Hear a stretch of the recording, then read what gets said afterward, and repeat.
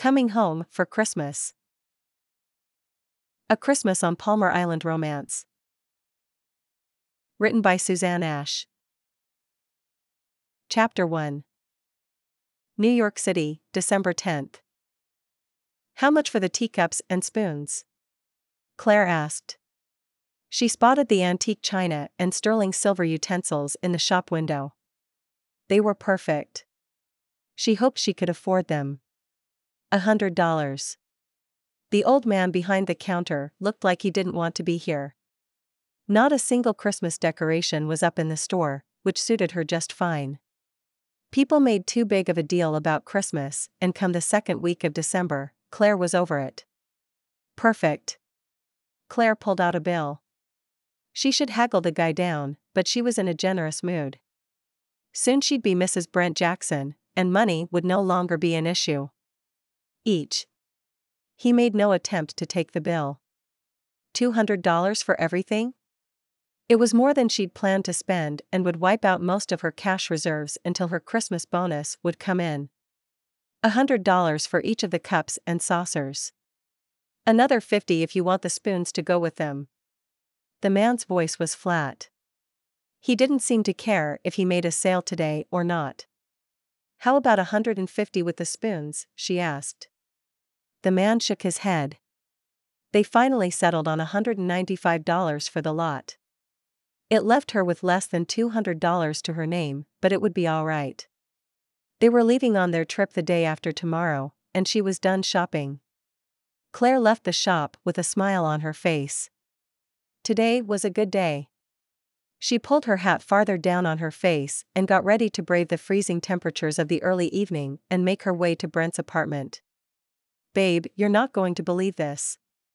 I found the perfect gift for your mom.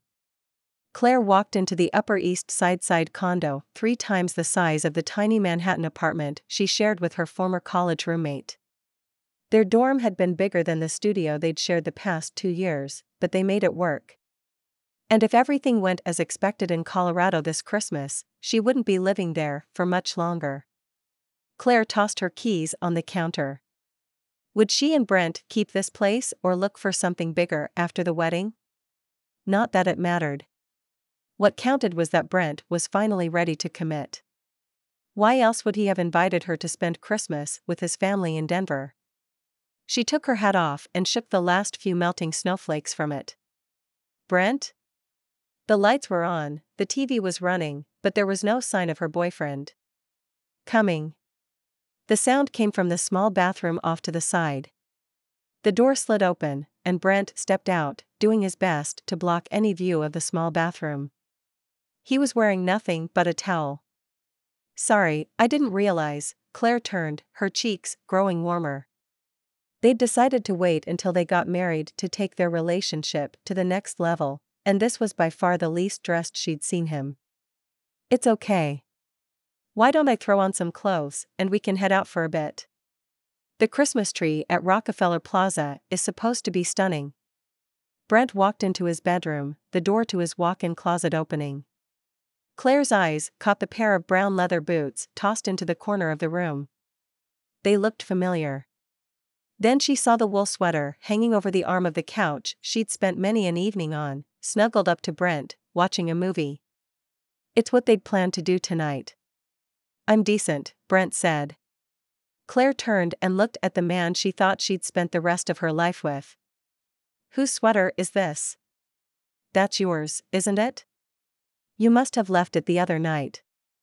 Brent pulled his coat from the hook by the door and slipped into his winter boots. Stacy is in the bathroom, isn't she? Claire asked. The look on Brent's face told her everything she needed to know. How could you? It's not what you think. It didn't mean anything. Brent paced through the living room, running his hand through his hair. That's not what I asked. Is it her? Claire walked over to the couch and picked up the sweater. The scent on the garment confirmed her suspicions. She smelled this every day she walked into the office she shared with Stacy Garner. It is. We ran into each other at the bar down the street and had a few drinks. Brent stood there, his eyes moving from the bathroom door to her and back again. And what is she doing in your bathroom? Claire asked, her anger rising. Don't make me spell this out for you. We had a little too much to drink, and with you insisting on waiting, Brent flopped down on the futon and threw his hands up. You're saying this is my fault? Claire's voice rose along with her temper. She heard bumping and splashing coming from the bathroom. All I'm saying is it doesn't help that you're a bit of a prude. Excuse me? Before Claire could launch into the rant she felt coming on, the door opened, and Stacy stepped out in a skirt and bra. I'm going to grab this and get out of here so the two of you can work this out. The woman took the sweater and pulled it over her damp hair. She sat down next to Brent, pulling her boots on. No need. I'm leaving. And Brent? She turned to face him. We're done. Is there anything else I can get you, hun? Renee, the waitress at the all night diner Claire had stepped into to warm up, was pouring more coffee into her cup. No, thank you. Claire wrapped her freezing fingers around it gratefully. Without her hat and gloves, it was freezing out there. She'd wandered the streets for over an hour, trying to figure out what to do. Her keys were still at Brent's, and she couldn't go back there. Facing Stacy or Brent was out of the question. She was done with both of them. Rough day? Renee asked. You could say that. I walked in on the guy I thought I was going to marry with the woman I share an office with. Somehow, saying it out loud helped. You stay right there. I'll be back. Renee walked behind the counter and returned with a slice of apple pie and a second cup of coffee. I don't. Yes, you do.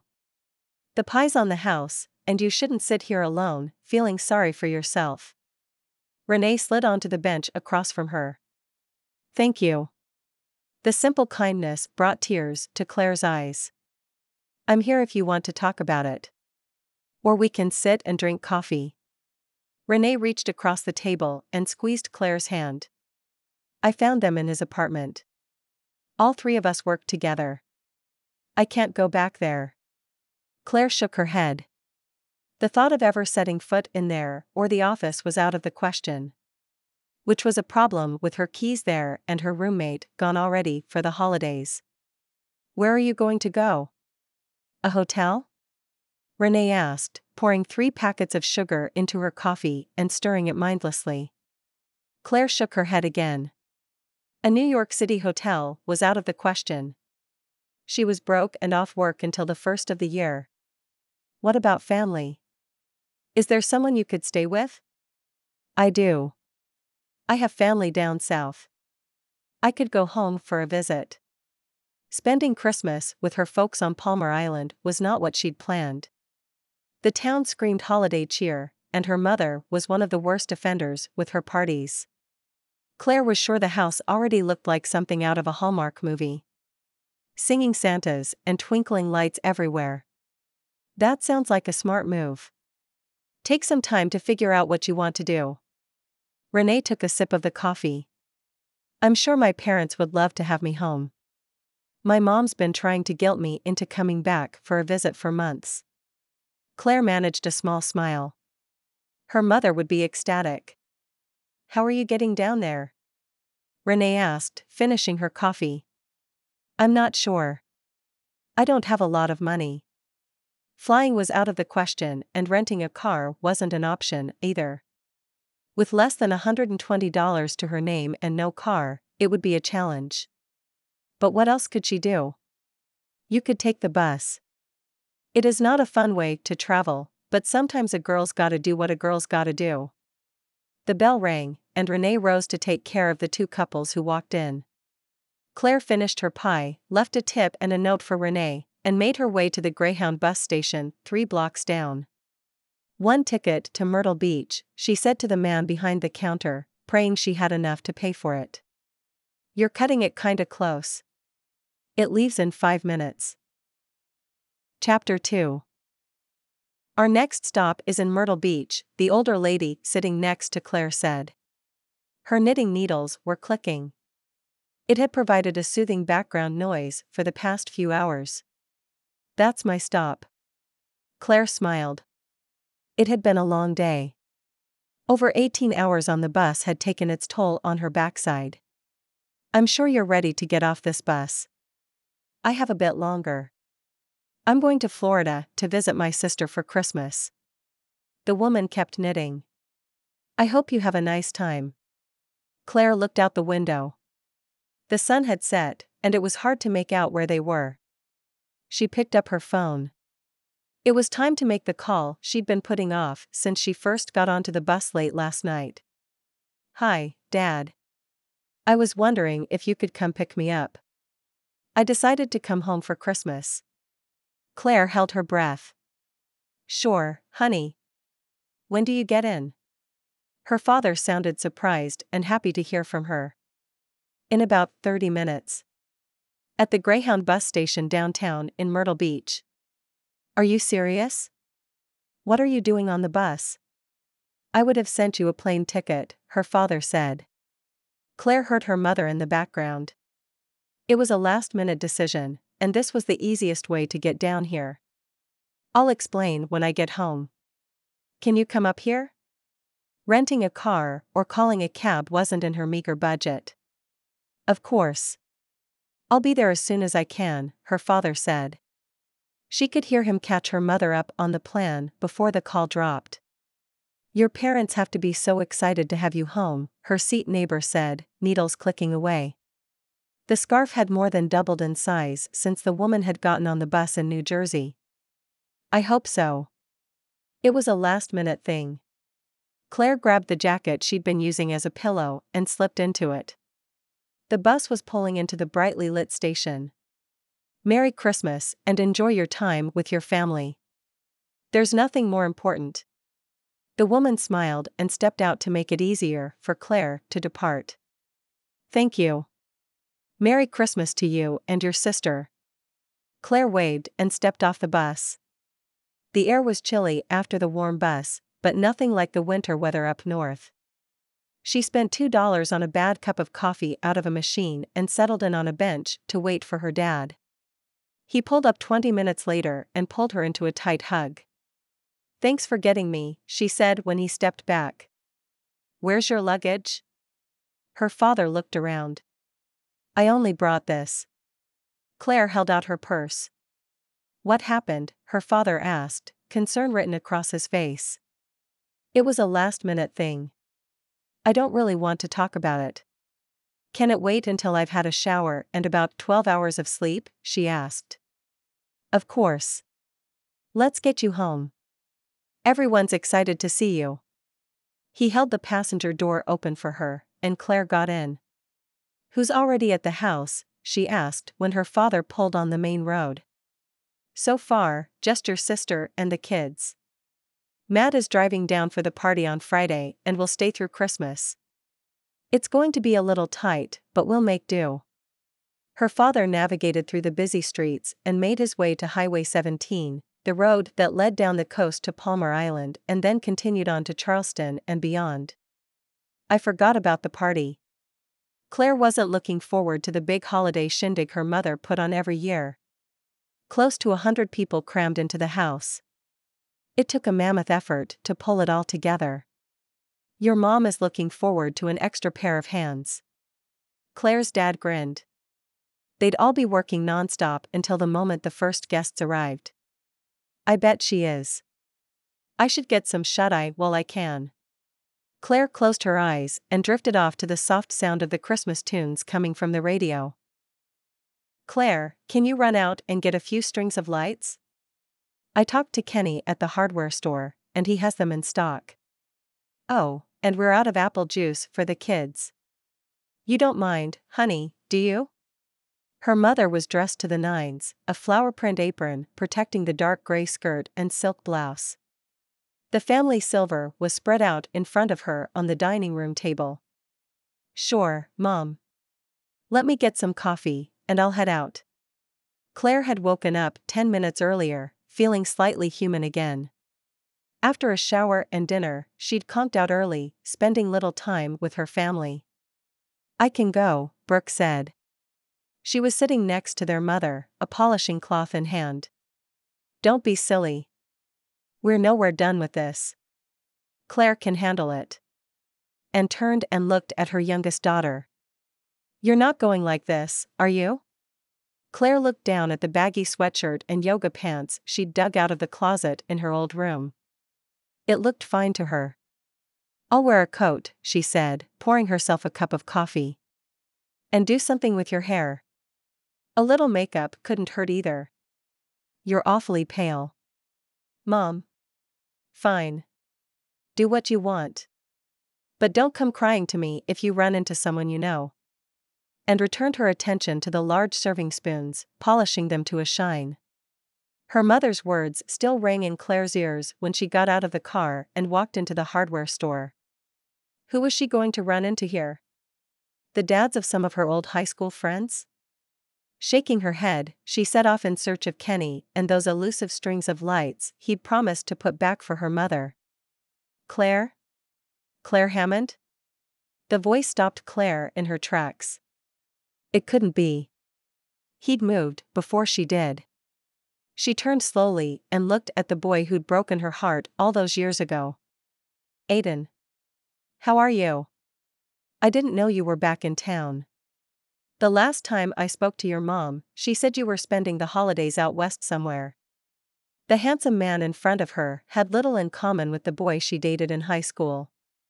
His chest was broader, his chin square, and his voice deeper, with a rich undertone to it that sent shivers up her arms.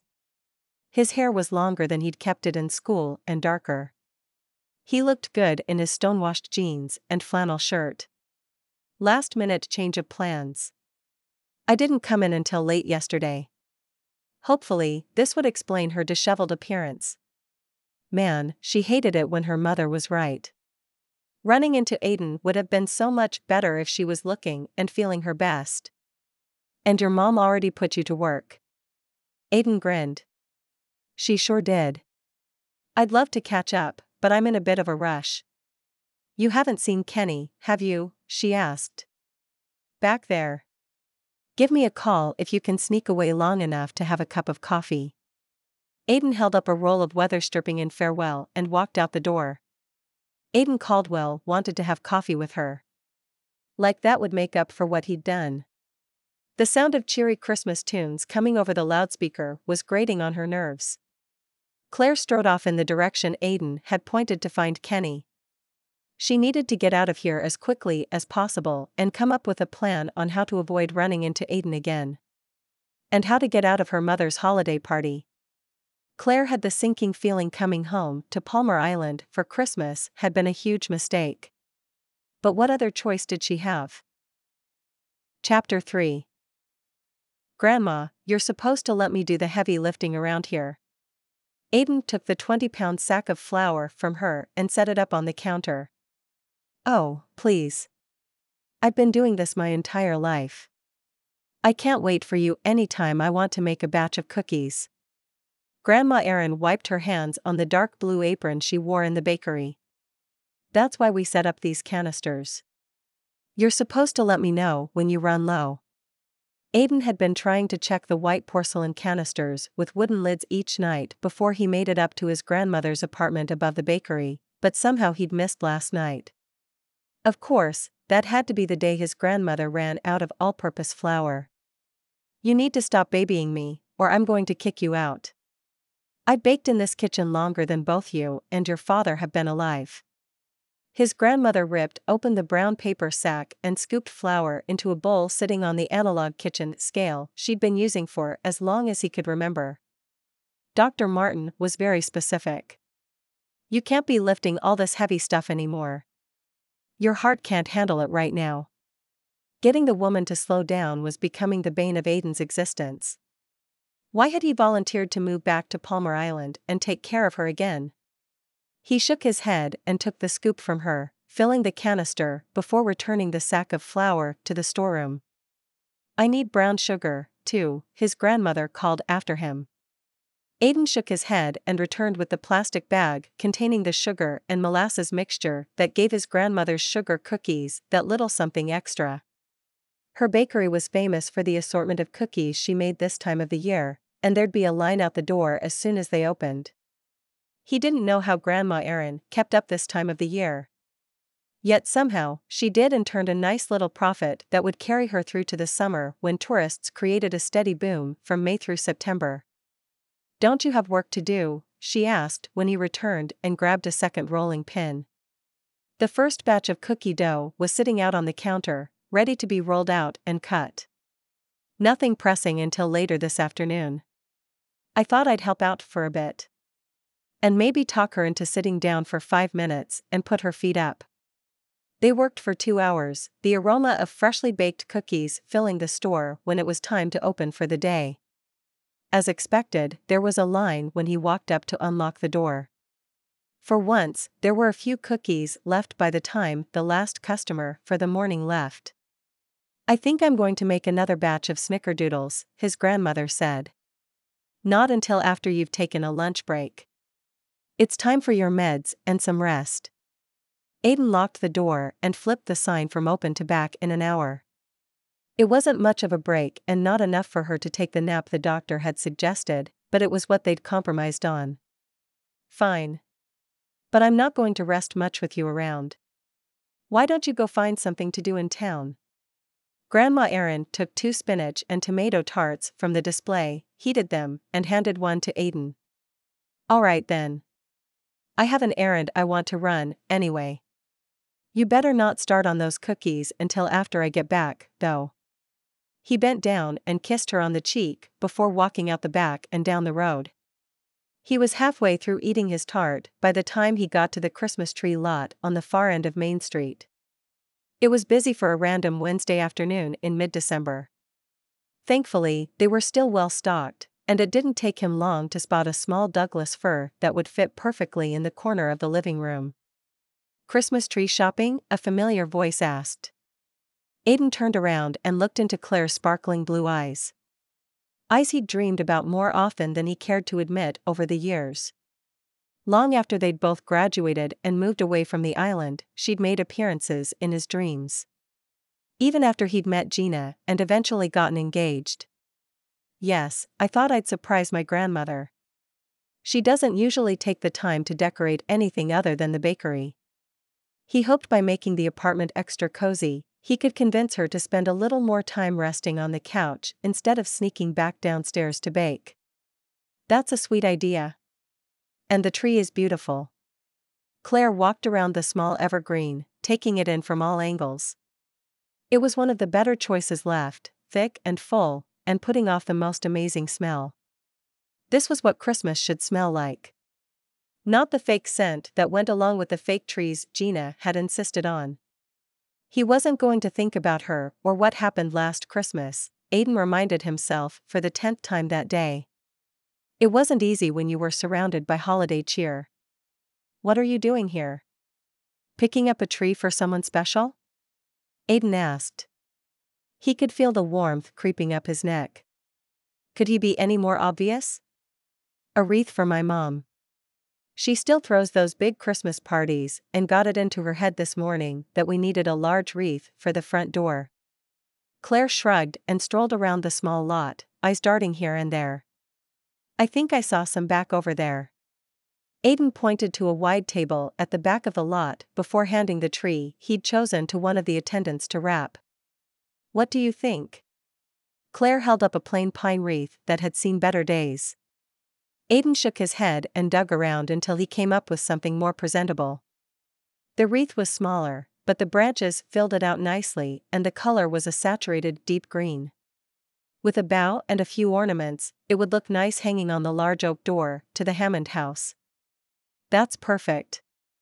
I'll take it, she said, turning to the girl behind the table. Do you have to take this right back, or do you have time to grab a coffee? he asked. I could make time for hot chocolate. The smile on Claire's face lit up the gloomy afternoon. His stomach did some sort of flip that had nothing to do with his grandmother's tart. You can leave these here, if you'd like, the young girl said, pointing to the small tree and wreath. That'd be great. Claire nodded her thanks and put her arm into the crook of his. It was natural, familiar, like no time had passed at all. Arm in arm, they walked across the street to the roasted bean and ordered two hot chocolates with whipped cream. They sat at one of the outdoor tables, hands wrapped around the warm cups. How long have you been back on Palmar? Claire asked. Since late July. You just got in? Aiden took a cautious sip. The chocolate was rich, dark, and not too hot. The sugar went straight to his head. Maybe he should have stuck to the black coffee he usually ordered. I did. I thought it would be nice to spend the holidays with my folks, after all. Claire licked a bit of whipped cream off her lip, her eyes hooded. By yourself? he asked. Yes. I was seeing someone in New York, but it didn't work out. Claire looked out across the busy street. I'm sorry. Breakups suck. He leaned back, relaxing into the metal chair and watching the people rush by. Claire kept quiet. When are you going back to New York? he asked. Honestly, I'm not sure. It's complicated. Her eyes returned to him, capturing his own gaze. He saw pain in those pretty blues of hers.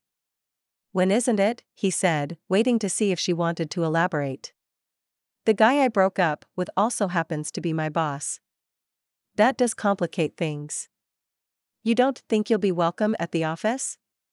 Last he heard, she was in publishing or something along those lines.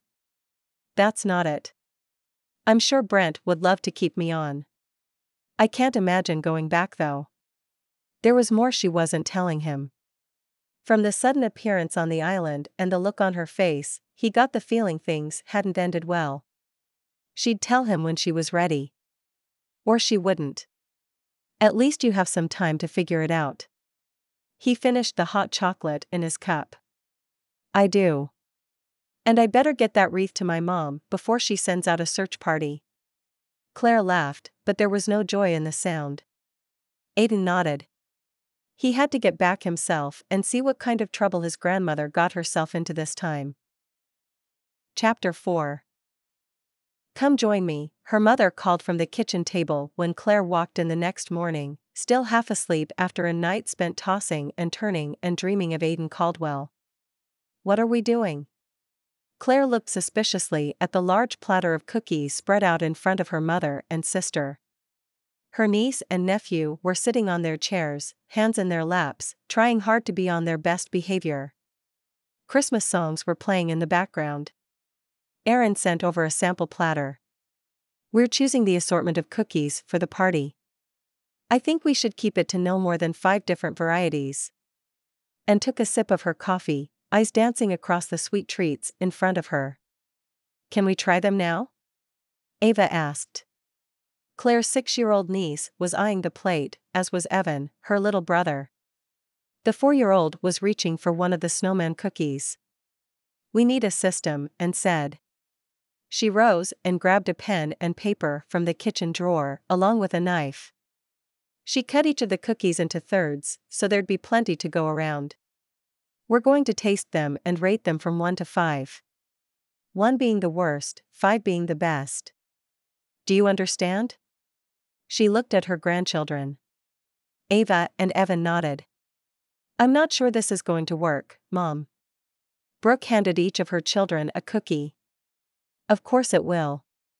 Claire, you work with Ava. Brooke, you get Evan to come up with a judgment. Everybody, do your best. This is important. Claire bit her tongue. Only her mother could turn eating cookies into a chore. What did you think of this one, Ava? I think it's a five. Ava licked her fingers. The best Brooke could get out of Evan was that the cookie was yummy. We'll say a 4 for him, and said before making a note of Brooke and Claire's judgment.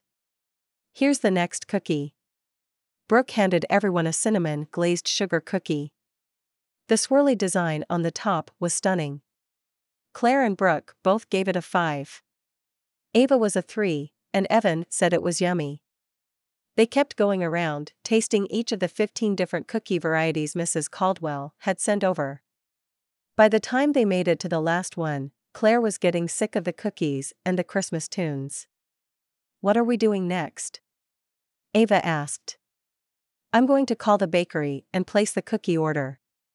Why don't the four of you go watch a movie? I hear the new Santa Claus one is a big hit. Claire shook her head. It was all too much. She was surrounded by holiday decorations, music, and a never ending string of Christmas shows and movies. The Hammond family loved Christmas. As did she, once upon a time. Until her senior year in high school. It was all the reminder Claire needed that getting back with Aiden was a bad idea. She did not need a repeat of the holiday fair or the winter ball. Claire, do you have a minute? And asked after Brooke and the kids left the kitchen. Of course. What's up? Claire hopped on one of the bar stools lined up in front of the large island. Her mother was on the other side, making a list.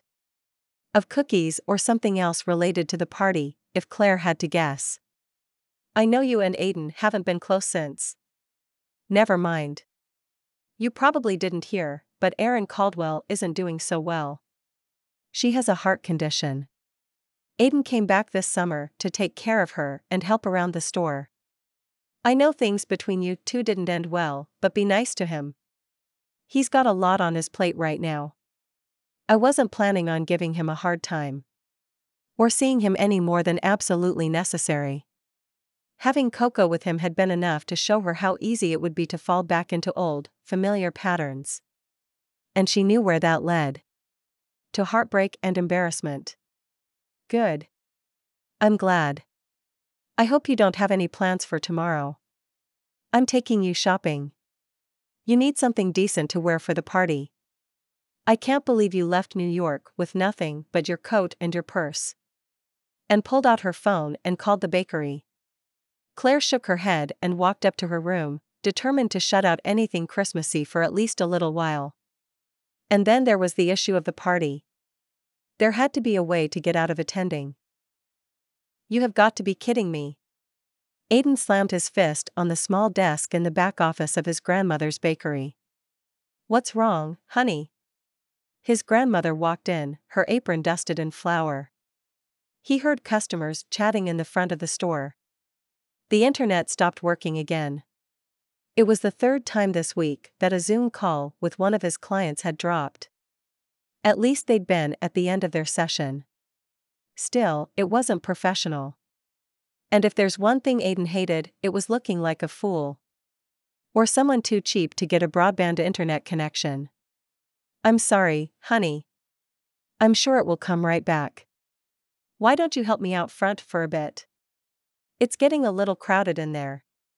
The sweet smile on his grandmother's face and the wrinkles around her dark brown eyes calmed him instantly. Sure thing. He'd spend half an hour selling cakes and cookies, and whatever else the good folks of Palmar Island wanted. And then he'd drive up to Myrtle Beach and upgrade to a faster and more stable connection. He hoped it would be something they could do on the spot. Can I get two of those snowman cookies? Aiden looked up. He hadn't noticed Claire in the throng of people that were filling the bakery. Of course. Anything else? No. I'm trying to stay away from sugar as much as I can. Claire's eyes roamed the display, belying her words. Aiden raised an eyebrow, but kept his mouth shut.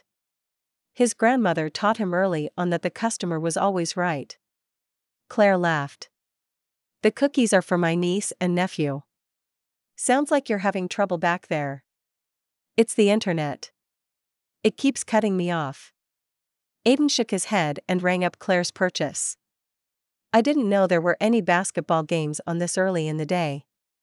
Claire glanced at her watch before handing him a $5 bill. No games until Thursday. At least not any of the teams I follow. I was on a Zoom call for work. This isn't my only gig. He counted out change and handed it to her along with the small paper bag that held the cookies. Thanks. I hate it when those calls drop. I hope it wasn't an important meeting. She took the bag and stepped aside. It was, but we were mostly done. Hey, do you want to have dinner with me? We can commiserate about the downfalls of coming back home. The words were out of Aiden's mouth before he could change his mind. Her eyes grew wide. The question surprised her. She hesitated for a moment before answering. Sorry, I can't. I have to go. Aiden watched Claire turn and walk out the door. Chapter 5 Claire, let you and me head down to Charleston for the day. The most adorable new French boutique opened on Market Street. I'm sure we'll find the perfect little cocktail dress for you. And we can grab lunch at Magnolia's. I remember how much you loved their crab cakes. And was waiting in the kitchen, a cup of coffee in hand, when Claire came down Saturday morning. Sorry, Mom. I can't make it. I promised Brooke to take Ava and Evan to the holiday fair today. She's having lunch with Matt. Her sister and her brother in law were also doing a little last minute Christmas shopping for their kids, but Claire knew better than to say that out loud. Her niece and nephew had supersonic hearing when there was something they weren't supposed to hear. But what about the party? You can't show up in a pair of jeans and that oversized sweater you've been wearing every day. And shook her head. I've loved that sweater since high school. It's comfortable. But don't worry. I'll borrow something appropriate from Brooke, Claire said. She was still hoping to find a way to bow out gracefully. Being stuck in a room with a bunch of local busybodies who wanted to know why she was here without the boyfriend wasn't how she wanted to spend her time. I don't know, her mother raised her eyebrows and looked Claire up and down. We're almost the same size. It'll work. Stop worrying about it. If all else fails, I'll hide out in my room. Or left for the evening. The only problem with that was that everyone she knew well was going to be at the party. Aunt Claire, are you ready to go? Ava ran up, wearing her boots and dragging her coat behind her. Not quite. Why don't you go watch some cartoons or something and let me get woken up? The fair won't open until noon anyway. Claire grinned. Her niece's enthusiasm was infectious. Are you sure you're going to be able to handle both of them at the fair? her mother asked. Of course. We'll have a blast. And don't worry. I'm not going to lose one of them. Worst case scenario, they'll have way too much sugar. Claire poured herself a large cup of coffee and hopped on one of the bar stools. I wouldn't leave them with Claire if I didn't trust her. Brooke walked up and put her arm around Claire's shoulder. Don't lose my kids, she whispered in her ear. Don't come running to me if something happens. I'll head to the spa then if we're not going to Charleston and strode out of the room, looking and sounding a little peeved. What did you do? Brooke asked. Declined a shopping trip to Charleston. Claire finished her coffee, the sweet caffeine coursing through her veins. She was ready for a fun day at the Palmar Island Holiday Fair. The moment she pulled up, she knew this had been a mistake. How could she have forgotten about the music? The place was decked out in Christmas cheer, and a local musician was singing his heart out on the small stage in the center of the fair. Can we go ice skating now, Aunt Claire? You promised. Anna was bouncing in her seat, and Evan was doing everything he could to unbuckle. Of course. It's the first thing we'll do. Wearing these two out before they explored the rest of the fair seemed like a smart idea. Claire congratulated herself on her babysitting skills. Oh, Ava's shoulders slumped, her tone dire when they walked up to the fenced in area of the ice rink. It was a glorified piece of plastic in the shape of an oval. Kids strapped plastic skates on their shoes with felt on the bottom that sort of slid across the plastic ice. This looks like fun. And it won't be as cold as real ice. Especially if you fall. Claire did her best to sound upbeat. They got in line to get tickets for the ice rink.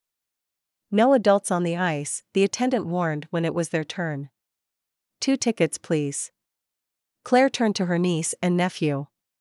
You're going to have so much fun. It's just like that video I sent you a few weeks ago from New York. She and Brent had gone up to Rockefeller Center and skated. She'd made Brent film a little clip to send to the kids. This is not that cool. Ava pouted but sat down on the little bench to strap on her skates. Go give it a try. The other kids are having fun. And stay with your brother. Claire helped Evan and got him out on the plastic ice. Claire?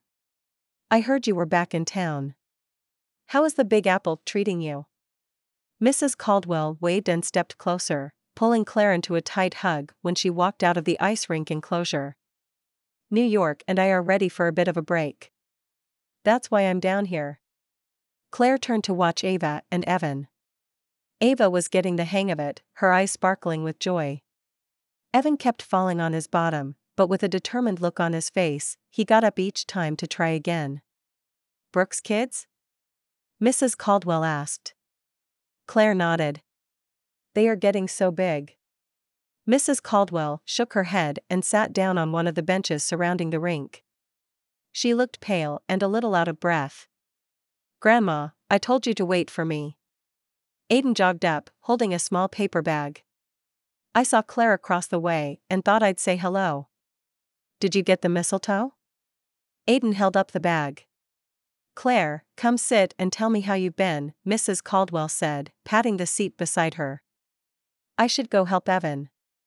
Claire wasn't sure what she could do, but the little boy was getting more and more frustrated.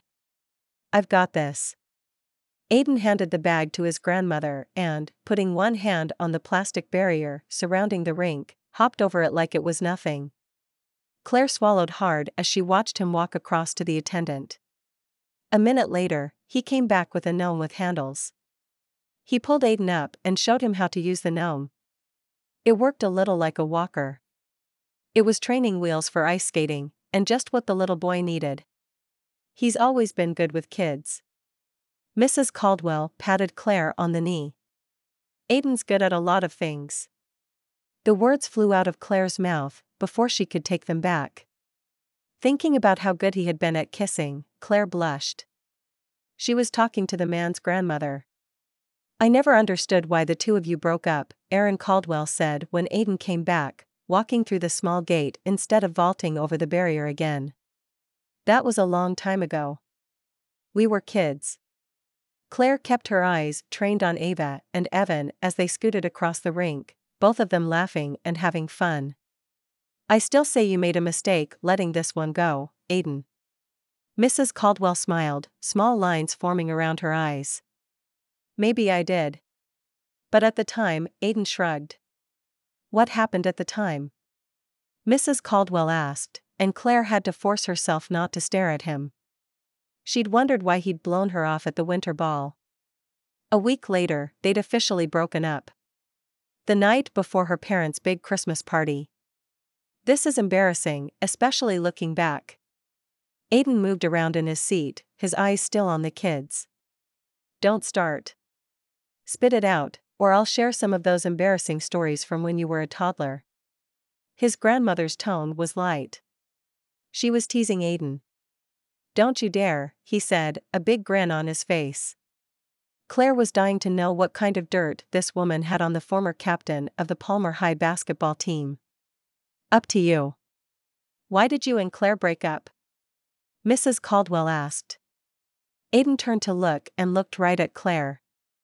Dad thought spending so much time with you was a distraction. He had high hopes I'd make it into the pros or at least get a full ride scholarship somewhere. Claire's heart came to a shuddering stop. All these years she'd wondered what she had done, where she'd gone wrong. She was speechless. Well, if that isn't the biggest piece of nonsense. Wait until I speak to your father. Mrs. Caldwell rose and handed the bag back to Aiden. Calm down, Grandma. This isn't good for your heart. It was a long time ago. Who knows what would have happened between Claire and me? Aiden's eyes darted from his grandmother to her and back to the older woman who started stalking off in the direction of the parking lot. Go, she said, watching him stride off to catch up with his grandmother. Aunt Claire, can we go get some hot chocolate and then come back to skate some more? Ava asked a few minutes later. Hot chocolate sounds like a great idea. She could use something comforting and plenty of sugar to buffer the shock of what she'd found out this afternoon. With whipped cream and marshmallows? Ava asked excitedly, already busy taking her skates off.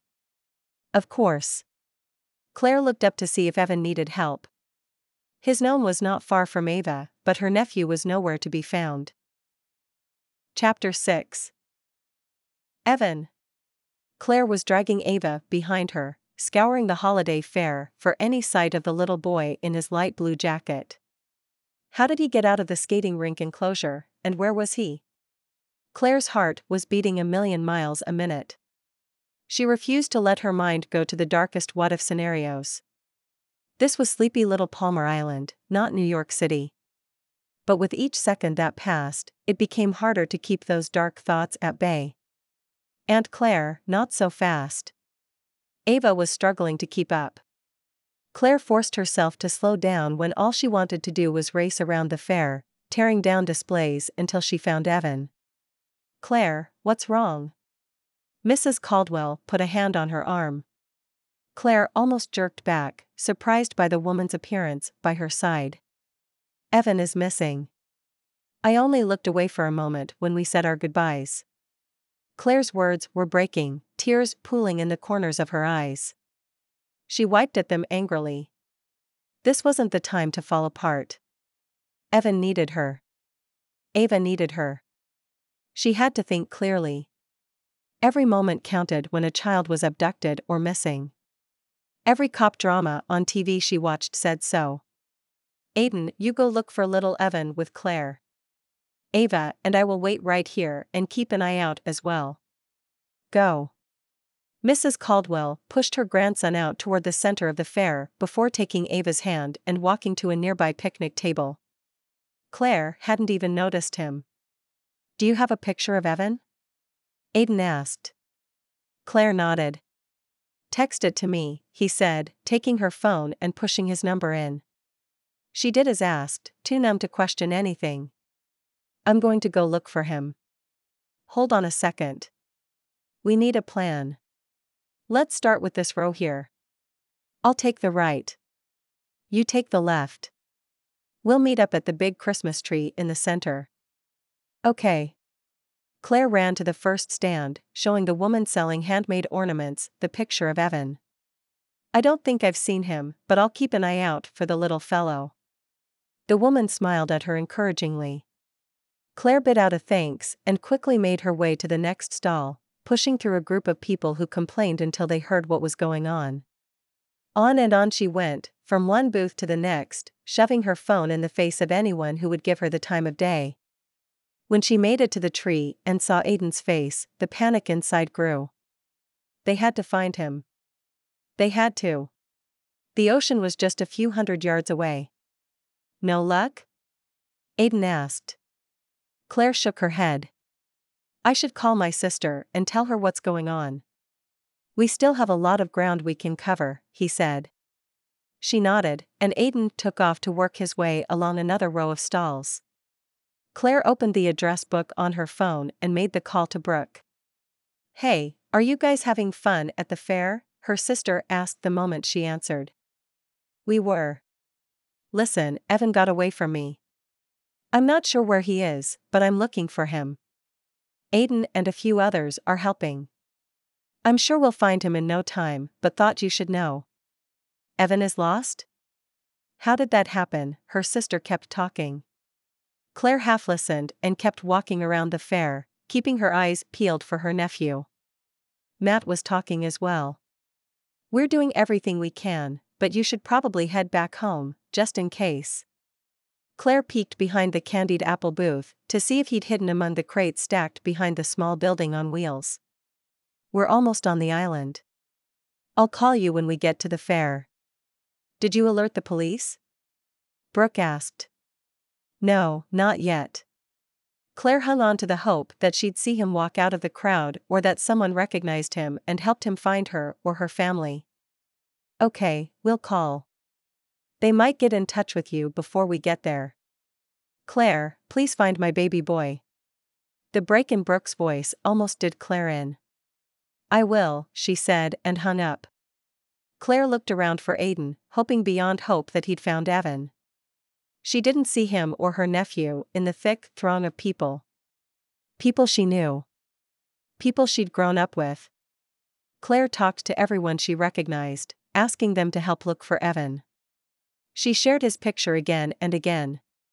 Within a few minutes, dozens of residents were out there looking, the picture of the four year old up on their own phones. Brooke and Matt arrived at the same time the sheriff did. Did you find him? Her sister called from halfway across the small field that the fair was held in. Not yet. We have a bunch of people looking. Claire explained what they'd done and how much ground they'd covered so far. Aiden joined them, shaking his head when Claire caught his eye. You did good work. We'll expand the search parameters, and I'll get every one of my deputies out to comb the island. Don't worry, ma'am. We'll find him. The sheriff sounded more confident than Claire felt. It was hard not to lose hope with the fading light. Aiden hated seeing Claire like this. Helpless and in a lot of pain. He'd made his way up and down every single row of the market and fair. He talked to every single vendor and most of the visitors. At least it felt that way. Still, they'd had no luck locating Evan. There had to be something else he could do. Anything to wipe that worried look not only off Claire's face, but Brooke's as well. He'd grown up with the Hammond girls. They'd been friends long before he and Claire started dating. And while he didn't know Matt well, he felt for the man standing there, looking as helpless as Aiden felt. What do you want us to do? Matt asked the sheriff. Honestly, the best thing you could do is head home and wait for a phone call, the sheriff said. From us. Or any one of your friends and neighbors who may have picked him up. Does he know the address to your mom's house? Brooke shook her head. He knows his first and last name and the street we live on in Marion, but not down here. We're only down for Christmas break. Phone number? The sheriff asked, taking notes. I do. Ava rattled off a 10 digit number, which Aiden assumed was her mother's cell. That's excellent. Do you know what to do if you ever get lost? The sheriff asked the little girl. Find a police officer or another mommy and ask them for help. And don't talk to any strangers. Evan knows that part too. The expression on Ava's face was dead serious. Aiden wondered if the bit about not talking to strangers was hurting them in this instance. It didn't sound like Evan knew anyone outside his family here on Palmar Island. I'll get this picture out to all my guys right away. If you don't want to go home, keep your own phones close. Is anyone at the house? The sheriff typed away on his phone. Our parents, Claire said. She was pale and shaking, despite the relatively mild temperatures. Aiden took off his Columbia jacket and draped it around her shoulders. It wasn't much, but it was something. You don't happen to be looking for this young man? A voice called across the open space in front of him. All eyes turned in the direction it had come from.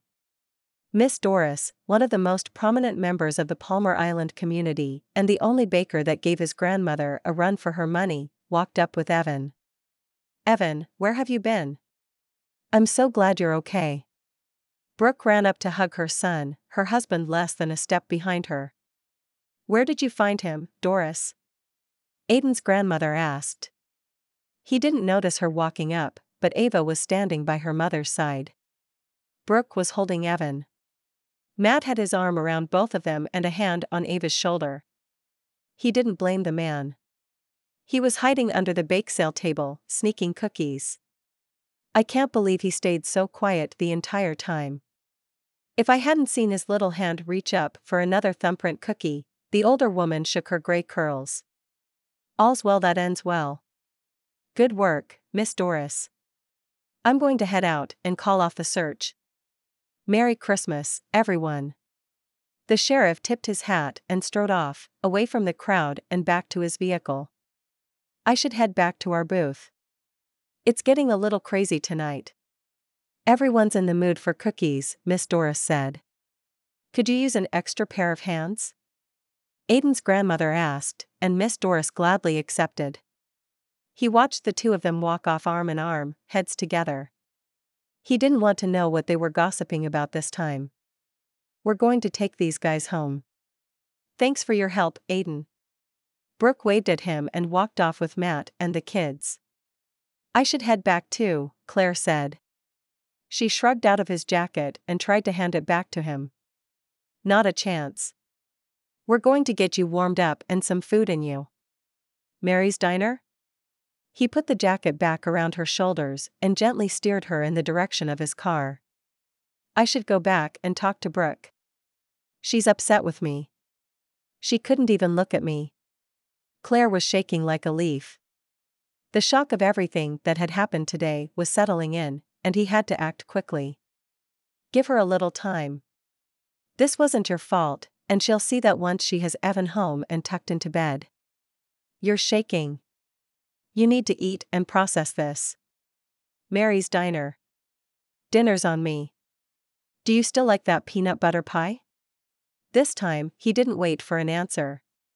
He put his hand on the small of her back and walked her to his truck. Chapter 7 When was the last time Claire had been to Mary's diner? The place had changed little since her high school cheerleading days. The familiarity and warmth of the place made her feel a little better. That and the text from Brooke to let her know they made it to the house okay. What can I get you? A woman in her mid to late 30s walked up to the booth Aiden had chosen for them. Her name was Sandy, and Claire didn't remember seeing her here back in the day. Do you have a soup special tonight? Aiden asked. We sure do. Homemade corn chowder. It's fantastic. Sandy pulled a small notepad from her apron. Two bowls of chowder and two grilled cheese. If that sounds good to you, Claire. Aiden looked from Sandy to her. Claire nodded her approval. She forced herself to smile at Sandy. Two corn chowders and two grilled cheese. What can I get you two to drink? Sandy asked. Two sweet teas and some water would be great, Aiden said. Claire was too tired to protest his choice. I don't drink sweet tea, she said after Sandy left. You do tonight. The sugar will help with the shock. He reached across the table and took her hands in his they were large and warm. She felt the heat transferring into her fingers and up her arms. It felt like she was thawing out. Claire suppressed a yawn, surprised at how exhausted she felt now that her heart stopped racing. Thank you for your help tonight. I don't know what I would have done if you and your grandmother didn't show up. Evan may not have sneaked off in the first place if I didn't distract you. Aiden's voice was low, his eyes no longer on her, but their hands. Claire pulled hers out from his. Aiden, this wasn't your fault. He was my responsibility. I should have paid more attention. You did. I watched you. Even when we were talking, you're always checking on the kids. Maybe there's nothing either of us could have done to prevent this. Aiden sighed. Maybe you're right. The important thing is that he's safe. But I'm pretty sure Brooke won't let me babysit her kids again. Claire didn't have to force a smile this time. That might not be a bad thing. Since she's raising a little escape artist. Aiden grinned. Claire burst out laughing. Maybe you're right. They can be a handful sometimes. By the time Sandy returned with the drinks, Claire was feeling more like herself. She took a long sip of the sweet tea, feeling the cool liquid rush through her system. Better? Aiden asked, his eyes cautiously hooded, a small smile playing around his lips. I am. How did you know? About the sugar helping? she asked. It's kind of my job to know these things. Claire raised an eyebrow. I'm a sports nutritionist. I study how food and things like Mary's famous sweet tea affect the body. That sounds interesting.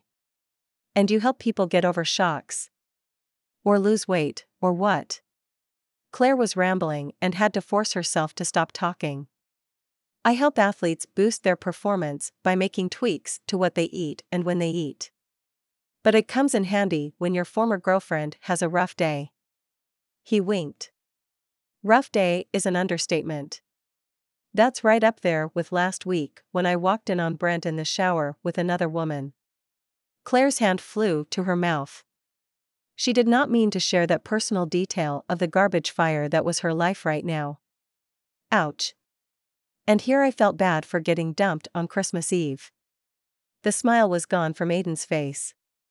The woman you were engaged to? Claire asked.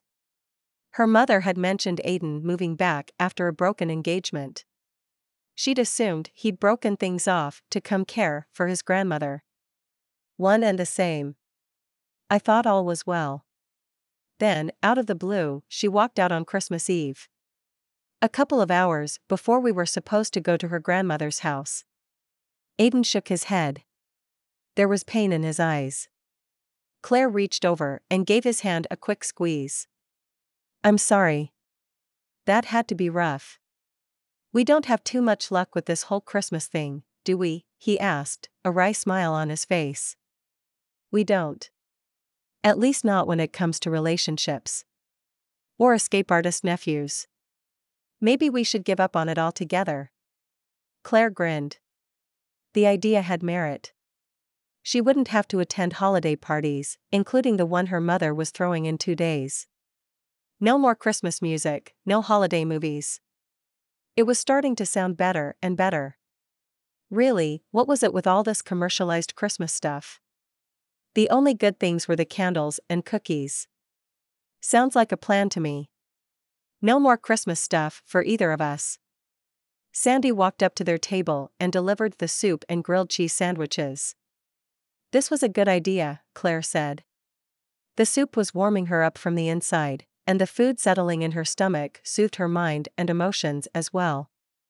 Remember, that's why they pay me the big bucks. Aiden took a big bite out of his grilled cheese.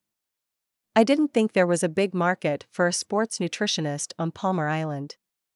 Claire dipped her spoon back into the rich chowder. There isn't.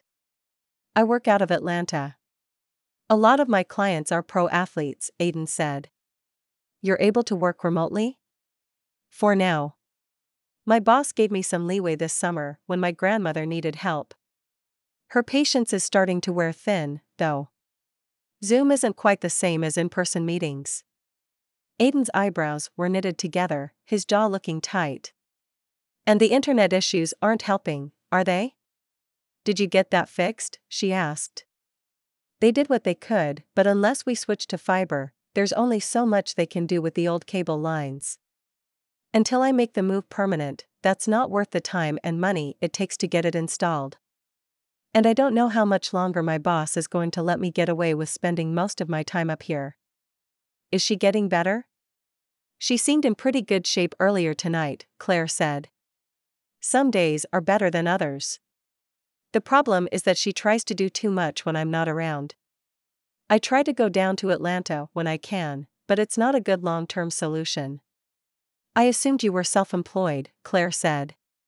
Between the Zoom calls and clients he'd mentioned, it hadn't been a hard conclusion to jump to. I wish. No, I work for a sports medicine clinic. There are a few independent sports nutritionists, but the majority of us work either for medical centers or sports franchises. How about you? How's the publishing going? Aside from the fact that I broke up with my boss? Claire took a bite of her sandwich to buy herself some time. That's going to make it awkward going back to the office after New Year's, isn't it? Yeah. Especially since the person I caught him with works at the office as well. I'm not sure what I'm going to do. Part of me wants to quit, but that's not really an option. Not too many independent book publishers out there. The thought of what to do had been niggling in the back of her mind since she'd gotten down here. What happened to the writing you were doing in high school? I figured you went into publishing to get your own books out there. Aiden scraped the last of his soup out of the bowl. I haven't had much time to look at it, let alone polish something enough to get an editor to even look at it. If anything, working in traditional publishing has taught me how next to impossible it is to get a contract. I can't tell you how many rejection letters I send out every month. That sounds depressing, Aiden said. It is. What about you? Any ideas for making things work? I assume your grandmother will need the extra help for a while. Claire finished the last of her tea and sat back, pleasantly full and feeling calmer, despite the conversation. Not really. I'm playing it week by week for now. Sandy walked up to their table to clear their plates and bowls. Can I interest you two in dessert? she asked. Aiden looked at Claire. She shook her head. I don't think I have room for dessert. It was a shame. Mary's pies were legendary. Claire wondered if her mother had ordered some for the party. That might sweeten the deal if she ended up having to make an appearance. Three slices of Mary's peanut butter pie to go, please. In individual containers, if you don't mind. Aiden turned up the charm, smiling big at the poor waitress. Claire swore it looked like Sandy was blushing as she rushed into the back to grab their desserts. You are such a flirt, Claire said after Sandy left. I don't know about that. My charm seems entirely lost on you these days. He winked, a small smile playing around his lips. That's because I grew immune a long time ago. It was a lie, but with both of their futures up in the air, this was not the time or place to rekindle an old relationship. Chapter 8 Hey, Mom. What's up? Aiden asked when he picked up the phone. He was plating the scrambled eggs he made for breakfast. I wanted to check in with you, see how you're doing. This time of the year probably isn't easy for you since. Not since Gina dumped me on Christmas Eve. It's okay to talk about it. In a way, it helped. I still don't understand why she'd do that. Not just the timing. I'm sure she's regretting her decision. Not that I think you should take her back. His mother coughed. You're not getting sick, are you? he asked. No. I'm having a cookie. Nothing like the ones your grandmother makes. Something from one of the gift baskets they send your father. You should see the dining room table. His mother laughed. Watch your sugar intake. It's not good for your immune system, especially if you guys are traveling on a plane this time of year. Aiden stuck a couple of slices of whole wheat bread into the toaster. I will. I've been taking those supplements you suggested too. They've been helping. My mood is much better than it usually is this time of the year. Good. Get outside when you get a chance too. Sunshine is important. His mother had suffered from seasonal disorder for years. He was glad that she was improving. I will. I am. Stop changing the subject. Are you seeing anyone? I'm not the one who changed the subject. You did. And no, I'm not seeing anyone. Between helping at the bakery and work, there isn't much time for anything else. Maybe Gina was right. I didn't have a lot of time for her. Oh, please. You made plenty of time for her. We barely saw you when the two of you were together. And there is nothing wrong with loving your work and wanting to do a good job. You make a difference in your clients' lives. How many of those young people made it to the pros because of your advice? And what about that young man you told me about who recovered from surgery in record time because you worked with him? What you do is important. Thanks, Mom. It didn't always feel that way, especially on days like today when his clients were complaining about the restrictive diet he'd put them on. Or when they simply ignored his advice and then were surprised when they didn't get the results they expected. Don't let the memories get you down. It wasn't your fault it didn't work out with Gina. Some things aren't meant to be, and it's better you found it out now than down the road when there are kids involved. That's true, but I wasn't completely innocent. Gina had a point. I've been working a lot and didn't make enough time for her. It had taken him a long time to realize that, but he was man enough to admit that he didn't always make her his number one priority. Aiden, a relationship is give and take and building a life together. It isn't making your life revolve around that one person. Yes, you were busy, but you made time for her when you could. Don't you dare think this was all on you. I won't, and I'm okay, really. I even got a little Christmas tree for Grandma Erin. I'm not saying I'm back into the Christmas spirit, but I'm getting there. And a certain blonde ex girlfriend of his was a big reason for that. I'm glad. And that's nice. Your grandmother always had the most beautiful antique ornaments. She still does. The tree is full of them. You're going to love it. Aiden smiled. It would be nice to have everyone together for Christmas. It had been years since they'd all made it back to Palmar Island for the holidays. About that, his mother said. Don't tell me. Dad has a last minute business trip. Ever since his father had taken a position with a large poultry company and moved to Arkansas, he'd spent more time on the road than at home. He does. He has to go up to Montreal to meet with clients, and I decided to join him. The city is supposed to be beautiful this time of year. We're going to stay over Christmas, but we'll come see you guys on the way back. We can all spend New Year's together. His mother's tone was apologetic, but he could tell she was excited. That sounds like a fun trip. Is Dad calling Grandma? he asked. He was hoping you'd break the news to her. You've always been good at talking to her. The two of you have always been close, his mother went quiet. Aiden wasn't surprised. His father hated conflict, and he and Aiden's grandmother didn't have the easiest relationship. He'd resented working in the bakery and being made the man of the house at a young age. Aiden, on the other hand, had loved helping out in the shop. He still did. There was something soothing about making a loaf of hearty sourdough bread or watching the joy on a child's face when they picked out a cookie or cupcake. You don't mind, do you? his mother asked, her voice less sure of herself. Aiden sighed. I'll take care of it. Go have fun in Montreal and send me some pictures. I'll do better than that. I'll send both of you something fun from their Christmas market. I pulled a couple of outfits from my closet that I think might work. Anne walked into Claire's room with an armful of outfits, most of them sheath dresses. Claire closed her laptop and rose. I told you, I'll borrow something from Brooke. She hadn't had a chance to talk to her sister yet, but she was sure there was something she could wear that didn't scream middle age. Your sister traveled very light this year. I doubt you'll find much to choose from. This here is my favorite. I think the color will be perfect for you. Why don't you go try it on? Anne held a burgundy dress with dark gray accents out to her. It was beautiful, but too form fitting for Claire's taste. Mom, I don't think. Just try it on. I'll wait. Her mother handed her the dress and pushed her in the direction of the bathroom. With little choice, Claire did as her mother asked, walking out a minute later in the uncomfortably tight dress.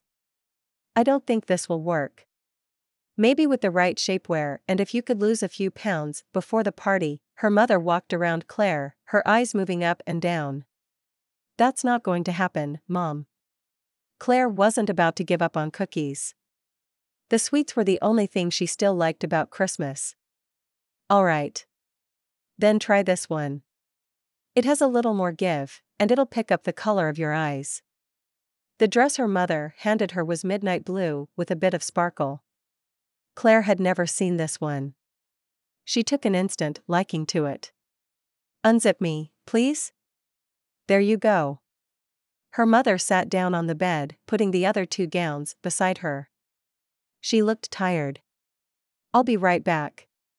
Claire quickly changed into the blue dress. It fit like a glove, and the material was divine. Soft and velvety. Claire felt pretty. It was the only way to describe it. That's the one. It looks better on you than it ever did on me, her mother said when Claire stepped back into the bedroom. It is stunning. Where did this come from? I don't think I've seen it. The dress had a vintage feel to it, and while it didn't smell musky, Claire didn't think it was a recent addition to her mother's closet. Don't laugh. It was what I wore for the winter formal the year I graduated college. It's been hanging in the back of my closet ever since. I forgot how timeless it was. It is beautiful. But about the party, Claire took a breath. I know you're hesitant about going, but I don't understand why. You know everyone who will be here. And they'd love to see you again. Everyone's been asking about you. That's the problem. Claire sat next to her mother on the bed. How so? her mother asked, her voice gentle, eyes on Claire. For the first time since she'd come home, her mother seemed like she genuinely wanted to know and was ready to listen. It's because I broke up with Brent.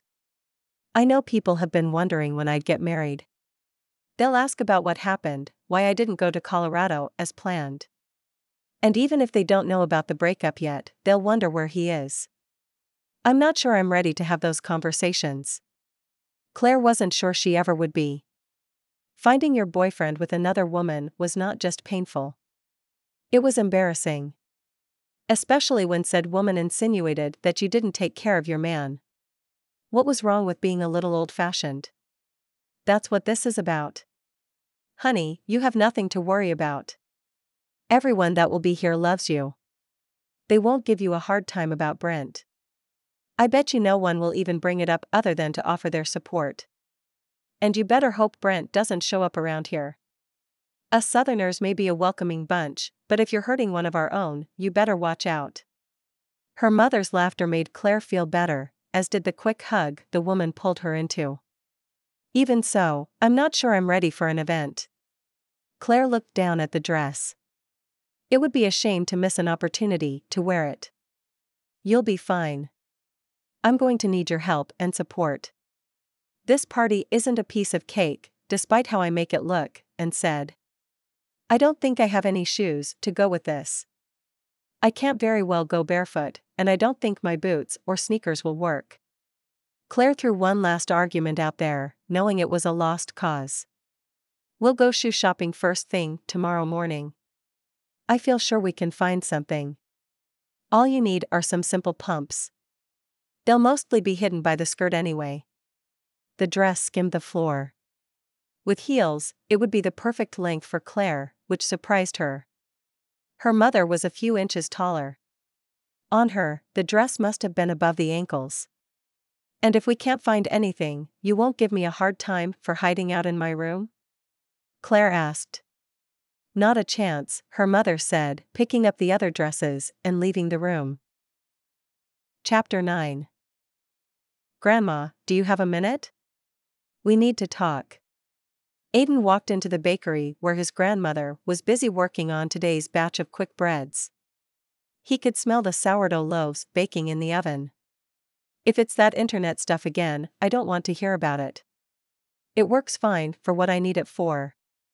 If you need something faster, set it up, but stop bothering me about it. I don't have time for that. Especially not this time of the year. The next few weeks will see us through until the tourists come back this summer. It's not that. I have it handled. I talked to mom, Aiden didn't know how to break the news to his grandmother. Did something happen to Harry? She spun around and wiped her hands on her apron. No, no. He's fine. Everyone's okay. There's been a slight change in plans for Christmas, though. Aiden leaned against the counter, observing his grandmother. Business trip? she asked. To Montreal. How did you know? His grandmother turned to get back to weighing the flour. Your dad mentioned there was a chance he'd have to go up there right before Christmas. You're not surprised or disappointed? Aiden asked. I'm sure they'll stop by on their way back home. We can celebrate Christmas with them then. If you think about it, it's just a date on the calendar. What counts is spending time with your loved ones. And I'm lucky. I have you all of December. She reached up and patted his cheek. You're taking this better than I expected. And maybe you have a point. It's about the sentiment, not any particular day. Aiden strode over and started greasing the stack of loaf pans sitting on the counter. I've been around the block a time or two and learned some things along the way. The most important one of those is to not let petty stuff steal your joy. Is your mom going with him? Aiden nodded. She sounded excited about Montreal. Good. He won't be alone, and I'm sure it's beautiful up there this time of year. I saw a travel show about it a few years ago. It looked so picturesque with the snow and those European style markets. They'll have a good time, and we'll do something special as soon as the shop closes at noon on Christmas Eve. But first, we have to get these loaves in the oven and make another batch of snowman cookies. I don't know why they're so popular this year. She shook her head and stirred jalapenos and sharp cheddar cheese into the first batch of batter. I think Claire's niece and nephew have been spreading the word around the younger population of Palmar Island. Aiden grinned, thinking about Claire coming in several times this week to buy the simply decorated sugar cookies. They worked in companionable silence for a little while, Christmas music playing in the background. Customers dropped in and out, but it never got too busy. It was a nice change of pace from the mad rush on Saturday morning. This is the last of them. Apple bread and a new spiced peach loaf I'm trying out. Would you pop these in the oven for me while I get the sugar cookie dough from the fridge? His grandmother asked. Of course. Do you think the last batch is ready? he asked. His grandmother spun around, slipping on a bit of flour he'd spilled and meant to sweep up. Aiden jumped toward his grandmother, but she was on the ground before he reached her. Are you hurt? I'm fine. I think. Her face was pale, her eyes wide, pupils fully dilated. Can you stand up? He held out both of his hands and pulled her off the floor. The moment his grandmother tried to put weight on her right foot, it gave out from under her. He caught her just in time, pulling her into a close hug. Maybe not as fine as I thought. It's my ankle. She huffed, sounding more annoyed than in pain. Aiden hoped that was a good sign. Let's get you into that chair over there. Ever since the doctor had ordered more rest, he'd been trying to convince her to spend at least some of her busy day sitting behind the counter, Usually to no avail, but this time, his grandmother complied. She hopped, supported by him, to the chair and sat down. I'm sure it will be fine in a minute. I must have twisted it when I went down. I'm glad we didn't have any customers in the store. She shook her head before bending over to rake the flour off her dark pants. I think we should have someone check you out. You could have broken your hip. Or a collarbone. He looked at his grandmother closely. The color was returning to her cheeks, and she didn't seem in a lot of pain. I'm pretty sure I'd know if either of those had happened. Do you remember how much pain you were in when you broke your collarbone in high school? The whole stadium heard that scream. She smiled, but it didn't quite reach her eyes. You have a point there. Tell you what. Elevate your leg, and let's put some ice on it and see how it looks in half an hour. If it's not any better, I'm taking you to see Dr. Martin. Not until those breads are done and the snowman cookies are baked, his grandmother said. We have frozen peas in the kitchen upstairs. I promise to put them on as soon as that's done. Aiden shook his head but jogged upstairs. By the time he returned, his grandmother was standing up at the counter, ringing up a customer. I should have closed the store, he mumbled under his breath. What's that? his grandmother asked. You heard the man. Stay off your feet and keep the ankle elevated, Aiden said as they walked out of Dr. Martin's practice. And you hurt him. It's only sprained. There is no need to make a big deal about this. His grandmother hobbled out onto the sidewalk, barely supported by his arm. Miss Erin, what happened? Are you okay? Claire stepped out of the shoe store next to where Aiden's truck was parked. Her mother followed close behind, carrying two large shopping bags. I'm fine, dear. I twisted my ankle. Aiden here is making a bigger deal about it than it needs to be. I'm sure Dr. Martin has better things to do than to tend to my old legs. His grandmother laughed and hobbled over to give Claire a hug. How is she? Claire asked, looking at Aiden. He noticed he had her mother's attention as well. She's fine. It's a sprained ankle, but Dr. Martin said he's glad you came in, Grandma. He turned to Claire. It'll be fine as long as she stays off it. We'll do a follow up visit in five days. I hate to ask, Anne's eyes darted from his grandmother to him and back to her. We will get your cookies done in time, don't you worry. Worst comes to worst, I'll send Aiden over to deliver them. I promised you six dozen, and that's exactly what you'll get. Grandma Erin patted Claire's mother's arm before turning to continue her walk to his truck. Erin? What happened? An old white Oldsmobile came to a stop in the middle of the main street. Miss Doris rolled down her window, sticking her head out for a better look. I'm fine. I slipped and twisted my ankle.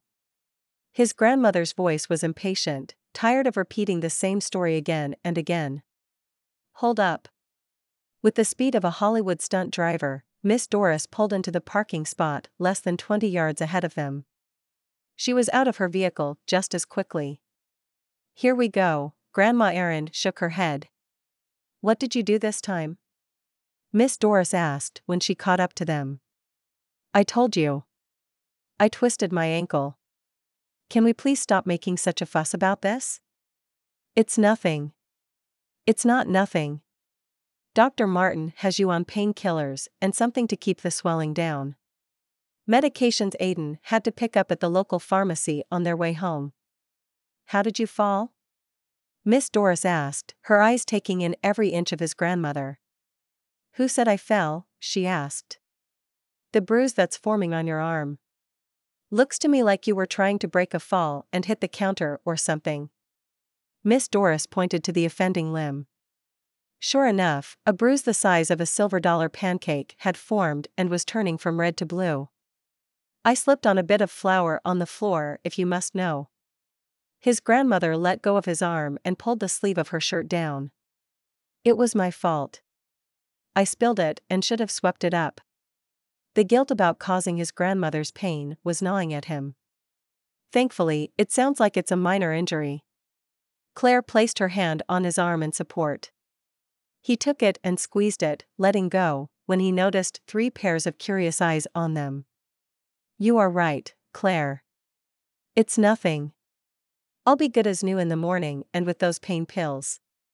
Don't even think about it. You're not working for the next few days, Aiden said, putting as much authority as he could muster into his voice. And who do you expect to do the baking and run the store? You? His grandmother looked up at him, her index finger pointing straight at him. Of course. I've been working alongside you for the past six months and kept the store running while you were in the hospital this summer. A little gratitude would be nice, he thought. You can't work the store full time and do your job, Aiden. I'll be fine. I'll take breaks and close early if I need to. I can help, Claire offered, looking surprised the moment the words were out. That's wonderful. And I will help as well. Between the three of us, we'll keep things going.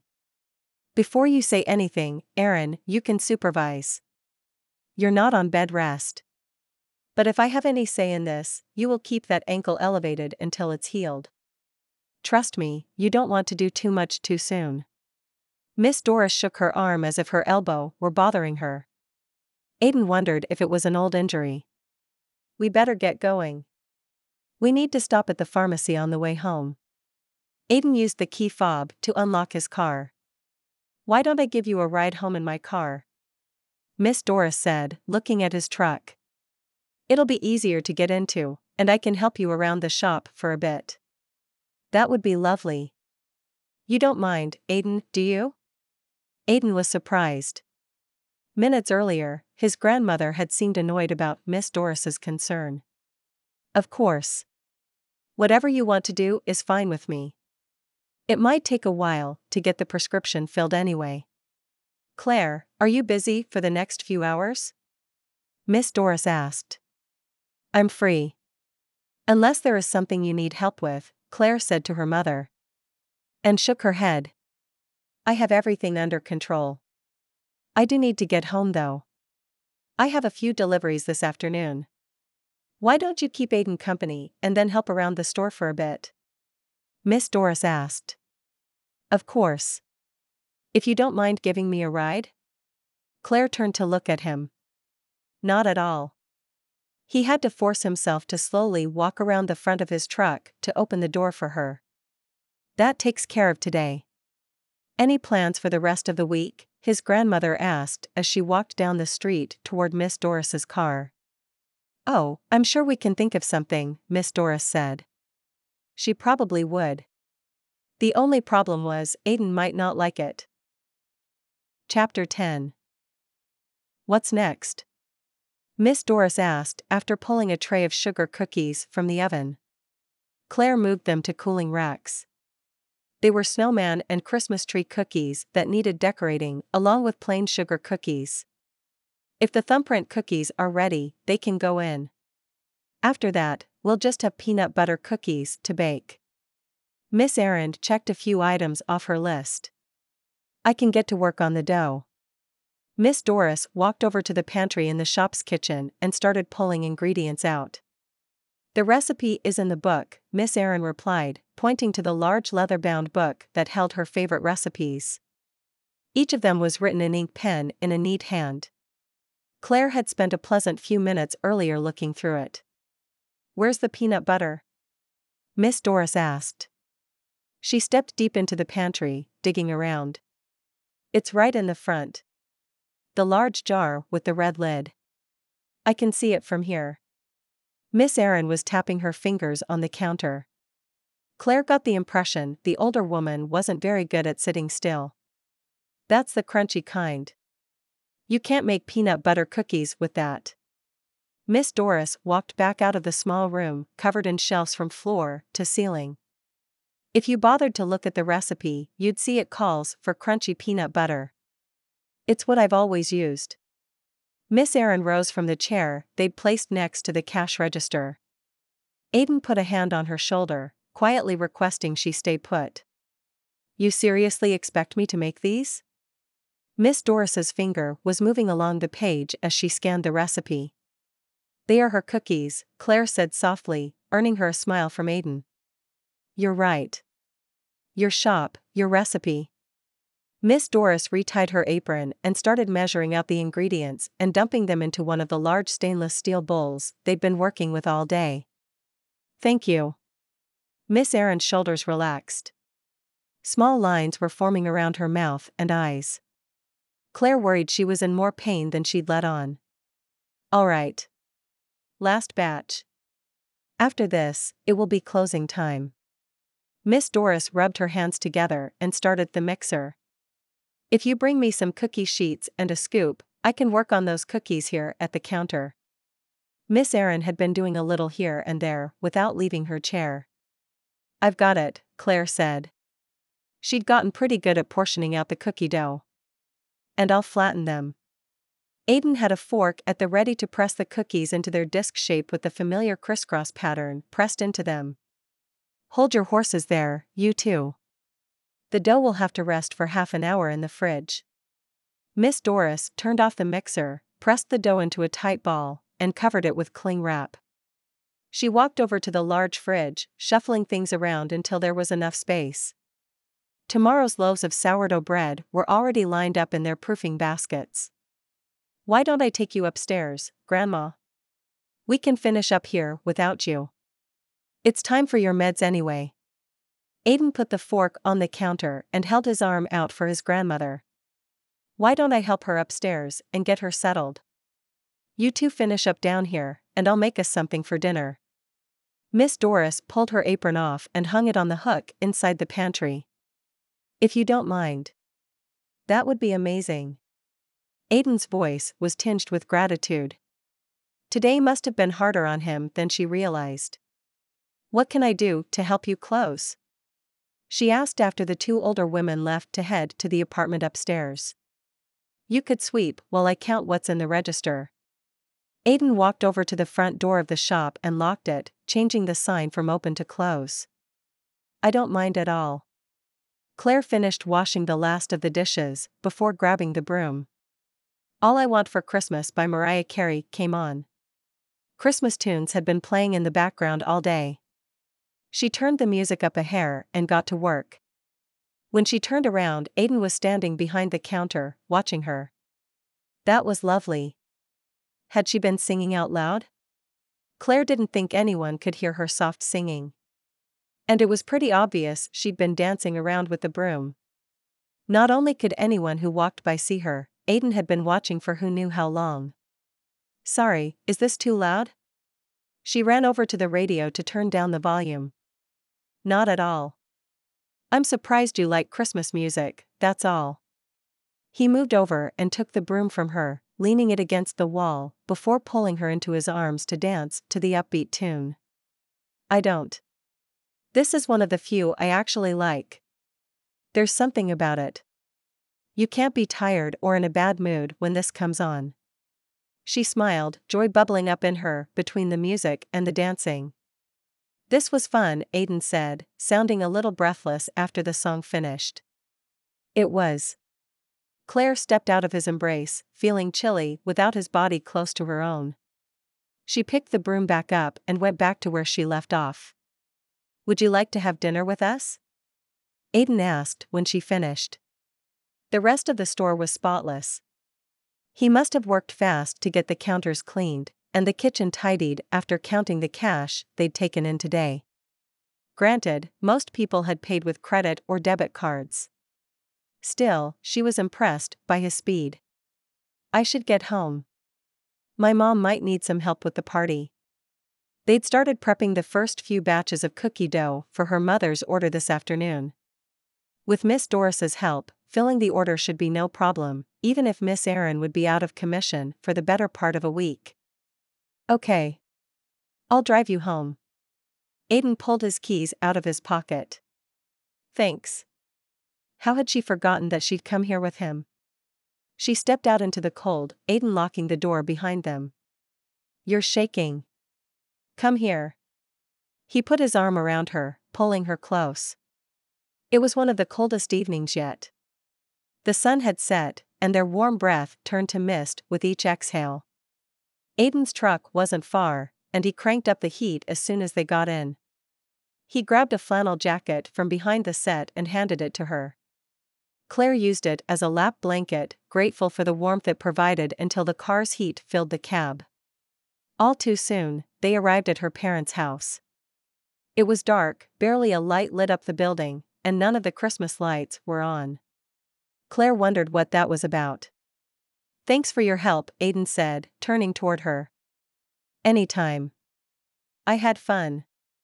She pulled the jacket off and handed it to him. I'm glad.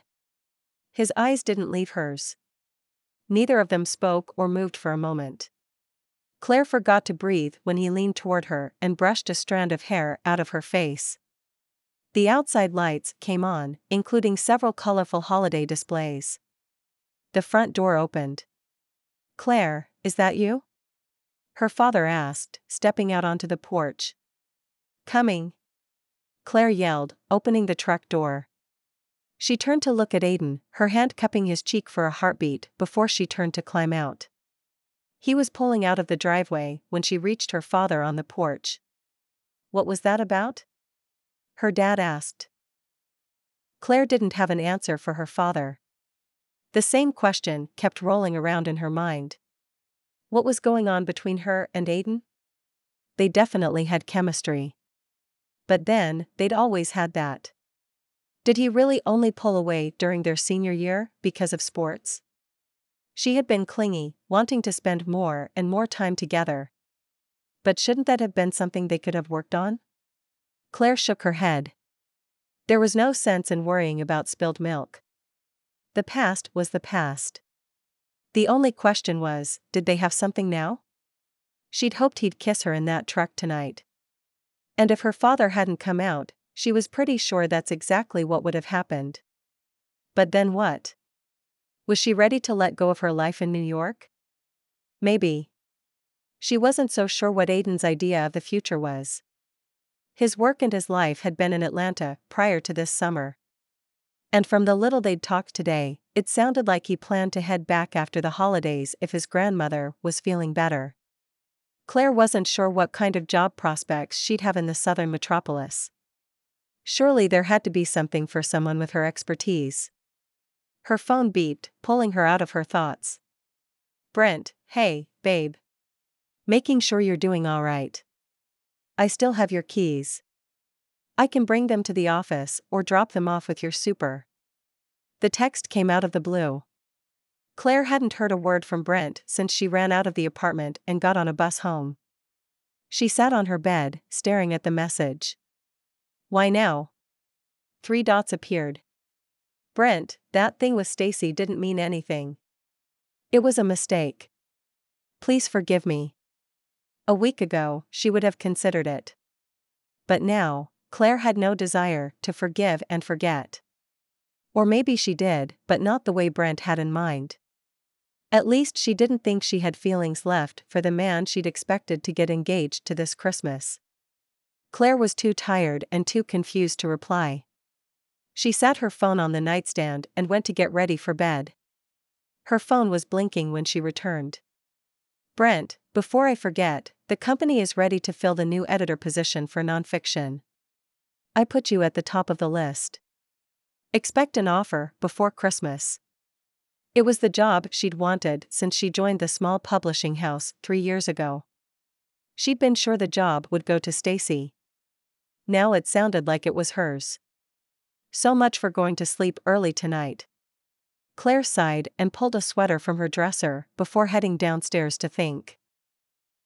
Chapter 11 Thank you for coming back, Aiden said when Miss Doris showed up at the bakery early the next morning.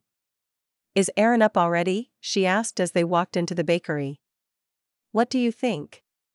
Aiden asked, pointing with his chin in the direction of the kitchen where his grandmother was busy baking sourdough bread and mixing muffin batter.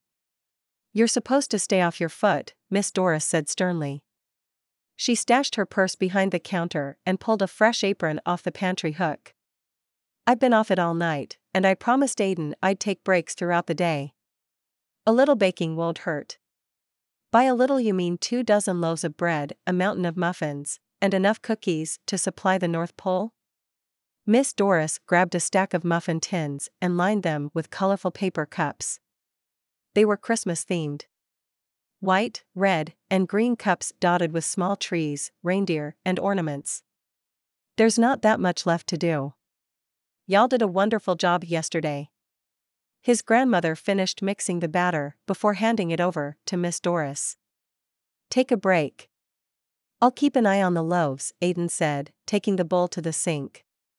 I'll be fine. His grandmother pulled a clean bowl out from under the counter, intent on starting the next batch of muffins. No, you won't. Not if you don't let this heal. Did I ever tell you about my elbow injury? Miss Doris asked, motioning for Grandma Erin to sit down. You hinted at it, but I never got the entire story. His grandmother scooped flour into the bowl. If you sit down, I'll tell you. What are we making here? Miss Doris asked. Aiden stood back and watched the two women. If there was anyone in town who could get his grandmother to do something she didn't want to do, it was Miss Doris. Apple streusel muffins, his grandmother said, opening the recipe book to the correct page. Aiden can peel and chop the apples. He did as asked, happy to see his grandmother take her seat in the chair behind the cash register, her leg propped up on an empty crate topped with a pillow from their apartment upstairs. Do you remember the bake sale about 10, 15 years ago when the church needed a new roof? Miss Doris asked. Aiden shook his head, but his grandmother nodded. We needed a nice chunk of change, so I baked pies and cookies for days. I mixed all my pie dough by hand back then. It's easier to judge how much water it needs when you've got your hands in it, Miss Doris said. More nods from his grandmother. Long story short, I overdid it. My elbow was hurting badly enough that I went to see the doctor. He told me to rest it for a few days, but did I listen? Let me guess, you pushed through the pain. I see it in my athletes all the time. Aiden had witnessed several pro careers end because someone tried to tough it out. To his surprise, it was a bigger issue with women than with men. I sure did. We needed the money for that roof. I figured I'd rest after we had the funds.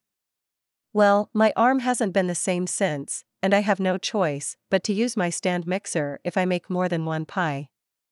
And don't even get me started on the aches when the weather turns cold. She rubbed her elbow for a moment before getting back to mixing the muffin batter.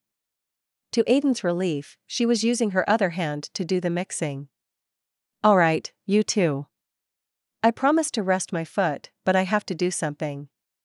His grandmother was wiggling around in her chair. She had ants in her pants. Aiden looked around for something she could do while sitting down. His eyes fell on the large bowl of apples in front of him. Here, you can peel these. I'll do the chopping. He put an empty bowl in his grandmother's lap to catch the peels and a second one on the counter beside her to hold the apples. The three of them worked in companionable silence for a good while. The only noise was the beeping of the oven when the loaves of sourdough bread finished baking. Aiden moved them from the oven to the cooling racks. How are things going with you and Claire? Miss Doris asked. She was scooping batter into prepared muffin tins. We're good. It was nice of her to help yesterday. Aiden wasn't sure where this conversation was going. It's good to see the two of you getting along. From what I remember, it didn't end so well before you both moved away to college. Miss Doris put a tray of muffins into one of the ovens. Doris, that's none of your business. Leave the boy alone. His grandmother had moved on to peeling pears. They were juicy and much harder to peel away from the sink. Oh, please. Like you wouldn't like to see those two getting back together. Miss Doris took the second tray of muffins to the oven. That doesn't mean it's okay to meddle. His grandmother pointed her knife in Miss Doris's direction. Aiden couldn't help but think he was in trouble with both women determined to get him and Claire back together. Not that he minded the idea in general. It was the help he wasn't sure would end well. Aiden was sitting on the couch, finally able to relax and catch up on the sports scores, when the doorbell rang. He hoped the sound didn't wake up his grandmother. Aiden rushed to the door, hoping to keep his late night visitor from ringing it again. He caught sight of the living room clock out of the corner of his eye and chuckled. He was keeping Baker's hours. It was barely eight o'clock. What's so funny? Claire asked when he pulled the door open. She was the last person he'd expected standing in front of him, holding a covered casserole dish. I thought it was much later than it is. He stepped aside, motioning for her to come inside. The air pouring in from the staircase that led up to the second floor apartment was cold compared to the toasty 78 degrees of his grandmother's apartment. And that's gotten you smiling? Claire walked in, setting the dish on the kitchen counter. It does. I must be tired. I used to not go to bed until close to midnight. These days, he was often out by 10 o'clock or sooner. I won't hold you up then. My mom made a casserole for you and your grandmother. It's chicken, rice, and broccoli, and still warm if you're hungry now. Claire pulled the foil from the dish. The smell of the food was mouth-watering. Something with curry and less his nose deceived him. Please, stay. I'm not that tired. It just surprised me it wasn't even eight yet. The food smells delicious. Aiden took two plates from the cabinet. It's pretty good for a casserole. It's my mom's go to funeral dish. Wait, that didn't come out right. Her cheeks turned a rosy color, and Aiden didn't think it was from the warmth of the apartment. I know what you mean. My grandmother has one of those dishes too. Apparently, most of the older women on the island do. He opened the fridge to show her the lineup of casserole dishes that had been dropped off throughout the day. Claire laughed. Looks like you're set for the rest of the week. I should let you and your grandma enjoy your dinner. Have dinner with me? he asked. Grandma is asleep already, and I could use the company. I spent all day with her and Miss Doris. That bad? Claire asked. She sat down at the kitchen table. Aiden took that as a good sign. He scooped them each a generous serving of the curried chicken casserole and took the plates to the table. What can I get you to drink? Water is okay. Claire pushed her hair behind her ears. He poured them each a glass of ice water and joined her at the small wooden table. There was just enough room for two people to share a meal. Aiden wasn't sure how his grandmother and grandfather had managed to raise three kids in the small space. Working with Miss Doris and my grandmother was fine. There's a lot of talking when those two get together. The chatter had been almost nonstop, half of it gossiping about anyone and everyone on the island. I can see that happening. It probably didn't make it easy for you to get your own work done. Claire smiled and took a small bite of food. I was able to sneak up here for a couple of calls in the middle of the day. Aiden had gotten lucky. The internet connection held up, and he'd gotten through his client meetings without a hitch. He had a few custom diet plans and reports to create tonight, but all in all, it had been one of his easier workdays. Having the extra pair of hands in the shop and someone to keep an eye on his grandmother had been well worth the added chatter. That's good. Is that the plan for the new year? Working from here? Claire asked. Aiden took a bite of the casserole to give himself time to think about how to answer the question that had been in the back of his own mind for weeks. It was delicious, as savory and complex as it smelled. He'd have to thank Aunt Hammond the next time he saw her. And maybe ask for the recipe. He washed the food down with a sip of cold water. I'm not sure. It depends on how my grandmother is doing. Originally, the plan was to move back to Atlanta as soon as possible. But with her falling, it scared you, didn't it? To think what if something like that happened again, with her alone in the bakery. Claire reached across the table to squeeze his hand. It felt nice. All too soon, she let go and went back to eating. It gave me something to think about, that's for sure. Could you continue to work remotely? Claire asked. I don't know. Aiden didn't think his chances of continuing this way were great. Yes, his clients loved working with him, but many of them preferred in person meetings, and he couldn't shake the feeling that his boss was more than ready for Aiden to come back to the office. Claire nodded and took another bite. She looked deep in thought. They ate the rest of their meal quietly. How about you? Did you make a decision about New York? he asked, putting his fork on the empty plate. That's gotten a little more complicated since the last time we talked. Claire rose and sat both of their plates in the sink. How so? If you want to talk about it. Aiden got up and ran hot water on the dishes. Claire covered the remaining casserole with the foil and put the dish into the fridge. He wasn't sure where she found room for it, but somehow, she managed. All that Tetris she'd played in middle school was paying off. I was offered a promotion, she said when Aiden had convinced himself she didn't want to talk to him about her job. That's nice. Congratulations. Claire smiled wryly. I'm not sure I want to take it. Which stinks, because it's the job I've wanted since I got to New York. Editor? Yes with my own clients and for the nonfiction arm, which is my favorite. What's the problem? Aiden asked, washing the plates and setting them on the drying rack. I'd be working even closer with Brent. Claire picked up the kitchen towel and dried off the first plate. Ah. I see the dilemma. What do you think you're going to do? Go back? I'm not sure. It's what I've always wanted, she said. Chapter 12 Claire, can you get that? Her mother asked when the doorbell rang. Sure thing. Claire jogged down the hall and pulled the front door open. I brought the cookies. The second set of trays is in the truck. Aiden stood in front of her, holding a stack of cookie platters. Come on in. I guess these should go into the kitchen.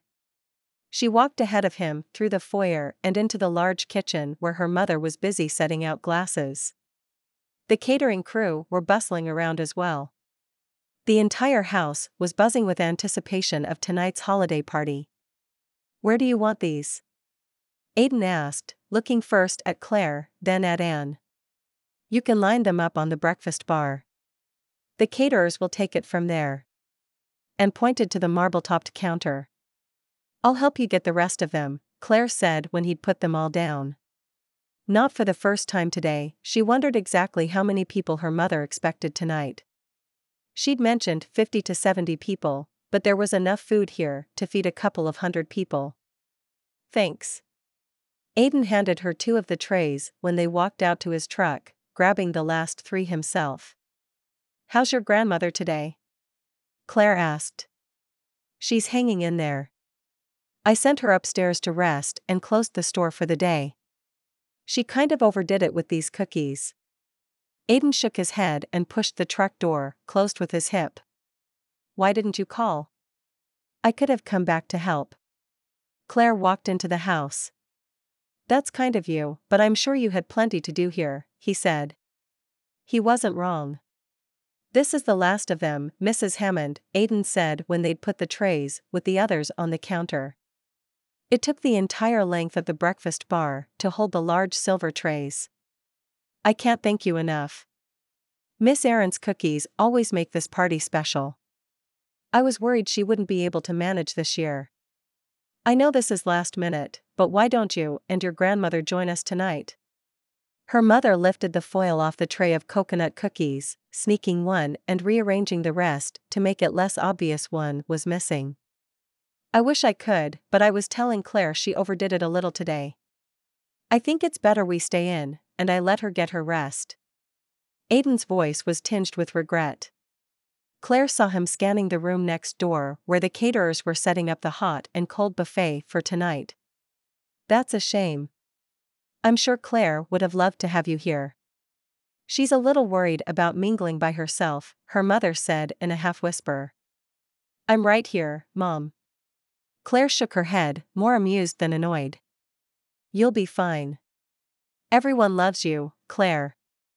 Aiden took her hand and squeezed it, earning them a questioning look from her mother. I'll walk you out, Claire said, pulling her hand away. She did not need any more rumors swirling around before everyone arrived. Tell your grandmother I hope she feels better and that I definitely want her here next year. Her mother waved as Claire pulled Aiden down the hall and out the door. She wasn't wrong, you know. I wish you could be here tonight. If nothing else, I'd have a friendly face to talk to. Claire leaned against the tailgate of his truck. What are you so worried about? Aiden asked. The gossip. I'm not ready to talk about what happened in New York before I came down. I don't want them to judge me for still being single, still renting an apartment, and still being stuck in an entry level position. Sounds to me you're more worried about having to face what you want your life to be and what it is right now. Maybe you're right, Claire said. And as far as tonight goes, you have nothing to worry about. There will be plenty of friendly faces, ready to welcome you home with open arms. This is Palmar Island, after all. Aiden grinned. Maybe you're right. Claire felt a little more optimistic about the evening ahead. Claire, Mom wants us down there to greet guests. Brooke walked into her bedroom, closing the door behind her. I'm almost ready. Can you help me zip this up? Claire turned and Brooke pulled the zipper up on the midnight blue dress. You look beautiful. Aiden's jaw would drop if he could see you right now. Brooke sat down on Claire's bed. Not you too, Claire groaned. She walked to the closet and pulled the shoebox down. Oh, come on. Let me live a little. It's been a long time since I've dated someone. How are things with you and Aiden? Claire slipped into the silver sandals she'd chosen to go under the dress. They gave it just enough sparkle when her toes peeked out. We're old friends. I'm not buying that. I saw the way the two of you were looking at each other earlier. Brooke grinned and took the necklace Claire was trying to put on and helped her fasten it. It's a little nostalgia, that's all. He's moving back to Atlanta as soon as his grandmother can manage by herself, and I have a life in New York. I'm not buying that either. There's no way you're going back to work with that jerk every day. Brooke put her arm around Claire. I haven't made up my mind. She had a little time to think about the new job offer. Not much, but tonight wasn't the night to make that decision. Alright, let me know when you do. Ava and Evan would love to have you around more often. As would I. Brooke opened the door, and the two of them walked downstairs. The foyer, living room, and kitchen were decked out in Christmas decorations and lights. Soft holiday music was playing throughout the house. There you two are. People are arriving.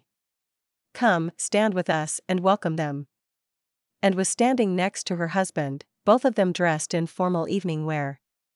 Claire forgot how good her dad looked in a tux. It didn't take long for the first few guests to arrive. Everyone was anxious to get here. Her mother's event was the party to attend on Palmar Island in December. It's nice to see you again, Claire. I'm sure your parents love to have you home for the holidays. Pam Davenport picked up a glass of champagne and one of Miss Erin's sugar and spice cookies. Thank you, it's nice to be back. Mrs. Davenport was the fifth person to talk to her. The entire town knew this was an unplanned visit, but not one of them made a comment about Brent or the Colorado trip. Everyone was happy to see her. It's too bad Sophie and Simon couldn't make it tonight. They would have loved to spend some time with you. How long are you in town? Sophie, Miss Davenport's daughter, ran the local bookstore.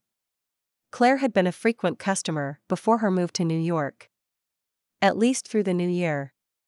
Tell Sophie I'll stop by the store before Christmas. I'd love to see that baby of hers. I will. Mrs. Davenport walked off to speak to her mother. How are you holding up, sis? Brooke asked. So far, so good. It's been a lot easier than I expected. Claire knew that people were a lot friendlier here on the island than in New York City. Part of it was the attitude of South Carolinians. New Yorkers as a whole were a judgy bunch. But there was more to it than that. People here were supportive.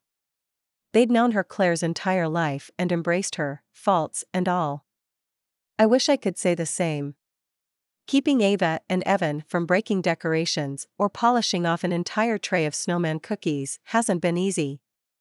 At least Evan is getting tired.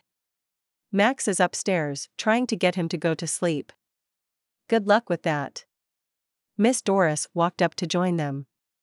Mrs. Blackwell was right behind her. Good luck with what? Mrs. Blackwell asked. Getting her little boy to sleep upstairs. I don't know about Rachel, but my boys would not fall asleep when this kind of excitement was going on around them. Miss Doris waved her hand at the throng of people around them. True. I'm sure he'll be back down in a minute. If not, you know he was completely exhausted. I'm surprised Aiden isn't here tonight, Miss Doris said. Mom invited him and Miss Erin, but he thought it was too much for her. He said she overdid it with the baking this morning. Claire took a glass of champagne to have something in her hands. I'm sure he would have loved to see you in this dress and twirl you around the dining room. Mrs. Blackwell touched the dress. What makes you say that? Claire asked, afraid of what the answer might be. Oh, I was walking by the bakery the other night right after dark. I saw the two of you swaying to what sounded like Christmas music. You looked very cozy. I'm glad you're getting back together. I always said that the two of you made the most adorable couple. Mrs. Blackwell toasted her with a glass of red wine. Miss Doris shook her head. How did I miss this? I'm losing my touch. Chapter 13 When are you planning on coming back? It was the question Aiden had been dreading. He'd had a feeling the phone call with his boss wasn't good news. I'm not sure. My grandmother fell a few days ago. She's getting back on her feet, but her heart is still weak. I'm afraid to leave her alone. And there's no one else who could take care of her. This was supposed to be a short term solution while you arranged long term care if needed. I know. I'm doing what I can, he said. I need you back in the office after New Year's. It'll get crazy with everyone making New Year's resolutions and the players bringing in their wives and girlfriends. I'll do my best. It was all he could promise right now. Alright, but I hope you understand that I'll have to look for someone else to fill your position if you plan to stay on that island of yours. The phone beeped, and the line was dead. The perfect ending to a perfectly crappy morning. He'd overslept and found his grandmother working away in the bakery when he made his way down. There was no coffee, and his first client Zoom meeting kept lagging and eventually dropping altogether. He'd had to finish up over the phone, which was less than ideal when you were dealing with a football quarterback who was a bit of a drama queen. Aiden was sure that call was the reason for the check in from his boss. I'm going to get some air for a minute, he told his grandmother. The shop was quiet after the usual Monday morning rush, and Miss Doris was back to help around the shop. Put on a jacket. It's cold out there, his grandmother called after him. Aiden pretended not to hear her. The cold air and bright sun made him feel marginally better.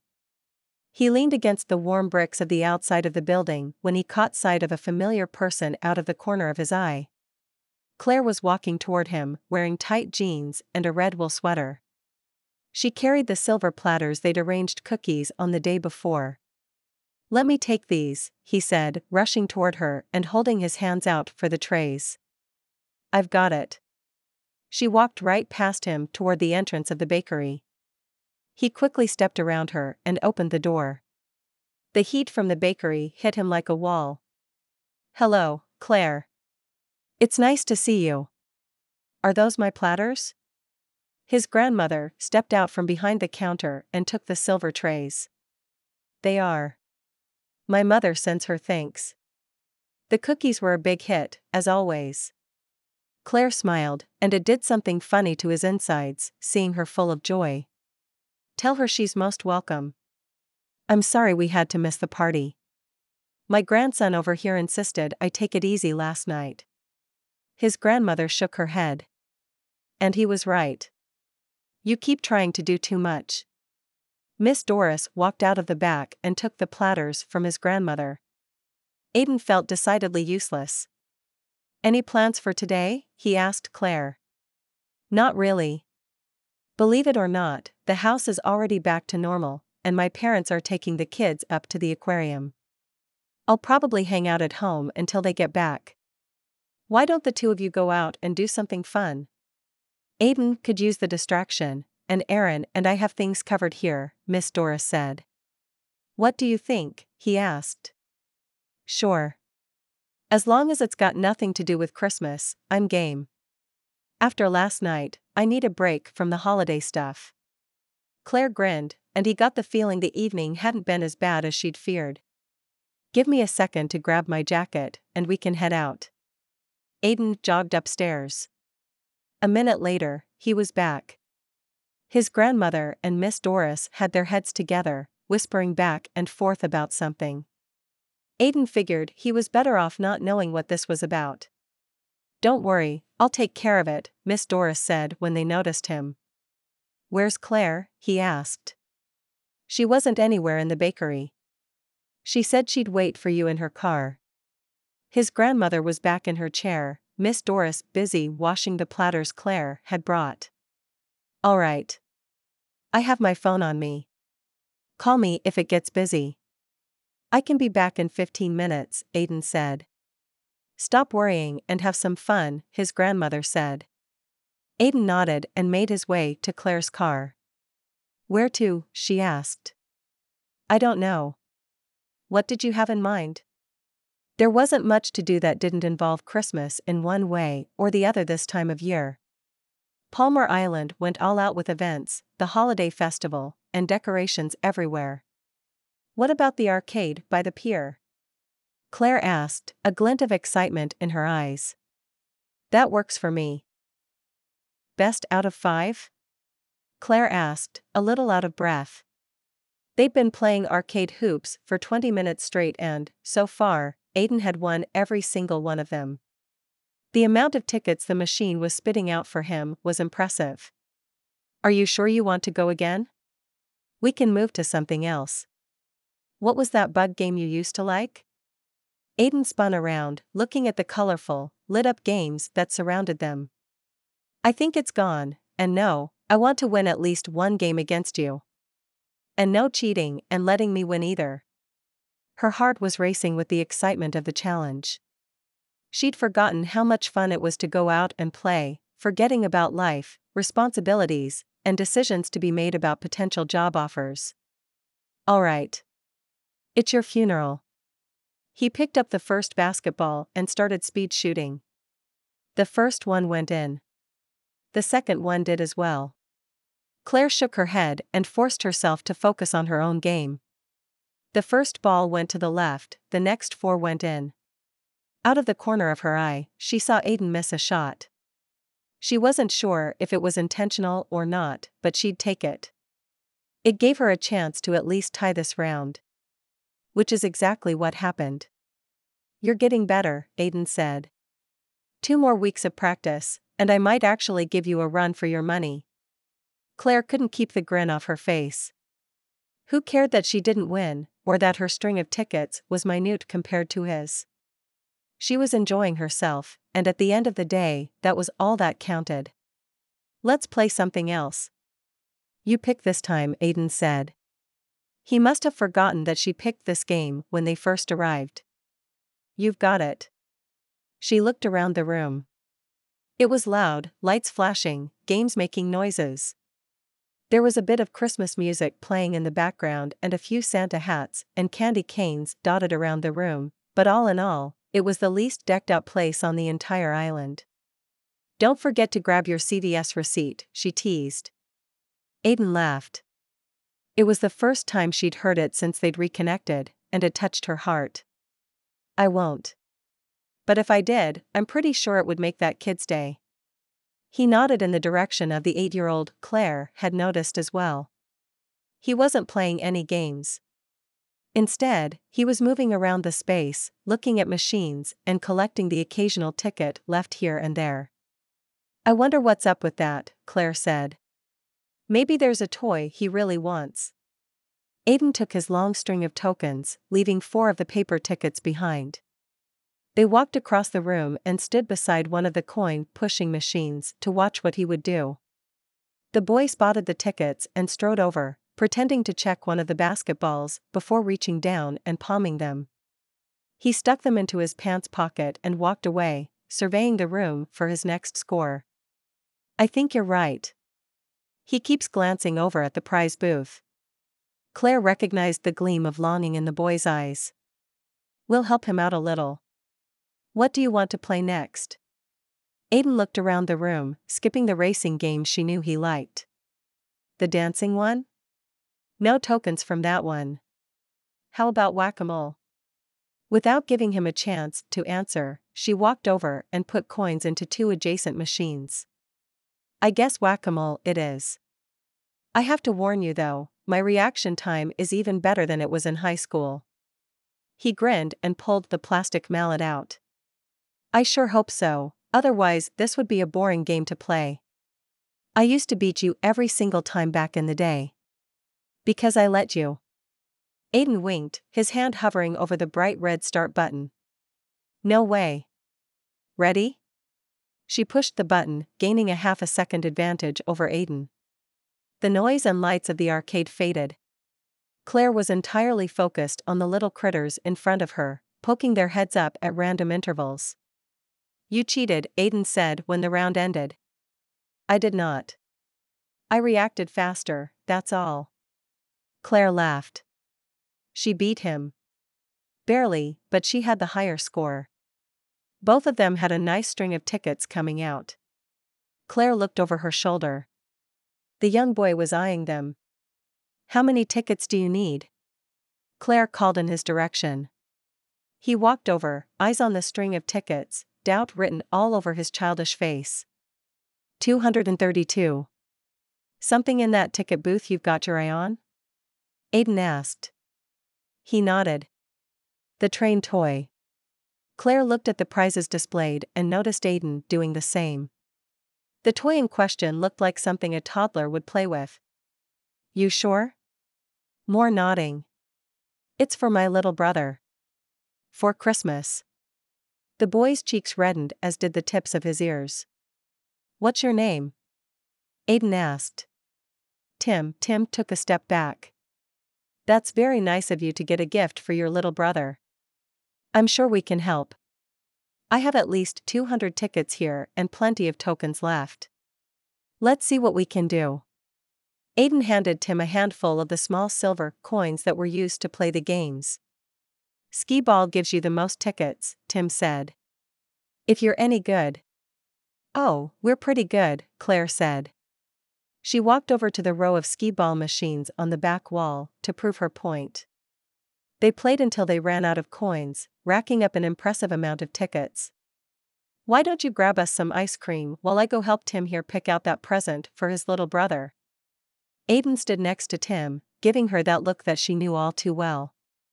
He was going to get this taken care of, no matter what it took, which in this case may mean a small bribe to the arcade owner without Tim noticing. Great plan. What kind of ice cream do you like, Tim? My treat. Claire smiled at the boy encouragingly. I'm not supposed to take things from strangers. My mom is probably going to be mad when she finds out that I talked to you too. He looked over his shoulder, expecting his mother to walk in on them.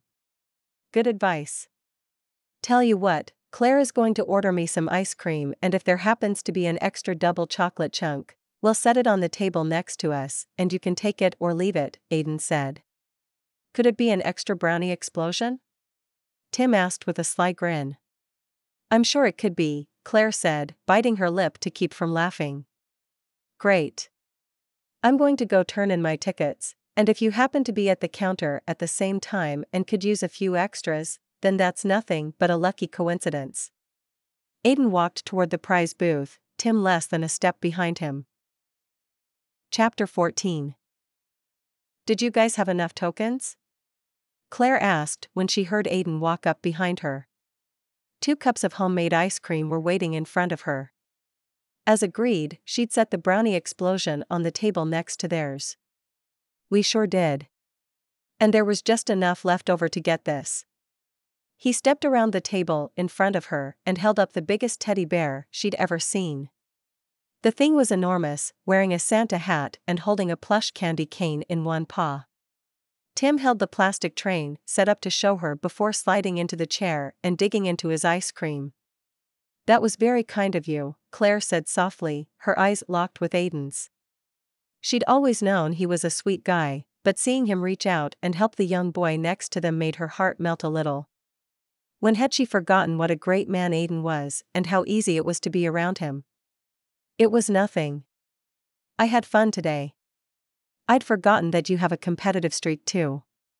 His smile made his eyes twinkle and gave her that butterfly feeling in her stomach.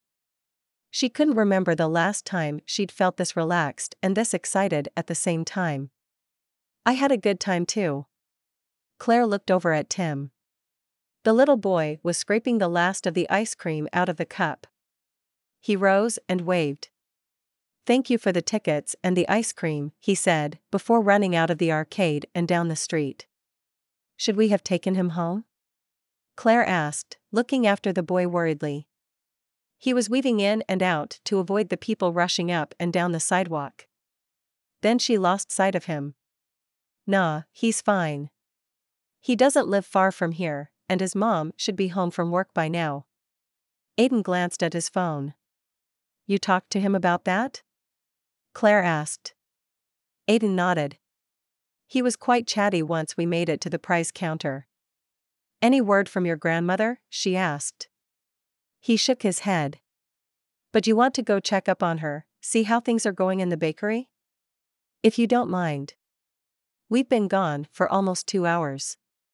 I know Miss Doris will keep an eye on my grandmother, but those two don't always get along.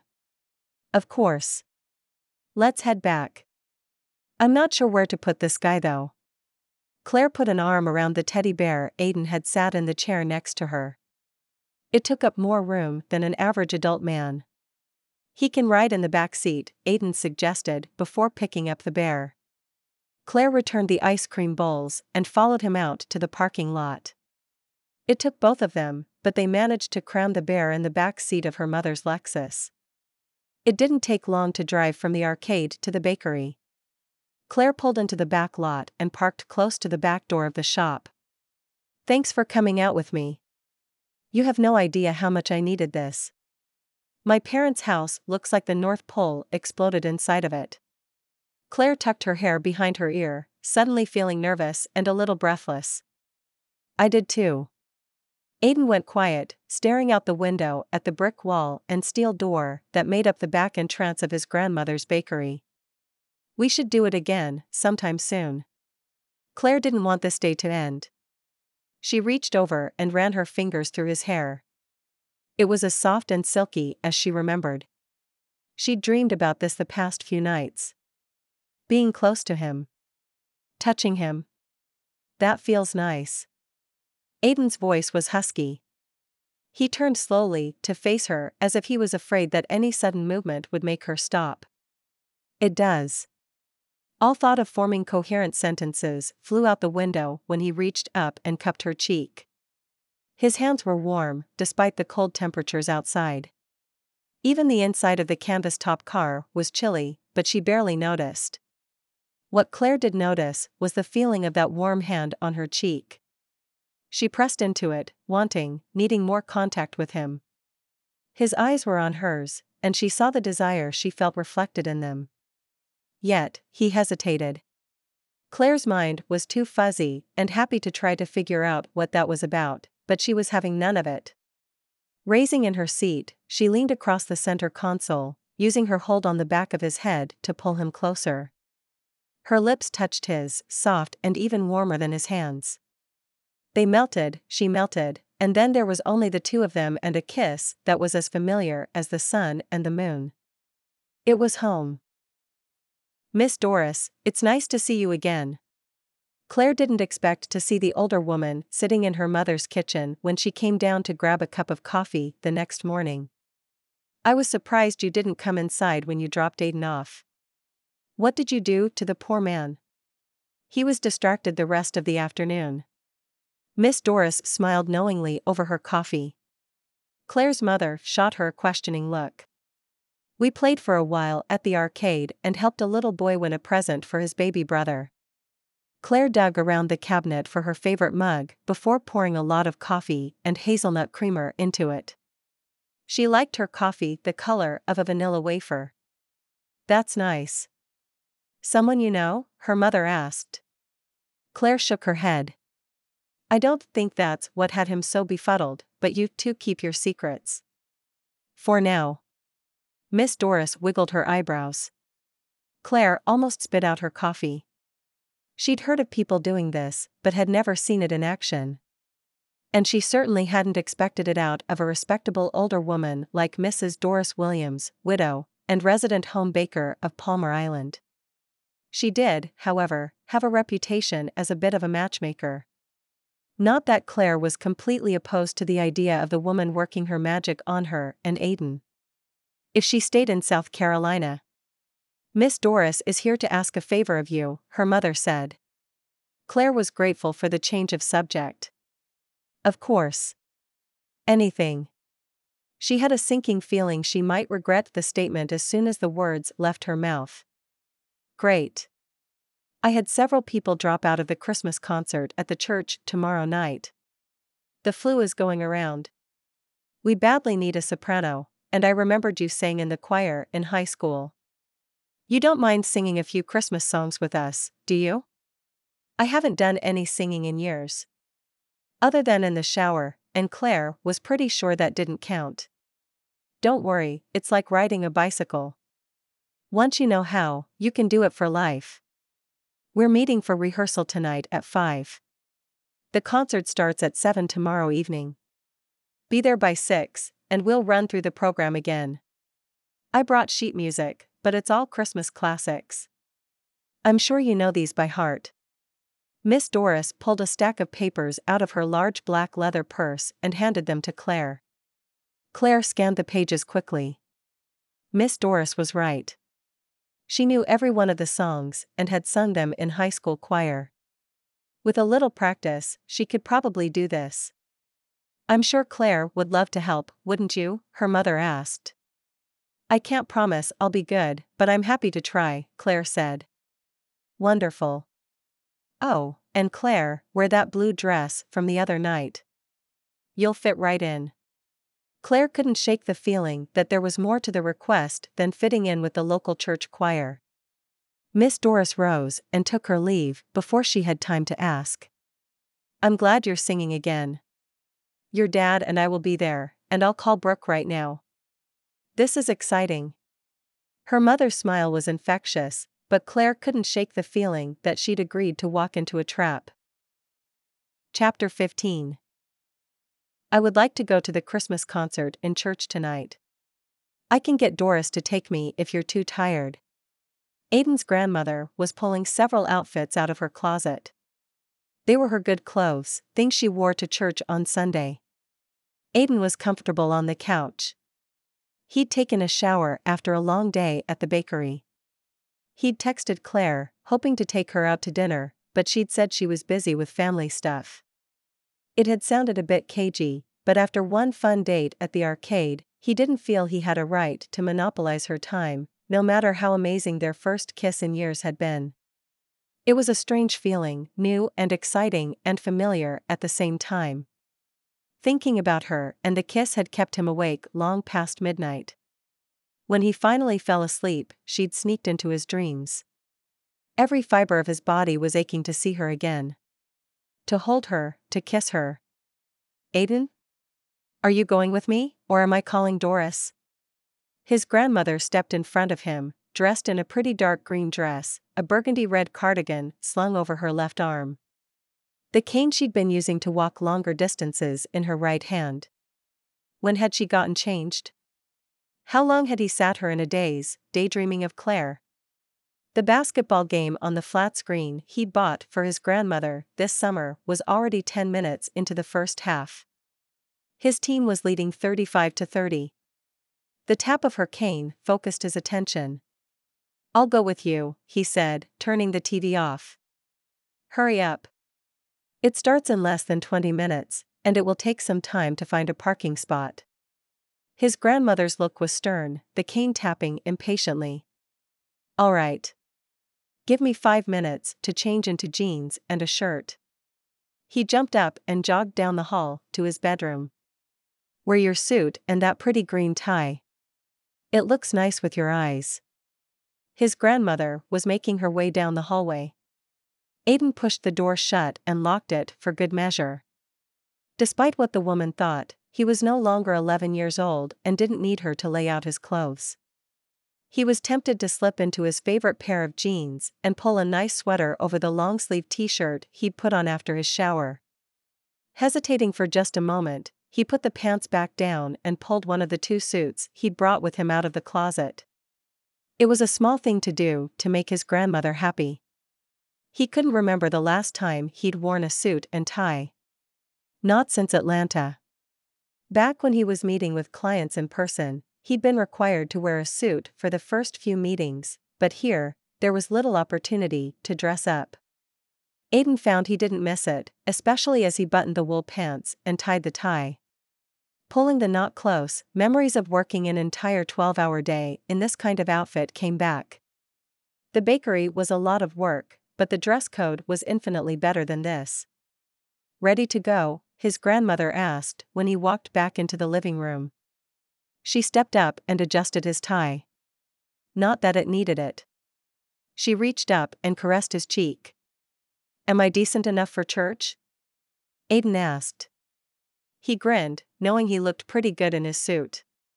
It hadn't been cheap, but worth every penny. You clean up nice. I can't wait for Doris and some of the other women to see how handsome my grandson is. She turned and picked up her purse. Aiden wondered who the other women were and if one of them was the pretty young blonde who'd occupied much of his thoughts for the past two days. Ready?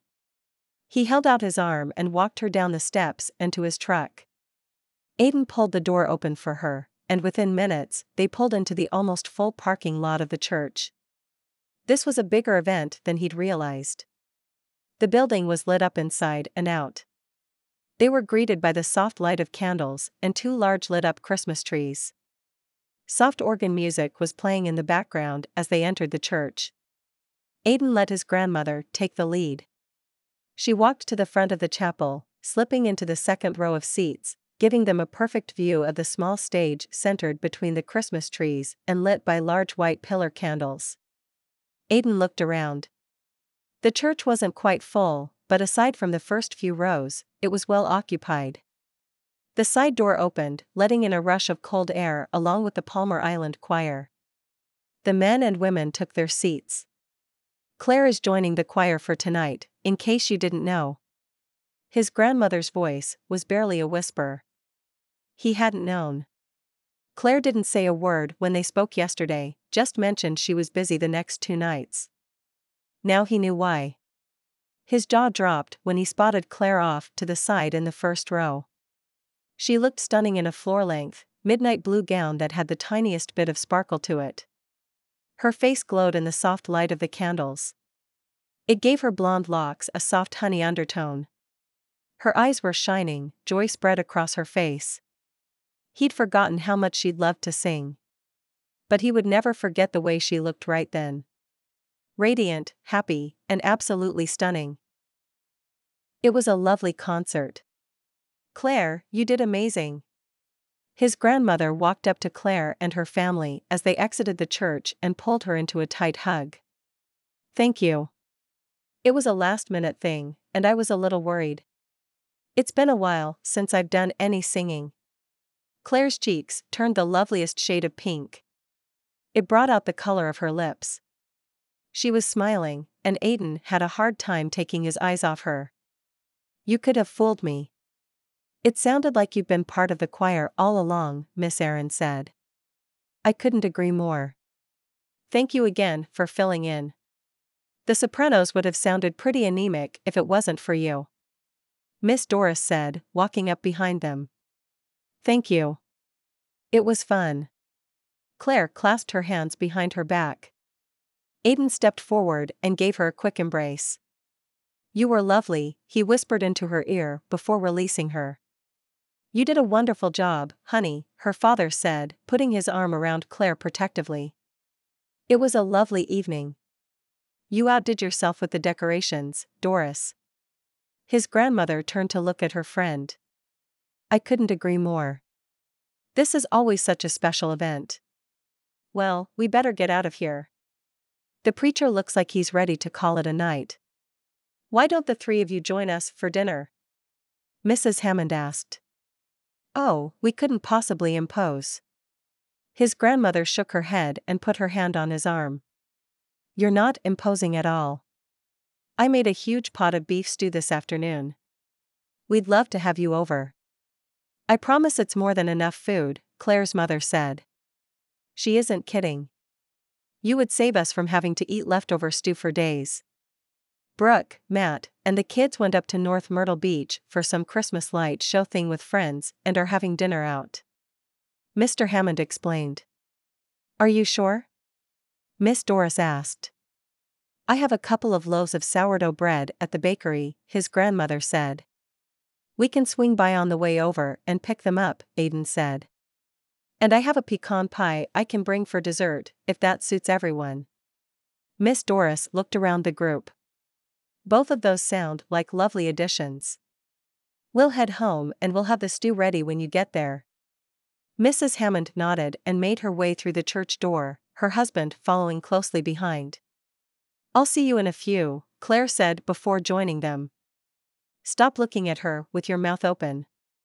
His grandmother's smile softened the words. He knew she was teasing him. And she was right. Let's go pick up that bread I promised. To save time, Aiden told his grandmother to wait in the truck while he ran in and grabbed two of the crusty loaves that hadn't sold earlier in the day. If they stuck them in the oven at Claire's house for a few minutes, they'd be good as new. That was exactly what his grandmother did as soon as they walked in. Everything should be ready in a few minutes, Mrs. Hammond said. She and Claire were busy setting the table in the dining room. Mr. Hammond brought up two bottles of red wine. By the time the bread was warm and cut into thick slices, everything was ready. The stew smelled amazing and tasted even better. This is excellent, Aiden said with his gaze on Mrs. Hammond as he reached across the table for another piece of bread to dunk into the rich gravy. His hand collided with someone else's as they reached for the same piece. It was Claire, and she was blushing again. Aiden covered his surprise with a small cough. Go ahead, she said, holding up the basket for him. Thank you. He set the slice on his plate, his mouth dry. I'm glad you like it. Mrs. Hammond smiled at him across the table. Mr. Hammond cleared his throat before reaching for a slice of his own. Aiden, do you plan to stay on the island for good? Claire's father asked. He dipped the bread in the rest of his stew and took a bite. No, sir. The plan is to go back to Atlanta as soon as my grandmother can manage on her own. Aiden took a sip of water. That had been the plan, though it didn't seem as attractive as it had a few weeks ago. I see. Mr. Hammond shot a look at his wife and then his daughter. You like it down there in the big city? There are a lot of benefits to living in Atlanta, Aiden said. He couldn't think of a single one of them, but he remembered having a good time with friends. I'm sure there is. And there are a lot of benefits to living here on the island, Miss Doris added. It's hard to beat a close knit community, his grandmother added. And there's no traffic. Claire raised her water glass in a salute of sorts. I'm not missing rush hour, that's for sure. Aiden grinned. Miss Doris chuckled. The worst you'll see here is getting stuck behind a golf cart driver who doesn't pull over. Or everyone leaving church.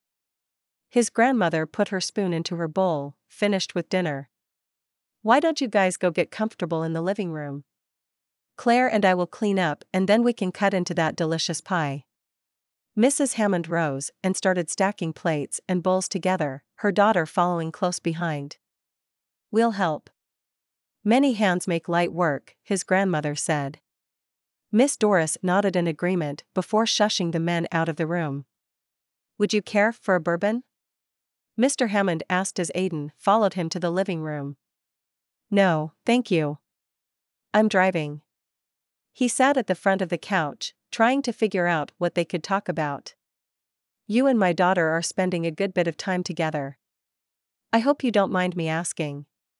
How serious is this? Mr. Hammond poured himself a fingerful of bourbon before adding several ice cubes. We're friends.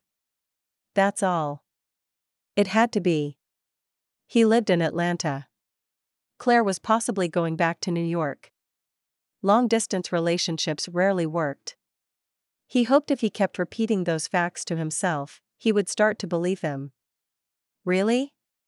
Seems like more than that to me. Claire's father took a seat in the chair across from Aiden. Maybe if circumstances were different. But they are not, and you have lives thousands of miles away from each other. And no interest in changing that?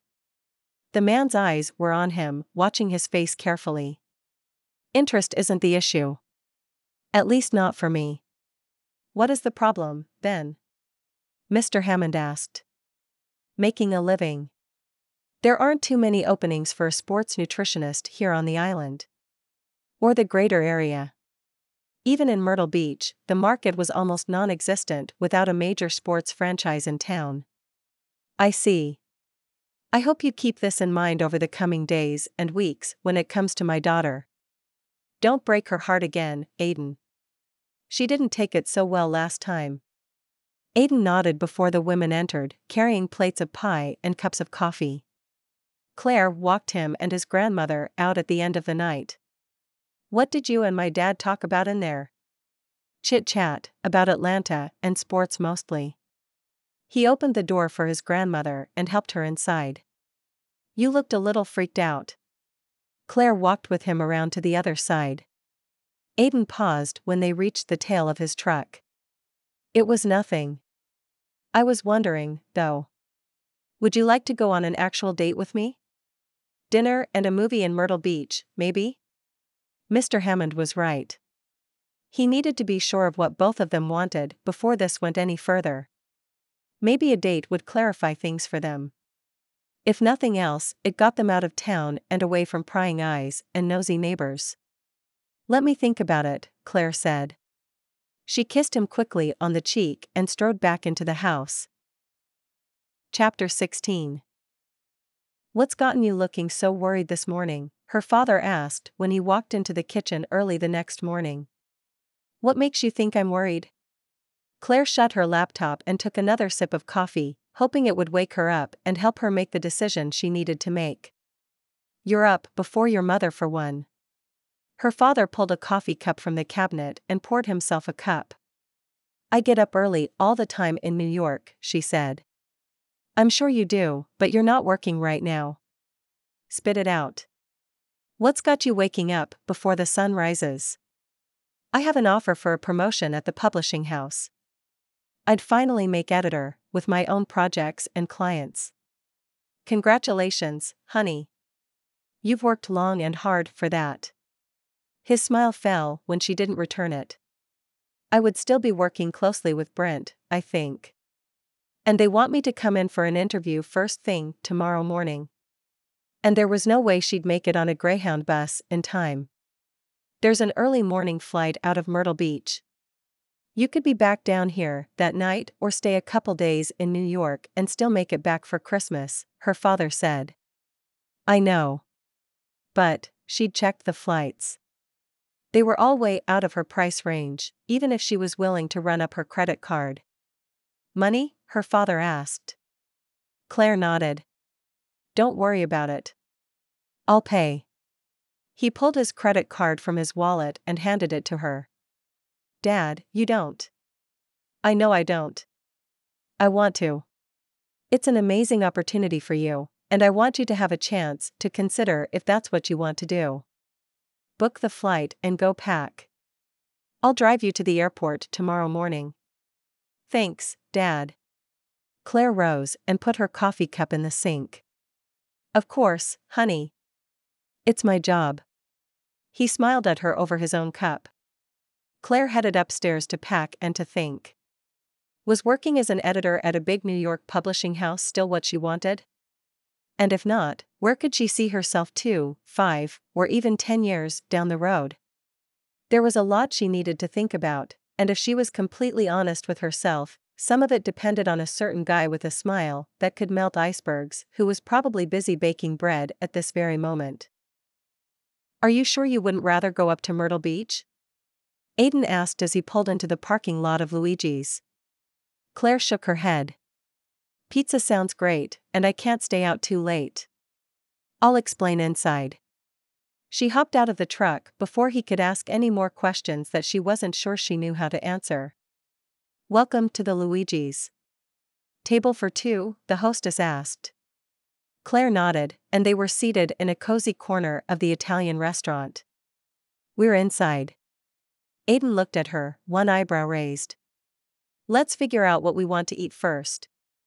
I hear their pizza is pretty good. Maybe not New York good, but you could see the brick oven from here, flames heating it from below. Pizza sounds good. Aiden put the menu down and crossed his arms. Meat lovers? Claire asked, her lips twitching up. What else? They have about 25 different pizzas on the menu. The spinach, mushroom, and Alfredo one sounds good. Aiden shook his head, looking disgusted. Lettuce doesn't belong on pizza. And the sauce is supposed to be red. Claire laughed and shook her head. He was as opinionated and picky about his food as he'd been as a teenager. Welcome to Luigi's. My name is Gabriella. What can I get you two to drink? A bottle of table red, maybe? The young waitress pulled a notepad from her apron, ready to take their order. I'll take some sweet tea, if you have it, Aiden said. Gabriella nodded. And I'll have a glass of unsweetened tea with lots of ice. Claire directed her attention back to the pizza menu. By the time Gabriella returned with their drinks and a basket of warm bread sticks, she'd made her choice. Ready to order, or do you need a few minutes? she asked as she handed them their glasses.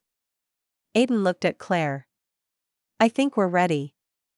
One meat lovers and one BLT pizza and plates to share, please, Claire said.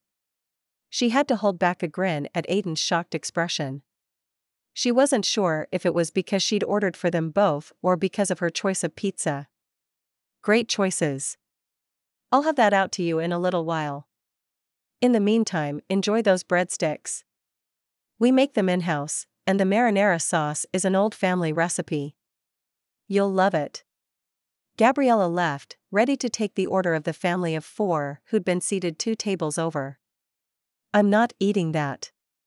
Aiden crossed his arms and stared at her. I thought you liked meat lovers pizza, she teased. You know what I mean. I'm not tasting a BLT pizza. That's a sandwich. Claire laughed. Trust me, you'll like it if you can keep an open mind. You've had this before? His expression morphed from stern to surprised.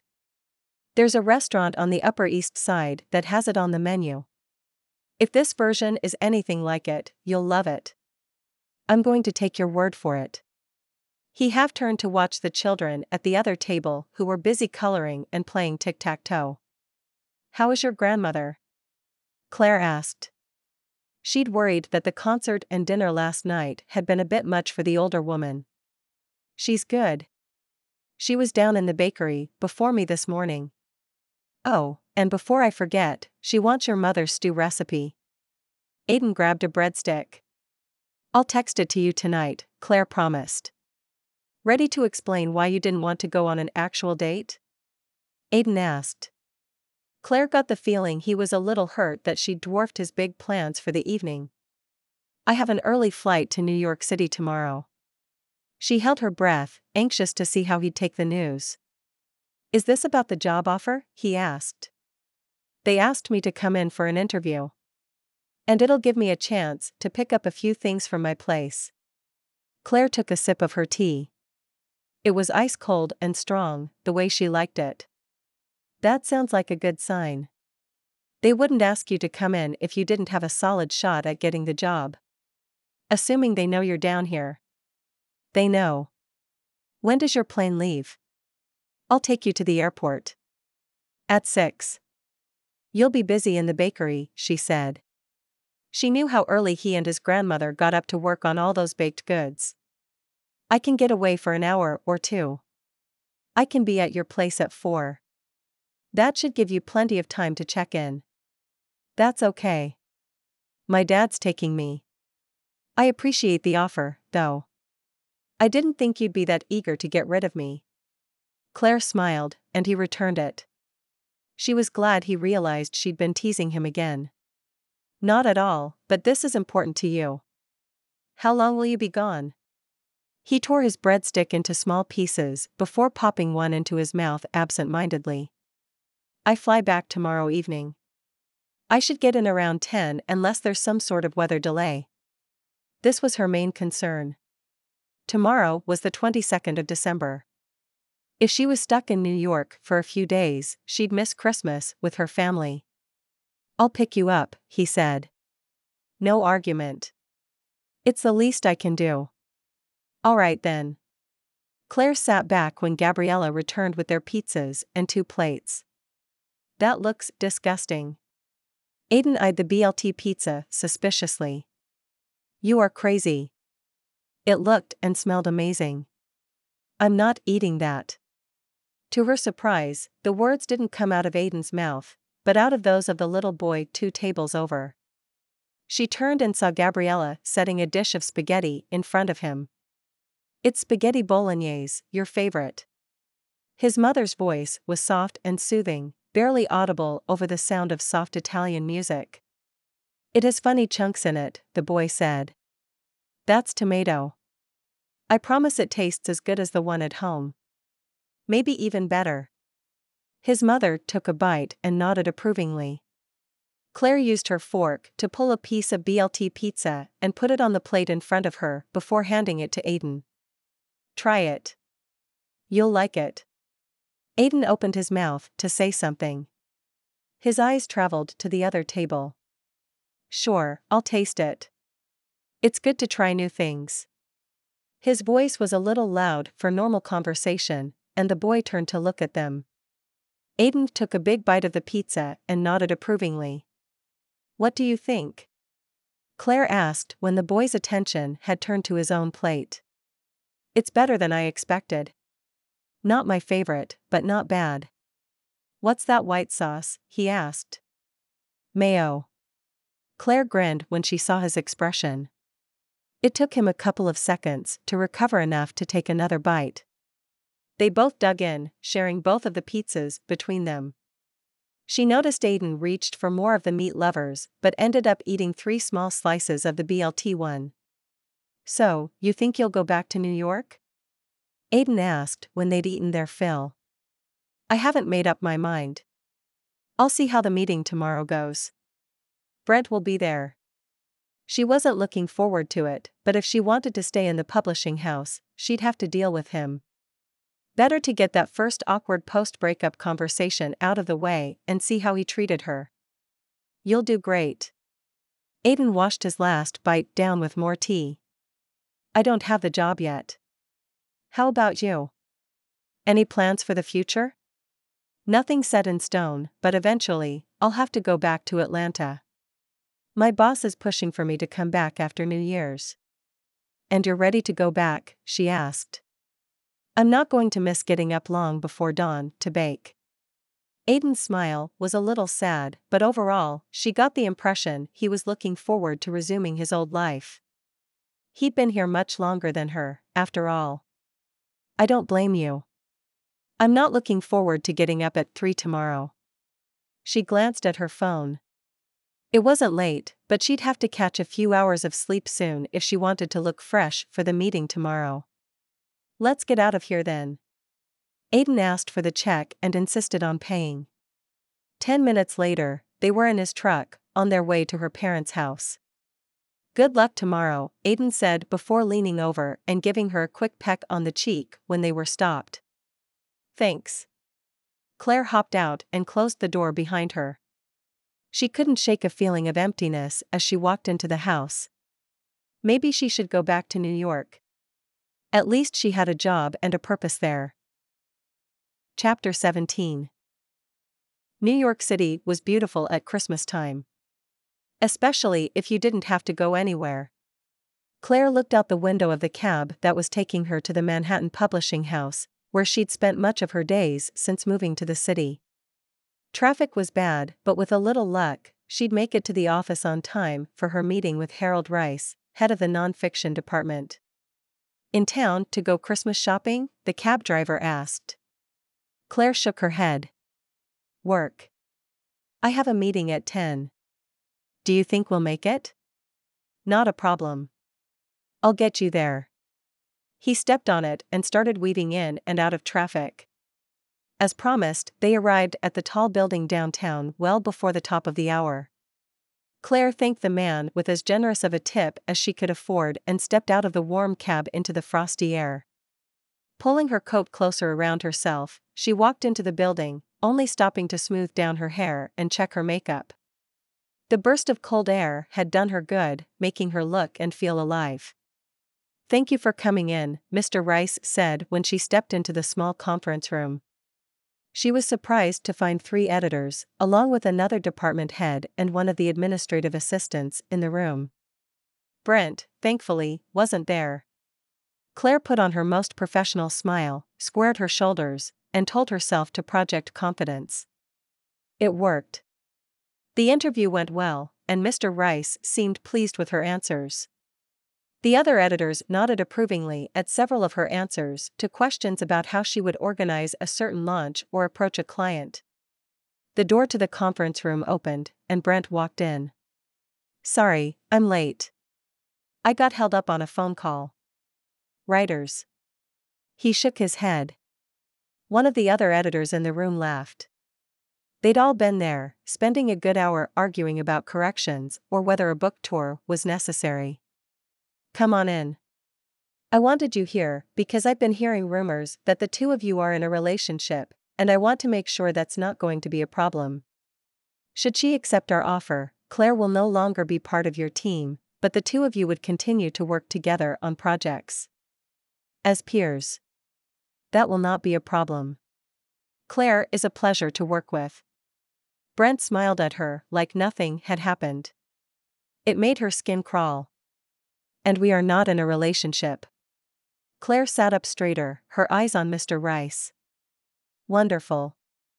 Unless Brent has questions for you, I think we're done here. Are you staying in town for the holidays or heading back home? Mr. Rice asked. I'm flying back this afternoon. In that case, safe travels and think about our offer. If you accept, and between me and you, I think you should, you can start your new position January 2nd. Mr. Rice shook her hand before handing her an envelope with the details of the position and benefits he'd offered her. It wasn't a great deal, but a fair one. The salary wasn't as high as she'd hoped, but there was a chance for a raise in six months that would allow her to move into an apartment of her own. I'll walk you out, Brent said, falling into step beside her as they exited the conference room. I need to stop by my desk. Claire stalked off, hoping he'd get the hint. She wasn't so lucky. It's an excellent offer, he said, leaning against her desk. Claire felt his eyes on her as she looked through her desk, tucking a few family photographs in her purse. I know. You're not thinking about turning this down, are you? he asked when she was done. I haven't decided. Claire shrugged into her coat and walked to the elevator. My folks were looking forward to meeting you.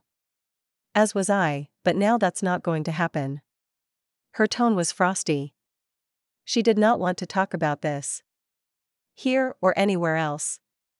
I don't leave until tomorrow if you want to change your plans. Brent tried to put an arm around her shoulders. Claire shrugged him off and took a step to the right to create a bit of distance between them. I won't. I'm not going to Colorado with you tomorrow or any time. That ship sailed when I. Fair enough. I hoped you wouldn't be stubborn about this, but if you need time, I get it. But don't let it affect us at work. His tone was friendly, like cheating was no big deal and she was overreacting. I'm not being stubborn. You made your choice, and I made mine. She pushed the button to call the elevator. You're going to decline Harold's offer, aren't you? Brent asked. I haven't decided yet. But you and me, that's over.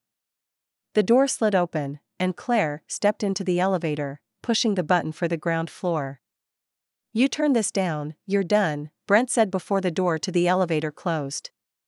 He was probably right, and to her surprise, that thought didn't bother her as much as it would have a week or two ago. Hey, it's you. Renee smiled at her when Claire walked into the diner. It was a relief to see the woman was working again. I left a bag here the other night and was wondering if you had kept it by chance. It was a long shot, but Claire figured it couldn't hurt to stop in and check. She had another hour to kill before she needed to head back to the airport, and this was as good a place as any to spend it. Sure do. It looked like a Christmas present. I wasn't sure you'd be back in time to get it. What brings you back to the city? Renee ducked behind the counter and started rummaging around. I had a job interview. A promotion at the place where I work now. Claire leaned over the counter, trying to get a glimpse of what the other woman was doing. Here it is. Renee raised up, the brown paper bag Claire had carried with her when she'd walked in on Brent and Stacy in her hand. She handed it to Claire. Could I get a cup of coffee and a slice of that pie? I have a little time to kill before my flight back. Sure thing. Do you want to sit up at the counter or get a booth? Renee asked, pulling out a cup and pouring coffee. This is fine. Claire hopped up on the bar stool, tucking the paper bag and her purse under her feet. Flying back home for Christmas, and then you're back here with us in the city that never sleeps? Renee asked with a smile. I'm not sure. Claire thought about the contract in her purse. It wasn't a bad offer. But being back on Palmar Island made her realize what she'd been missing from her life up here family, close friends, a sense of community. Here, she had to hire someone when her sink got clogged. Back home, she could think of a handful of people who would have been happy to help her out, including her dad and Aiden. If he stayed. Well, at least you have the holidays to think it over. Renee put a slice of apple pie in front of her. You remembered. Claire looked up, the small gesture bringing tears to her eyes. Of course. You made an impression the other night. Renee winked before walking off to take another patron's order. Claire dug into the pie. It was as good as she'd recalled. Different from the pies back home. This one was tartar, the crust less flaky. It reminded her of a sugar cookie, but not as sweet. How's the pie? Renee asked, refilling Claire's coffee cup before pouring one of her own. As good as last time. And this go around, she was able to enjoy the sweet treat. I'm glad. My mother bakes them every morning, Renee said. You own the place? Claire asked. She'd assumed the woman was just working here. My family does. We've run this diner since the early 20s. This place has seen things. You should have heard my grandfather talk about the day the stock market crashed. And during 9 11, we kept the place open for first responders. Renee pointed to a row of pictures behind her. Claire hadn't noticed them. There were only a handful, three of them in black and white. All the images looked faded. This place has a history. It sure does. Do you mind if I ask? What's in the bag that was important enough to come back for? Renee asked. You didn't look? Claire was shocked. When the woman shook her head, Claire grabbed the bag and carefully pulled first one, then the other teacup, removing the newspaper wrappings and setting the cups on the counter. They are beautiful. Renee picked one of them up for a closer look. Christmas present? she asked. It is. Not for the person she'd bought them for, but Claire had a feeling the new recipient would appreciate them even more. I'm going to say something, and you can take it or leave it as you see fit. Renee took Claire's empty pie plate. Okay. Claire wrapped the teacups carefully and returned them to the bag while she listened. You're not a New Yorker, honey. Your eyes light up every time you mention home. Unless your job offer is something spectacular, you'd be happier on that island of yours. Chapter 18 Thanks for picking me up. Claire smiled when Aiden pulled up to the arrival area of the small Myrtle Beach airport in his grandmother's car. No problem. Is that all you brought back? Aiden took the small duffel bag she was holding and put it in the trunk. Other than her purse, it was all she had with her. I'm only staying through the holidays, Claire said. In that case, congratulations. Aiden pulled Claire into a fast hug, letting go almost immediately. Best to keep this casual if she'd decided to stay in New York City. Claire raised her eyebrows. For what? For getting the job. I'm assuming that's why you're going right back. Aiden did his best to sound happy and upbeat about it. I got the offer, but haven't accepted yet. I have a few days to make up my mind. Claire walked to the passenger side and got into the car. I hope they are making it worth your while. Aiden fiddled around with the radio until he found a station that played something other than beach music. The volume was low, but it would cut out the need to fill the silence with small talk. They did. If it wasn't exactly what I've wanted since I first moved up north, I wouldn't consider going back. Claire leaned the seat back and used her coat to cover herself. Aiden cranked up the heat. Did you run into your ex? I did. He was part of the meeting. He told me I'd be an idiot to even consider turning the job down. Claire sighed. Are you considering it? The question he wanted to ask was if she could see herself moving back to Palmar Island and giving whatever this was between them a shot. I thought about it. Working with Brent will be awkward. Can you believe the guy thought we could pick up where we left off before I caught him cheating on me? She shook her head and snuggled deeper into her coat. Aiden clenched his jaw, his hands gripping the steering wheel much tighter than he needed to. He wanted to fly up there and punch the guy in the face. At least I had time to stop by my place and grab a few things. I forgot how tiny that studio apartment is. I'm pretty sure my bedroom at home is bigger. She laughed. The sound did much to soothe his soul and temper the anger in his chest. My place in Atlanta isn't big either.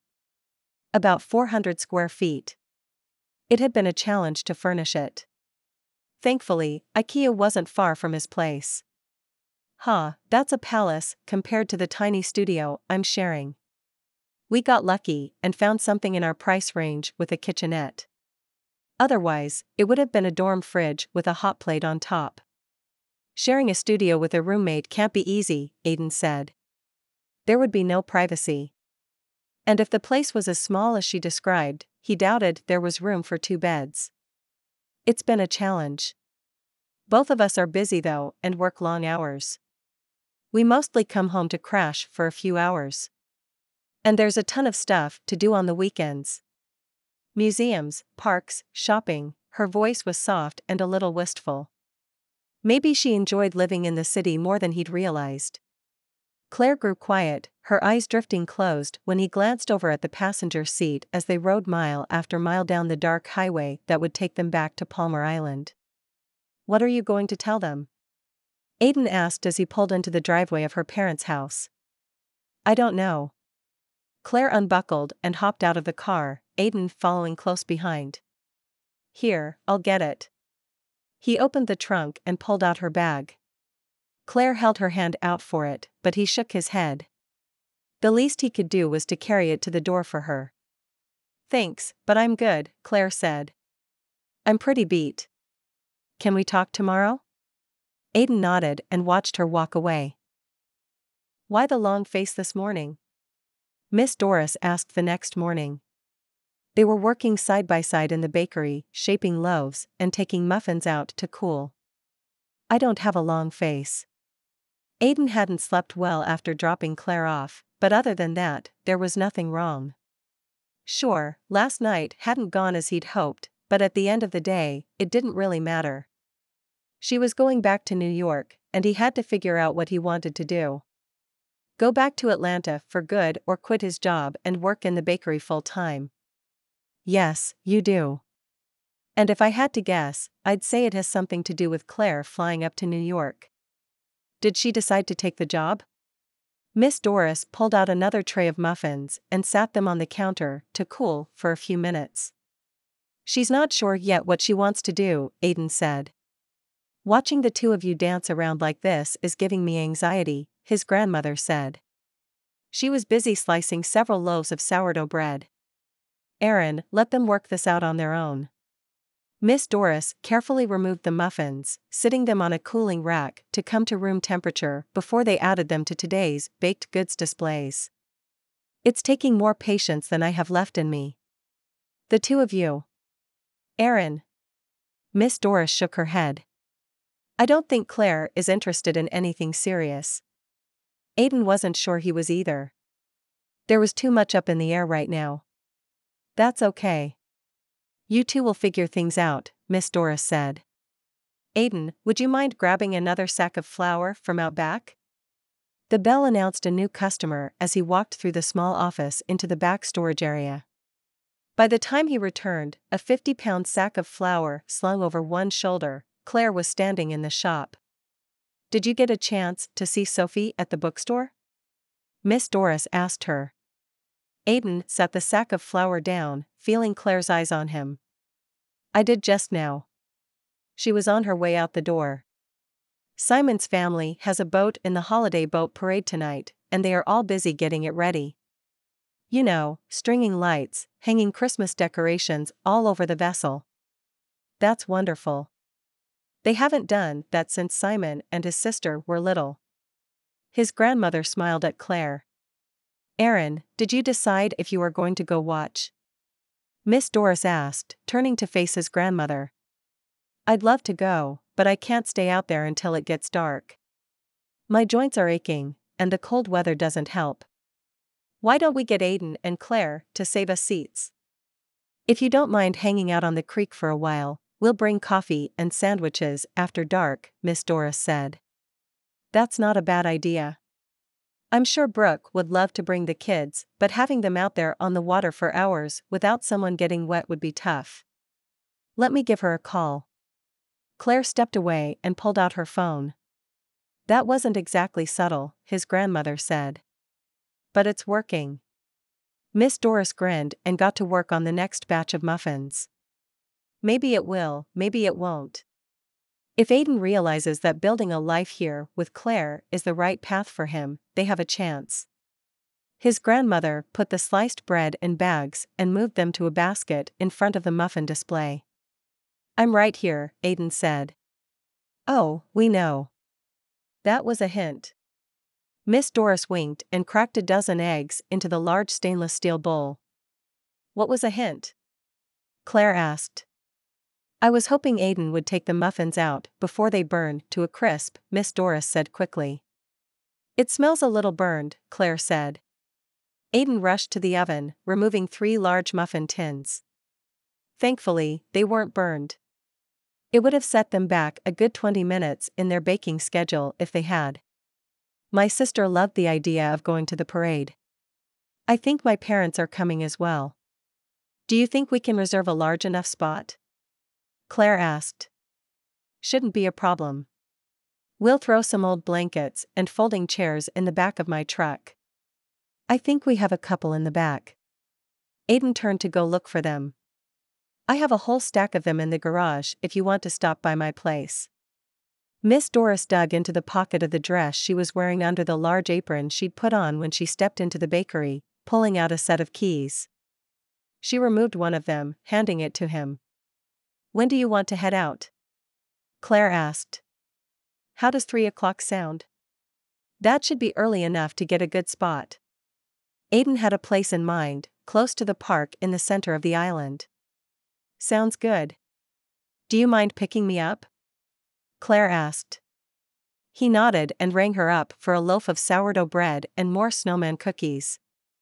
You better get one of your grandfather's wool sweaters and a warm jacket. It'll get cold out by the water. There are some hats and gloves on top of the coat closet too, his grandmother said after Claire left the store. Aiden nodded, looking around to see what he needed to get done in the bakery before heading out. Chapter 19 Ready to go? Aiden asked when he pulled up to her parents' house later that afternoon. The truck bed was already full of chairs, a stack of blankets sitting in the back seat. Do we need more chairs? Claire asked. Her dad was rummaging through the garage, looking for camping chairs he swore they still owned. I think we're good. I have about 20 loaded in the truck. He grinned and hopped out of the truck. Hey, Dad. We're good on chairs. I'll see you at the parade later, she called over her shoulder. Her father said something in return before the sound of things falling and muttered curses made their way out of the open garage door. Should we go help him? Aiden asked, turning toward the noise. No. He's going to be in a bad mood because he couldn't find those chairs. I'm pretty sure my mom tossed them years ago. We're better off getting out of here. Claire opened the passenger door and climbed in, setting the small bag she'd packed between her feet. Are you sure? That sounded like he could use a hand. Aiden took a step in the direction of the garage. Yes, I'm sure. Trust me. Her father would be fine, provided they gave him space and time to cool off. All right then. Ready to go? Aiden closed her door when she nodded and jumped into the truck. It took less than 10 minutes to get to the small park and boat landing at the center of the island. The parade was set to travel the intercoastal waterway from one end of the island to the other. This will be perfect. Claire hopped out and looked around. It had been a while since she's been here, but as kids, they used to love to swim across to the mainland and back. A few other families were setting up at the park, but there was plenty of space left to choose a good spot. How about right here? Aiden asked. He'd walked to a grassy spot close to the water. It was far enough away from trees to avoid shade but sheltered from the slight breeze that came off the ocean by a row of bushes behind them. Most importantly, it had a clear view of a large stretch of the waterway. Perfect. She set her bag down and helped Aiden carry and set up the chairs they'd brought. By the time they were done, it looked like they were ready for a small theater performance, with the chairs lined up in a half circle around a spread out blanket.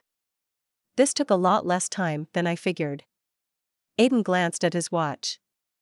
They had several hours to kill before the rest of their families and Miss Doris would arrive. I brought coffee and a deck of cards. Claire sat down and pulled the old deck from her bag, along with a thermos and two cups. She'd save the snacks and sandwiches for later. So that's what the bag is for. Supplies. Aiden grinned and sat down in the chair next to her. Do you still like playing hearts? she asked. I do, but you can't play it with two people. Yes, you can. Claire quickly flipped through the cards, picking out the threes, fives, sevens, nines, jacks, and kings, before dealing each of them 13 cards. What are the rules? Aiden asked. They are the same. Wanna play to 50 or 100? she asked. They'd played cards with friends and family a lot growing up. She'd learned the rules of this simplified two player version one rainy afternoon in New York when she and her roommate were stuck inside and the power went out. 100 works. Looks like I'm going first. He put down the two of clubs and they were off.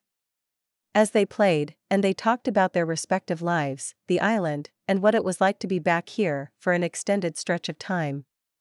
It's been easier than I thought, Aiden said while shuffling the cards. What do you mean? Claire poured the last of the coffee into their cups. Getting back into the swing of island life and helping around the bakery. At first, I hated getting up that early, but it's got its advantages. The world is quiet. Or at least the island is. I get to spend time with my grandma. In the summer, we'd get the first few batches of dough started and then ride out to the beach to watch the sun come up before firing up the ovens. He smiled, longing in his voice and his eyes. Claire sat up. Do you like it enough to stay here? I'm thinking about it. How about you? Have you made up your mind about the job offer?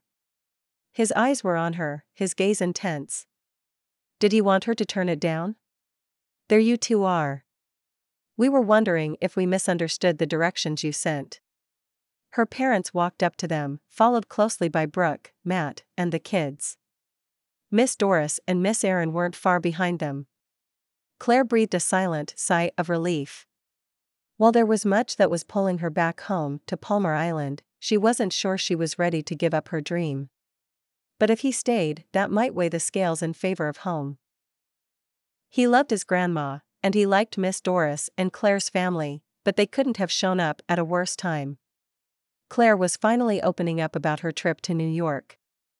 If they'd arrived a few minutes later, he was sure he could have gotten her to talk about what she wanted out of the future and more importantly where she wanted to end up.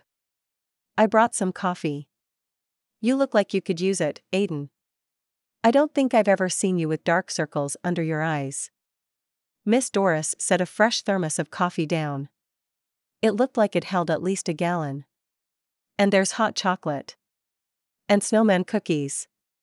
His grandmother put down her old picnic basket. It was filled to the top with baked goods, sandwiches, and a second thermos that he recognized from fishing trips with his grandfather. I want some. Evan ran up, holding out both hands. His older sister was close behind. That's not how we ask for things, Brooke said. Her voice was firm, but it did little good when everyone around was smiling at the eager expressions on the kids' faces. May we have some snowman cookies, please? Ava asked. Of course. His grandmother had both of them settled with cookies and cocoa by the time Miss Doris handed him another cup of coffee. At this rate, he wouldn't be able to fall asleep until it was time to get up and bake. At least they'd be closed on Christmas Day and for a few days after. Penny for your thoughts, his grandmother said when she took her seat beside him. He shook his head before tucking a blanket around her to make sure she stayed warm. This wasn't the time or the place to tell her about the realization he had when he woke up in the middle of the night. Look, guys. The first boats are coming. Matt rose and motioned for his children to come with him they walked closer to the water for a better view. The rest of their group enjoyed the parade from their seats, snacks, and warm drinks at hand. Simon and his dad did a great job, Miss Doris said when the Johnson boat made its way past them. It was covered from bow to stern in icicle lights, an igloo, and a snowman sitting on the deck of the small yacht. That looks amazing. I wonder what those are made of. Claire was leaning forward, eyes glued on the boat. Styrofoam, maybe, her father guessed. Simon and Sophie waved when they saw them. Simon threw what looked like snowballs in the kids' direction. Each of them caught two of the white balls and came running up to show them to their mother and grandparents. We got snowballs. Eva called before she reached them. Snowballs, Evan echoed and threw one in Aiden's direction. He caught the small fuzzy ball. From a distance, it looked like a snowball. In reality, it was soft and fuzzy. He tossed it to Claire, who caught it with a grin before returning the treasure to her nephew. Snowball fight. Evan yelled into Aiden's ear before throwing both of his balls at his grandfather, scoring two solid hits. Oh no, not out there. We can have a snowball fight when we get home. Brooke stood, holding her hand out for the balls until both her offspring convinced her they'd hold the fuzzy balls until they got home. A few minutes later, a boat with bright lights, loud Christmas music, and elves throwing candy got their attention, and the snowballs lay forgotten on the blanket. Only in the South do we have to come up with fuzzy snowballs and plastic ice skating rings, Claire said, bouncing one of the balls in her hand. You miss the snow and ice? Miss Doris asked, looking surprised. Most of the time, I don't, but at Christmas time it's nice. Especially if you don't have to go anywhere. Claire grabbed a blanket and snuggled under it like the thought of New York winter weather was making her feel cold. They could go up north for Christmas. Or maybe right after, if snow made her happy. The thought surprised Aiden. Here he was making plans for them before he knew what hers were. He shook his head and forced his eyes back to the parade of boats. Half an hour later, when the kids were getting restless and everyone looked cold and tired, the last of them made it down the waterway. It was the largest of the boats, a full sized yacht with Santa at the helm. A blow up version of Rudolph was standing in the bow, complete with a lit up red nose. Mrs. Santa was throwing candy canes with all her might. Thankfully, most of them landed on the shore. Evan raced after one before his father could get a hold of him. The water wasn't deep, but the boy ended up with wet shoes and pants before Matt could get to him. Evan proudly held a wet candy cane. We're heading back to the house, Brooke said, wrapping the child in a towel she'd brought. Everyone else was ready to leave, and between them, it didn't take long to load the chairs and blankets in the truck. Remind me not to have boys, Claire said, watching her sister carry off a screaming Evan. He was the only one of their group not ready to leave, no matter how often they told him that the parade was over. No boys, got it. How do you feel about daughters? Aiden asked. Love them. Claire swung Ava's hand high, making the girl giggle. Good to know. Call me and let me know you got home okay. It was an excuse to talk to her without nosy people around them. I will. She waved before rushing off to catch up with her family, Ava, beside her. You two make a cute couple, Miss Doris said, a bag and her purse slung across her arms. The woman's Oldsmobile was parked not far from his truck. We'll see, he said before helping his grandmother into his truck. They pulled out of the parking lot behind Miss Doris. She means well, his grandmother said. I know. But sometimes it doesn't help to have everyone meddle in our personal business. Hmm. What? he asked. I like that you think there's personal business. Claire is good for you. She makes you happy. And I enjoy seeing the two of you together. His grandmother patted his knee. And she was right. Claire did make him happy. The only question was did he make her happy, too? Enough to make her give up on New York? Chapter 20 What are you doing in here so late? her mother asked when she found Claire in the kitchen well after dinner. I need to think. I thought I'd make some fudge while I was at it. We're almost out. Claire poured a bag of chocolate chips into a glass bowl, slowly melting them over a pot of simmering water. Do you want to talk about it, or do you want space? her mother asked. There isn't much to talk about. I need to decide if I want to go back to New York and take the job or stay here and, Claire turned to look for the rest of her ingredients. And see how things go with Aiden? Her mother picked up the silicone spatula and stirred the melting chocolate. That's part of it. A big part, but it wasn't the only reason she was considering moving back south. What's the other part? Anne added the sweetened condensed milk Claire handed her. Figure out what I could do down here. It's been nice to spend time with everyone. I didn't realize how much I missed living here. Claire smiled when she saw the joy on her mother's face. The offer looks solid, and it's what you've always wanted. But sometimes those priorities change. They did for me when I had your sister, and then you. Anne had been a marketing executive for a large bank in Charlotte before she and her husband decided to move to Palmar Island to raise their girls. Do you ever wonder what it would have been like if you stayed? Claire asked. It crosses my mind now and then. But if I had, I would have missed so much of the two of you growing up. And I wouldn't have started my business. Interior design has been more rewarding than I ever imagined. And I don't have to deal with shareholders anymore. Trust me, that alone was worth the switch. Her mother handed her the spatula and started lining a baking dish with wax paper. That's good to know.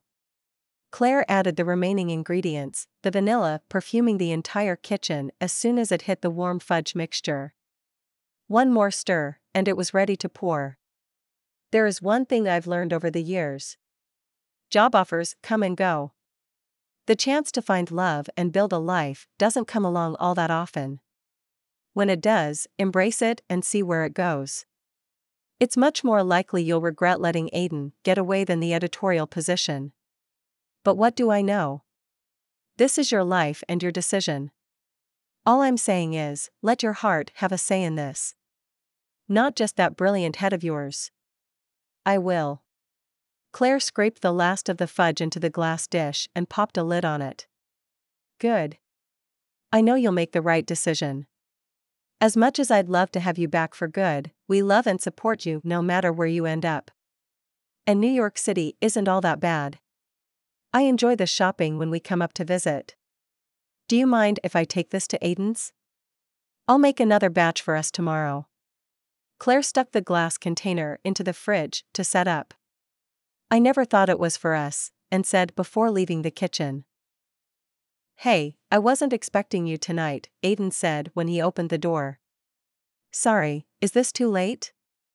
It sounded like you wanted to talk, and I figured this would be better in person than over the phone. And I brought fudge. Claire held out the glass container. It was still warm.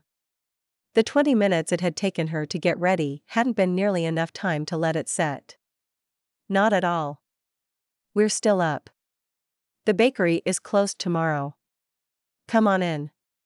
He took the fudge from her and led the way to the kitchen. This should go in the fridge for a bit.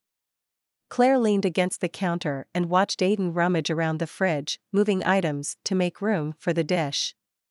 Claire, is that you? Miss Erin walked into the kitchen and gave Claire a hug. How are you feeling after all the excitement at the parade? Claire asked. The older woman looked tired and a little frilier than she had earlier in the day. Oh, I'm fine. A little tired maybe, but it was well worth it. What smells good? Claire brought fudge. It's in the fridge. Aiden pointed to the cream colored appliance that looked like it had been part of the kitchen since the 60s. I just made it. It's still warm. I'm sure it will be delicious. I'm heading to my bedroom. There's a Christmas movie I want to watch. Call me when the fudge is ready. Miss Erin left the room and made her way down the hall. A few minutes later, Claire heard the TV coming on, the volume higher than she'd expected. I didn't realize your grandmother was hard of hearing. What does she do? Read lips? Claire looked up when Aiden chuckled. No, she can hear fine. I think she's trying to give us a little privacy without leaving the place. Okay then. I guess there are some things we should talk about. It's kind of why I came over. The fudge is more of a bribe. That sounds serious. Do you want to go sit in the living room? Aiden asked. He led the way into the cozy room next door that held a small sofa and two chairs. A small coffee table that held candles and magazines sat in the center of the room. The TV was on, the sound silenced. Aiden turned it off. You don't have to do that on my account, Claire said. You said you wanted to talk. This can wait. Aiden took a seat on the couch, motioning for her to sit next to him. Wasn't that a basketball game? Claire asked, amused and surprised he'd turn off a game. It was, but you know what I mean. I can catch the score and recap later. He leaned forward and took her hand in his. You're not making this easy. I'm trying to gather my thoughts here. A nervous giggle escaped her mouth. Why was this so hard? She suddenly felt like a teenager, asking the boy she liked on a date. Now you're really making me nervous. Spit it out, woman. What's on your mind? I'm trying to make a decision about New York and there's one variable I can't quite figure out, she said, biting her lip. What variable is that? he asked, squeezing her hands. You. Or rather, whatever this is between you and me. She held her breath, her eyes scanning his face for any sign of a reaction. I'm a variable? he asked, a smile playing around his lips. It belied the concern in his eyes. I could be way off base here, and if so, I'm sorry. I like spending time with you. I like being around you, talking to you, going to the arcade with you. I was wondering if this was something you'd like to explore further. See where this goes. Her eyes were drawn to his Adam's apple when he swallowed hard. He didn't say a word, just sat there, staring at her, her hand still in his. If I read this wrong, no hard feelings. I should probably take the job anyway. I might regret it if I don't. New York isn't so bad, and who knows how much I'll actually work with Brent. She pulled her hands from his and rose. Don't. He pulled her back down to the couch. I should probably go, she said, warmth flowing into her cheeks. No, you shouldn't. And no, you didn't read this wrong. I would like to see where this goes too. Aiden took her hands in his again. They felt warm and comforting, grounding her somehow, despite the tornado that was raging in her heart and mind. Does that mean you're considering staying here on Palmar Island? she asked. I'm thinking about it. And not just because of us. I like it here, and don't tell her I said this, but it looks like my grandmother will need help for quite a while. Sticking around wouldn't be the worst thing. Would you quit your job in Atlanta? I might not have to.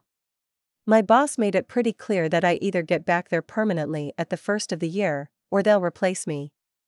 Aiden shrugged, but it was easy to see that it was bothering him. There's no one else who could help her for a while? Claire asked, squeezing his hands. I thought you wanted me to stay here. Aiden smiled, but it was tinged with sadness or regret. I do, but only if it's what you want to. Why do these decisions have to be so hard? Stuff was a lot easier when we were in high school. She blew out her breath. Not really. Deciding to do what my dad thought best wasn't easy. The last thing I wanted to do back then was to break things off with you. But he thought it would make the difference between getting a full ride or not. He was probably right. You played a lot better after we split. Maybe I was a distraction. It had hurt to see him become the star of the team, winning the state championship. Practice was the only time I didn't think about you.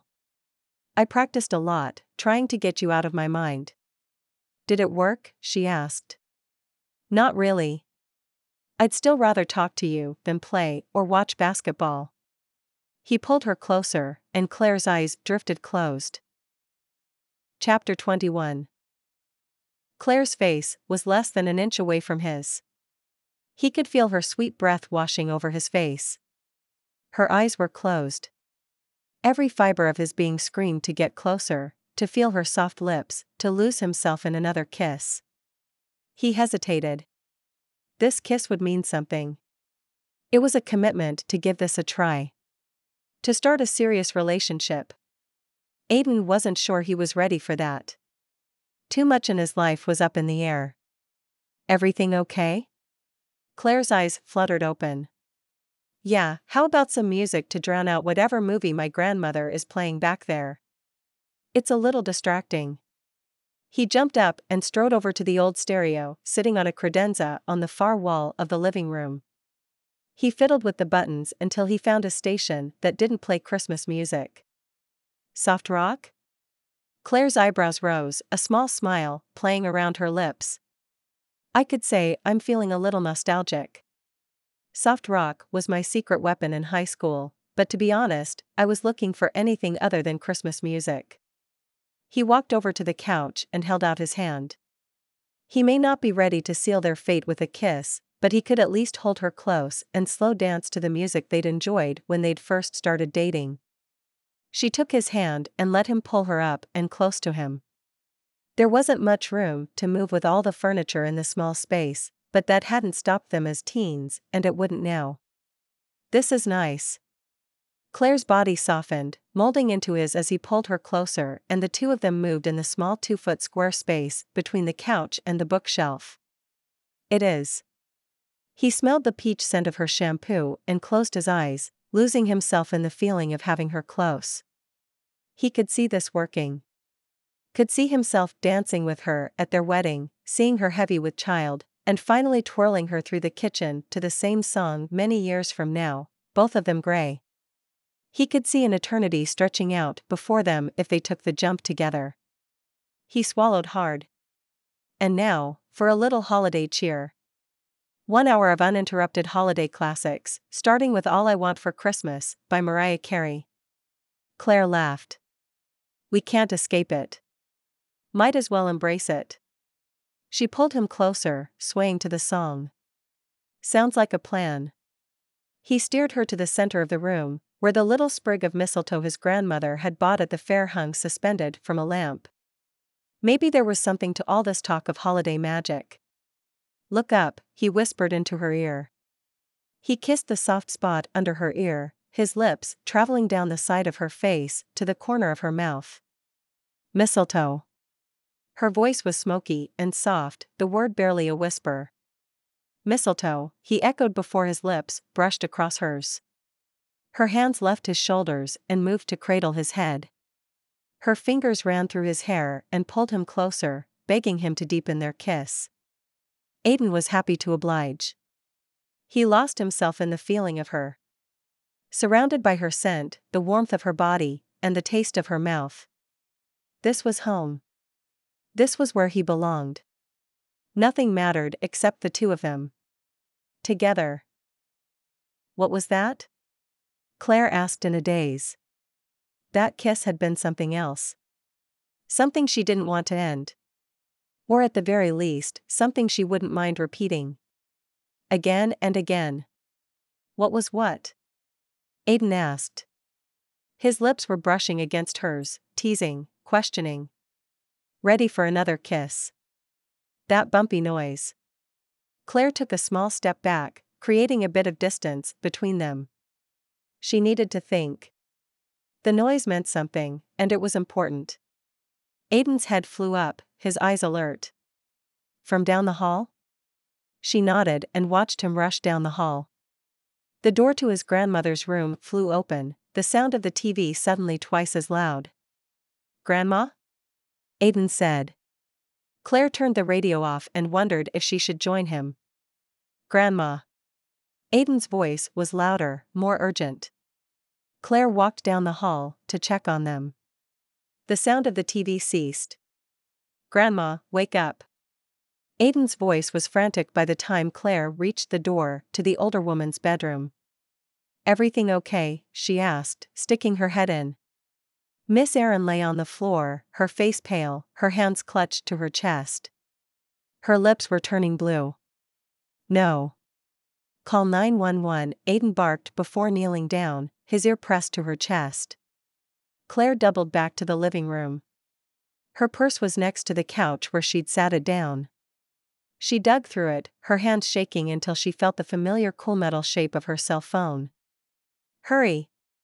Aiden called. She dialed and ran back down the hall to join them. 911, what's your emergency? We need an ambulance at 27 Main Street on Palmar Island. The apartment above the bakery. Miss Erin is unconscious. Claire's voice shook, her brain racing to decide how to convey information as quickly as possible. Is she breathing? the operator asked. Claire repeated the question to Aiden. Barely. Her breathing is very shallow, and her color isn't good. It's her heart, Aiden yelled toward her phone. His hand was on his grandmother's chest, the other holding her hand. I heard. An ambulance is on its way, and I'm staying on the line with you until they get there. Okay. Aiden, the ambulance will be here soon. She crouched down to the floor and set the phone on speaker. Tell me what's going on. You mentioned her color isn't good, and she has a heart condition. The woman was calm and professional. Yes. She had a heart attack this summer. She's very pale, and her lips are turning blue. Aiden relayed what medication his grandmother was on and who her primary care physician and cardiologist were. I will alert both of them. The ambulance is 10 minutes out. Claire prayed they would make it in time. Chapter 22 How is her breathing? Claire asked. Maybe a little stronger? He hated how unsure his voice sounded. Seeing his grandmother on the floor, struggling to breathe, clutching her chest was painful. Almost more than he could handle. He couldn't lose her. Not like this. Not right before Christmas. How would he tell his father? That's good. I'm sure they'll be here any minute. Claire sat down next to him and his grandmother. She put an arm around him. It was comforting, but also a reminder of how badly he'd messed up. He should have noticed she wasn't feeling well. Should have questioned her about going to her bedroom early. The 911 operator was busy typing away, giving them the occasional update on the ambulance, and making sure his grandmother was doing okay. Would you mind going downstairs and waiting for the paramedics? It might save some time if you can show them where to go. Aiden asked. Having Claire this close to him was hard. On the one hand, he wanted her here, by his side. She kept him grounded and gave him more strength than she realized. On the other hand, she was the distraction that had caused this. He'd been lost in kissing Claire while his grandma's heart stuttered and made her lose consciousness. She could have died. Of course. Claire jumped up. A few seconds later, he heard the door to the apartment open. Cold air streamed down the hallway and into the bedroom. It helped clear his head. Aiden rose and grabbed a pillow and blanket off the bed. He covered the old woman who had helped raise him with the throw. Then, he hesitated. Would it be okay to put a pillow under her head? he asked the operator. You said she fell, right? Let's not move her until the paramedics get there and have a chance to check her out. Aiden nodded. He should have known better to ask if he should put a pillow under her head. Yes, ma'am. I covered her with a blanket. He felt helpless. He wanted to fix this, turn back time. Tell Claire that tonight wasn't a good time to talk. That's great. We want her warm and comfortable. Can you take her pulse for me? the woman asked. Aiden wasn't sure if the task was to keep him busy, or if there was more to it, but it felt good to be able to do something, anything, while they waited. He grabbed his grandmother's wrist and searched for her pulse. Looking at his watch, he counted. Time had slowed to a crawl. Seconds stretched into minutes and more as he counted one heartbeat after the next. Her heart was fast and a little irregular, driving his anxiety to new heights. Shouldn't the paramedics be here by now? At the very least, he'd expected to hear sirens in the distance. He reported his findings to the 911 operator. Okay, good. And still no trouble breathing? None at all. She seems to be doing a little better. Her color is coming back, he said, wishing he was as sure as he sounded. Aiden? What happened? His grandmother's voice was faint and crackling. She opened her eyes and looked around the bedroom. You fell. I found you here, unconscious. The ambulance is on its way to take you to the hospital. There's no need to make a fuss, she tried to sit up. Aiden put a hand on her shoulder. Don't move. I'm not making a fuss. This is serious, and I need you to stay still until the paramedics can check you out. I'm fine. I got a little dizzy, that's all. I'll call Dr. Martin in the morning. She was getting agitated, her hands moving around, grasping for anything to hold on to. Aiden took them both in his. Mrs. Caldwell? This is Jenny. I need you to listen to your grandson. Help is on the way, and they'll make sure you're okay. Jenny. That's very kind of you, but you can call them back. I'm sure they have better things to do than to baby an old woman with a dizzy spell. It happens all the time. Why didn't you say something? I would have made an appointment with your cardiologist, and we could have avoided all this. His grandmother shook her head. Down this hallway, the second door on the right, Claire said. A heartbeat later, two paramedics carrying bags came into the small bedroom. Aiden rose and stepped to the side to give them room to work. Mrs. Caldwell? How are you feeling? One of them asked. I'm fine, how many times do I have to say it before someone listens to me? Her voice was getting stronger. These numbers say otherwise. The young man looked at the small device he'd clipped to his grandmother's finger. Your oxygen levels are low. Let's get you hooked up to something that will help you breathe.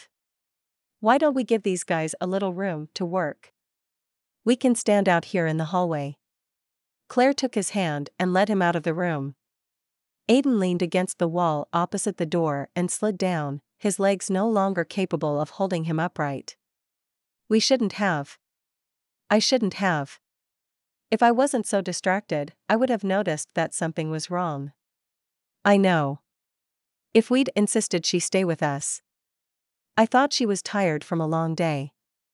Claire sat down next to him and squeezed his hand. She was and she wanted to give us a little space to talk. Aiden sighed and put his arm around Claire. He needed to have her close, feel her warmth. Just for tonight. Tomorrow, he'd tell her to take the job in New York. Then he'd call his boss and quit his job.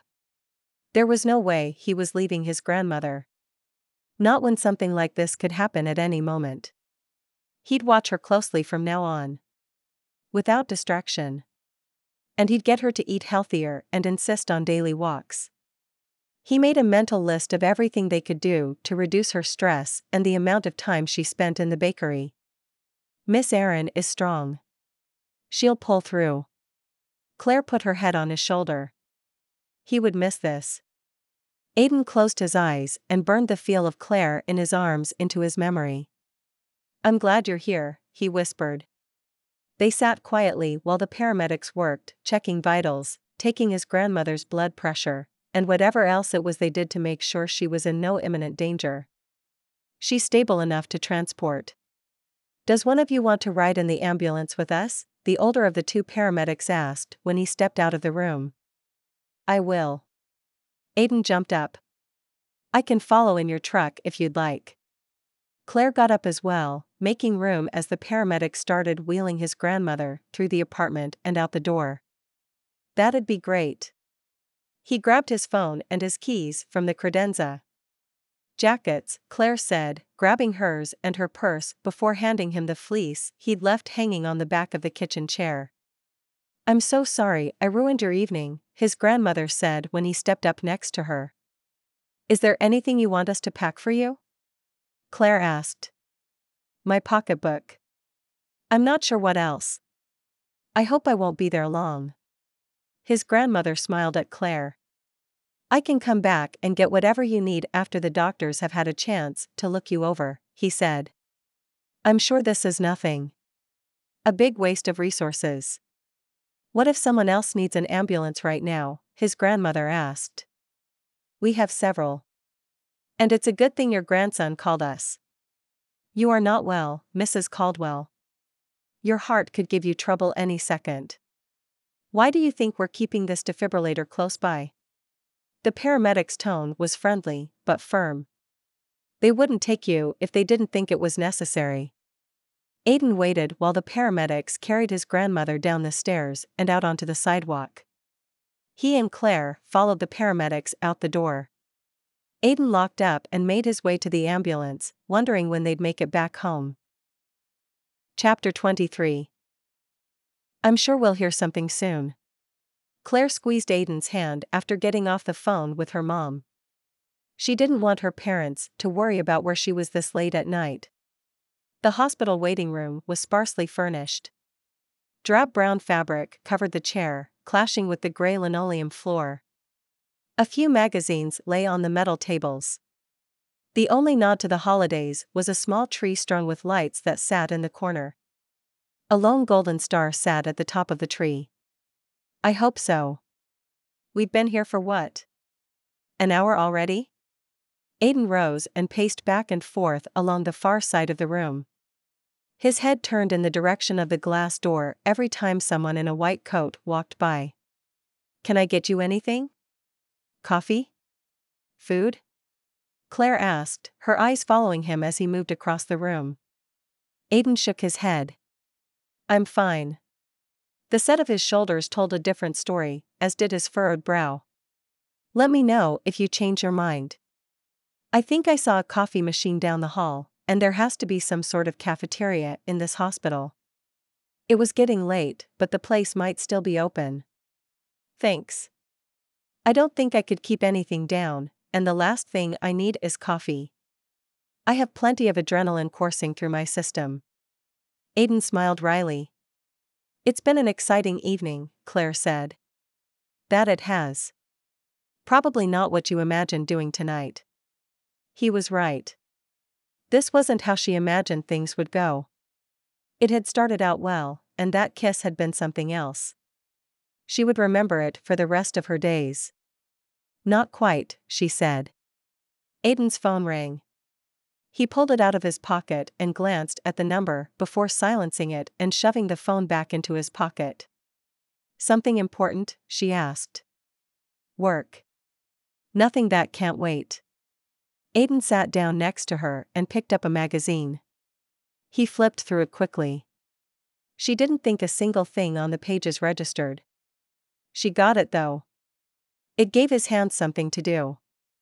Anything was better than sitting still and continuing to wait for news on his grandmother. The phone rang again. The third time Aiden answered. What? He rose and walked to the far corner of the room. I'm sorry, man. I can't help you right now. I'm at the hospital. His voice was professional, but it was hard to ignore the impatient undertone. Aiden went quiet for a while. Claire heard the low hum of conversation on the other end. Go back to some of the meal plans we went over last month. You can recycle those indefinitely. I'll check in with you in the next day or two. And don't try to do too much. Slow is fast when it comes to rehab. He paced along the far side of the room. I'm fine. My grandmother isn't. I've got to go. His head shot up when someone walked up to the door. The person turned and made their way down the hallway without stopping. What can I do for you? she asked. He looked beyond stressed after the call. Nothing. Unless you can turn back time. His phone went back into his pocket. Why don't you silence that and let me help you calm down for a few minutes? You're familiar with breathing exercises? Claire turned to face him and held her hands out for his. I am, but I'm in no frame of mind to meditate. Aiden sat down next to her but didn't take her hands. Humor me. Give me your hands. Claire reached over and took his in hers. When he didn't pull away, she proceeded. Focusing on slowing her own breathing, she directed him to breathe in for four, hold for four, and then release the air for four counts. Box breathing had helped her through many anxiety attacks and stressful meetings. She hoped it would help Aiden as well. One more time, she said, going through the count one last time. His eyes had drifted closed at some point during the exercise. His facial expression softened, and the tension in his shoulders was gone. Thank you. That helped more than I thought, he said when they were done. Claire felt calmer and more centered herself. And she wasn't under anywhere near the stress and pressure he had to be under between his job, the bakery, his grandmother, and now this setback. I'm glad. Let me know if you want to go again. She released his hands, missing the connection with him instantly. Mr. Caldwell? The door to the waiting room opened an hour later, and a man in a white coat, a stereoscope slung around his neck, walked in. Yes. How is she? Aiden jumped up and closed the distance between him and the doctor. She's fine. We ran a series of tests. Her heart is weak, but she'll pull through. With some rest and adjusted medication, I expect her to make a full recovery. We are going to keep her overnight for observation. She's in her room and asking for you. Of course. Where is she? Aiden was halfway out the door before turning and holding his hand out for her. Aiden hesitated to open the door to the room where his grandmother was recovering. She had to be exhausted. He was worried about waking her, and honestly, he was scared to see what shape she was in after all the poking and prodding she'd likely undergone in the past hour or two. Everything okay? Claire was next to him, her hand still in his. Yes. I just needed a minute. Aiden knocked softly and opened the door an inch or two. There you are. Come in. His grandmother laid in bed, a pillow propping her up slightly. She was hooked up to a monitor and in four. How are you feeling? Aiden asked, stepping up to the bed and taking her free hand in both of his. Fine. Tired. And a little hungry. The nurse promised to bring me a snack now that they are done sticking me and scanning me. His grandmother shook her head. Claire pulled a chair up to the side of the bed. Here, sit, she said before going to take a seat in the second one. Claire, I'm so glad you're here to keep Aiden company. Her smile was genuine, and to his relief, there was no hint of pain in them. That was something. Not much, but he would take any good news he could get. And I'm glad you're looking better. Are you in pain? Claire asked. No, I'm comfortable. A little drowsy and a little tired, but comfortable. I'm not sure what's in this for, but whatever it is, I need to get some to go. You must be feeling better if you're back to cracking jokes, Aiden said. I am. If I wasn't so tired, I'd get you to break me out of here. My bed is a lot more comfortable than this metal monster. And these pillows? Someone really should require hospitals to get decent pillows. People need their rest when they're sick. She shook her head and pulled on the one behind her head. Here, let me help. Aiden put his hand behind his grandmother's neck and lifted her enough to pull the pillow. He shook it out and folded it in half before tucking it back behind her frail shoulders. That's better. I'll ask the nurses for another pillow to help you sleep tonight. He glanced at his watch. It was later than he'd realized. Almost one o'clock in the morning. No wonder his grandmother looked tired. As did Claire. She was trying to hide it but didn't fool him. Her eyes were drooping, and she tried to hide a yawn. It's late. You should go get some rest, his grandmother said. I'm staying with you, Aiden said. Nothing short of a direct order by a professional would keep him from staying by his grandmother's side until she was released. If something happened through the night, he wanted to be there to do what he could. Don't be silly. You're both exhausted. There are plenty of doctors and nurses to take care of me here. And there's nowhere for you to sleep. I'm staying, he said, hoping his tone was conveying that there would be no sense arguing about this. Claire, you should go home and get some rest. There's no need for both of us to stay. It was the opposite of what he wanted to say. It was nice to have her here, and her quiet support had meant more than he could convey. Tonight had been scary. It still was. Going through it alone would have been much worse. Are you sure? I could stick around and run back to the apartment if you need something. Claire sat up in her chair. We're fine. I can't think of anything we'd need. Go home. You have got to be exhausted, and I'm sure your family is worried. She had called them earlier, but if her mother was anything like his grandmother, she'd be waiting up for her daughter. If you're sure, Claire rose, but hesitated, standing in the middle of the room. I'm sure. Thank you for being here. Aiden pulled her into a tight hug, holding on a little longer than necessary. He had to force himself to step away and insist she leave. Every fiber of his being screamed for him to hold her close, and watching her walk out the door was hard. But his grandmother was right. She needed sleep. And he needed to find a way to distance himself from her. It wasn't fair to drag her into his family drama. It would take time to get his grandmother back on her feet, and there was no way she could live by herself. He loved Claire too much to tie her to years of caring for his grandmother. Not when her dream job was waiting for her in New York. Good night. She turned and waved before pulling the door closed behind herself. Chapter 24 Good night. Claire waved and stepped into the hallway, closing the door behind herself. The long corridor was empty this late at night. A single nurse sat at the station, working through a stack of paperwork. Claire was in a daze from the events of the day and the evening.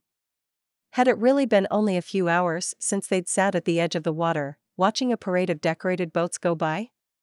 Heading home, the nurse asked when Claire passed her desk. Yes, getting some sleep. Claire stopped and turned to face the nurse. Good. Mrs. Caldwell seems to be out of the woods. We'll call you if anything changes. Claire was too tired to explain that she wasn't a next of kin and wouldn't get a call. Or that Aiden was staying. She'd text him once she got home and ask him to call her if Miss Erin's condition took a turn for the worse through the night. She'd be back in a few hours to check on them. Maybe she could grab some coffee and breakfast on her way back to the hospital. Good night, the nurse said before returning to her paperwork. Claire hadn't realized she was still standing at the nurse's station, deep in thought. Good night. She walked to the bank of elevators and pressed the call button. To her surprise, the door to her right opened right away. She got on and pushed the button for the ground floor. Claire leaned against the bar on the side of the elevator, looking at herself in the mirror that covered the entire back wall. She was a mess. Dark circles under her eyes, her hair windblown and messy. She used her fingers to comb through it before pushing it back and tucking it behind her ears. She rubbed her face, trying to wake up enough to make her way to her parents' house and crawl into bed. Maybe Aiden's advice to go home and get some sleep wasn't the worst idea. The door to the elevator opened and a woman in colorful scrubs, a large handbag slung over her shoulder, stepped in.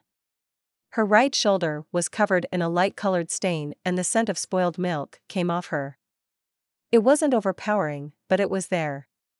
Heading home? the woman asked. Yes. Claire noticed her sensible white sneakers and the yawn the woman tried to hide. Me too. I can't wait to get a shower and a good 10 hours of sleep. Her smile was as tired as Claire felt. Long day? Claire asked. The woman nodded. How about you? Loved one sick or hurt? The question threw her. Was Miss Erin a loved one? She wasn't family, and Claire had always liked the older woman. But love? Maybe. Aiden loved his grandmother, and she loved him. It had been hard to see him in so much pain, feeling helpless to do anything for Miss Erin. My boyfriend's grandmother was admitted. We found her unconscious. It's her heart, I'm sorry. How is she? the woman asked. Improving. Aiden is staying with her. Claire wondered if the woman was a doctor or a nurse. That's good. It's nice to have someone there to advocate for you. And do the little things we don't always get around to right away. The woman leaned against the opposite wall and closed her eyes as they continued their way to the ground floor. Are you a nurse? Claire asked. I am. In the neonatal ward. Thus the spit up. She pointed to the stain on her shoulder. It explained the smell.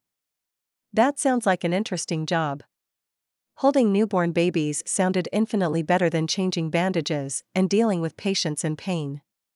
It has its moments. The woman smiled wryly. Claire got the feeling this wasn't one of the better days.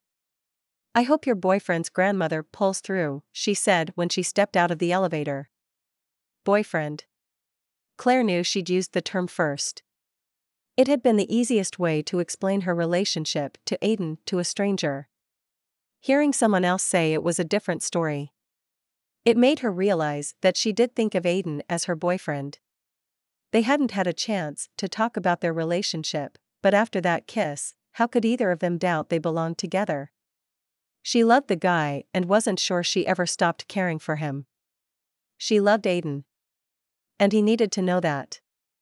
They could figure out logistics later. What mattered was that they belonged together. In a flash, Claire could see it. The two of them married, living here on the island, raising a family. It felt right, complete. Claire turned to walk back upstairs to talk to Aiden. She pulled the handle to the entrance door she'd left out of a few minutes ago. It was locked. Claire. Claire turned to see who was calling her name. Brent? What are you doing here? Are you going to let her walk away like that? What happened before you found me? Aiden's grandmother asked. He was sitting by her side, her frail hand back in his. I kissed Claire. He was too tired to hide that fact from his grandmother. About time. You two have been dancing around each other for days. She squeezed his hand. You knew? he asked. He thought they had done a good job of hiding their feelings from themselves and everyone around them. Of course I knew. Why do you think I've been babying my ankle for so long? It gave you and Claire a chance to spend time together. I'm so happy things are working out between the two of you. She reached up and cupped his cheek. I'm not sure it will. She lives in New York. I have to get back to Atlanta. What good is it to dig up old feelings now? He shrugged. Falling in love, or in your case, falling back into love, is never a bad thing. Believe me, when you get to be my age, there are few things you treasure more than the memories of the people you loved. And spending time with those that make the time to stick around for a while. She squeezed his cheek before moving her hand back into his. I'm glad I came to live with you for a while, Aiden said. Despite how stressful it could be at times, he enjoyed his time with his grandmother. Good. But I'm not going to be around forever, and you need someone to build a life with. I'd feel better if I knew you had Claire by your side. Claire has big plans, and I don't want to stand in the way of them. It wasn't a lie. A half truth, maybe. He did want the best for her. You're afraid to get hurt. She shook her head, looking disappointed. We don't have a future together. We never did. If they had, she wouldn't have given up so easily when he told her they were done. She'd accepted it and moved on, moving away for college the first chance she got. That's nonsense, and you know it. It was a mistake to break up back then, and I'm not going to let you make it again. It was a gift that the two of you reconnected here on the island. Don't throw that away. She makes you happy. His grandmother pulled her hand away and tucked it under the blanket. That she does. He wasn't sure how he'd gotten through tonight without her by his side the entire time. Watching her walk out that door had been physically painful. Then go after her. Talk to her. Tell her how you feel. If you don't, you'll regret it. He rose, not convinced his grandmother was right. But what if she had a point? He felt the keys to his truck in his pocket. Aiden didn't remember when she'd handed them back to him. He pulled them out, looking at the keys, reflecting the light from the lamp over his grandmother's bed. Don't tell me Claire has no way of getting home. The disapproval in his grandmother's voice was thick. She doesn't. He hated the thought of her standing in the cold, waiting for a ride. I raised you better than that. Go. If you don't do anything else, at least drive her home. You're right, he said. It was the least he could do. Any other decisions could wait until tomorrow. Aiden walked out the door and ran down the stairs. Claire had only been gone for a few minutes. With a little luck, he'd catch her before she left the hospital. He didn't stop running until he reached the main entrance. He saw her through the glass door, standing under a bright street light. A man he didn't recognize dressed in a suit and tie stood in front of her. The two of them were talking. Claire's back was turned to him. The man smiled confidently and pulled a small box out of his jacket pocket. Even from this distance, Aiden had no trouble making out what it was when the man opened it. Claire's hand flew to her face. Brent. The guy had to be Brent. Aiden turned and walked to the elevator. He didn't want to stick around and watch the girl he loved accept a proposal from another man. His grandmother had been wrong. Part of him wished he hadn't run after Claire, hadn't allowed himself to hope that the two of them could work out. The other part was glad that there was a clean break. Claire had made her decision. Their kiss had meant nothing. He'd been some kind of backup plan until she worked things out with the guy that could give her everything. New York, her dream job, and the big wedding she'd always wanted. He hesitated before walking back into his grandmother's room. The last thing he wanted was to discuss what he'd witnessed downstairs. But spending the night in the hallway wasn't an option either. He cracked the door open, relieved to see his grandmother sound asleep. Aiden stepped in, carefully closing the door behind him. He walked up to the large picture window that made up one side of the room. He stared out into the dark night that spread out before him. It looked as desolate and lifeless as he felt. Chapter 25 What are you doing here? Claire asked, stunned to see Brent in the parking lot of the hospital on Palmar Island. Your mom said you were here. Everything okay? He stepped closer and stopped less than an arm's length from her. What are you doing here on Palmar Island, Brent? I heard you hadn't accepted the offer yet. I thought maybe it was because of, you know. I'm sorry about that. It won't happen again. I'm here because I want you back. I miss you, Claire. I miss us. It's a little late for that. Claire took a step back. Brent followed her, closing the distance she'd created between them. I'm serious, Claire. We're good together. We make a great team. I want you back. He reached into his pocket and pulled out a small velvet covered box. Her hand flew up to her face. You can't be serious. I told you I am. I want you back. I want us to take the publishing industry by storm. Claire, will you marry me? Brent opened the box. It held a diamond ring in a plain setting. It wasn't a small diamond, but something you could pick up at any jewelry store in the country. No. I won't marry you. And I'm not coming back to New York. At that moment, everything became crystal clear. She didn't want the job. Everything she needed, everything she wanted was right here on Palmar Island. Brent's face fell. You're making a big mistake. I don't think so. Go back to New York. I wish you and Stacy all the best. Claire turned and walked toward the hospital parking lot. It wasn't until she spotted Aiden's truck that she remembered she'd driven it here and given him his keys back earlier in the day. Claire pulled out her phone and called home. Hey, Dad. Yes, Miss Erin is fine. They are keeping her overnight for observation. Aiden is staying with her. Are you coming home? her father asked. That's the plan. I left the car at the bakery. Any chance you could come pick me up at the hospital? she asked. Already on my way, her father said. Claire turned to make her way back to the entrance of the hospital, hoping Brent had left. To her relief, there was no sign of the man. True to his word, her father showed up five minutes later. That Brent guy showed up at the house tonight. Your mother told him where you were. I told her that was a mistake. He shook his head, pulling away from the hospital and turning toward Main Street and the bakery. It's fine. He found me. She wasn't ready to share everything that had happened tonight.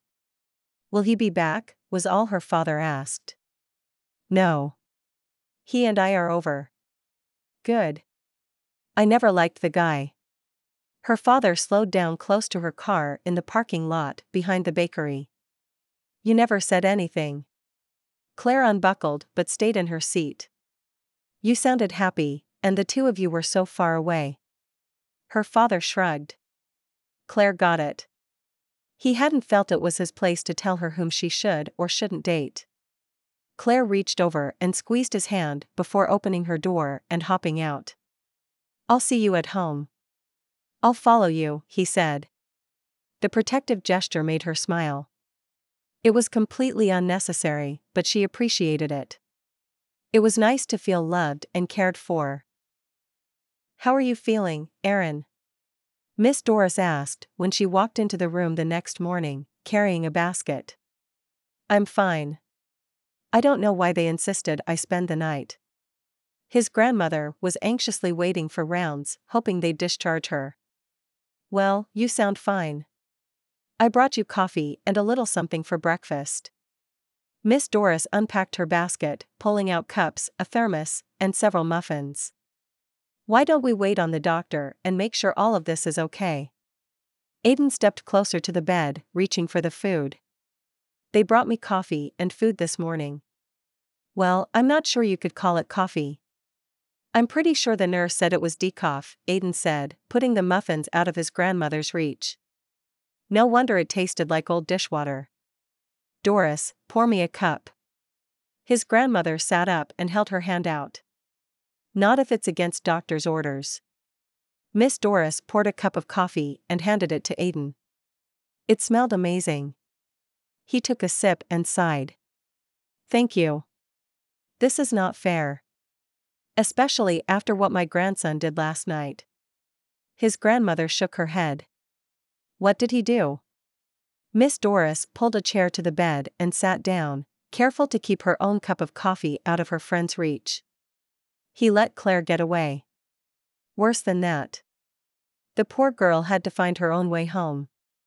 His grandmother shook her head. I'm sure Brent took her home after proposing to her. Aiden tried to keep the pain from his voice. By the look of pity from both women, he didn't succeed. Are you sure that's what happened? Miss Doris asked. He nodded.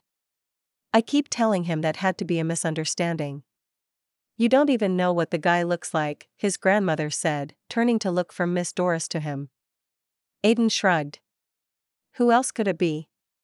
I doubt there's someone else out there who would put a ring on her finger out of nowhere. What he couldn't understand was why she'd accepted. The guy had cheated on her. Are you sure she accepted?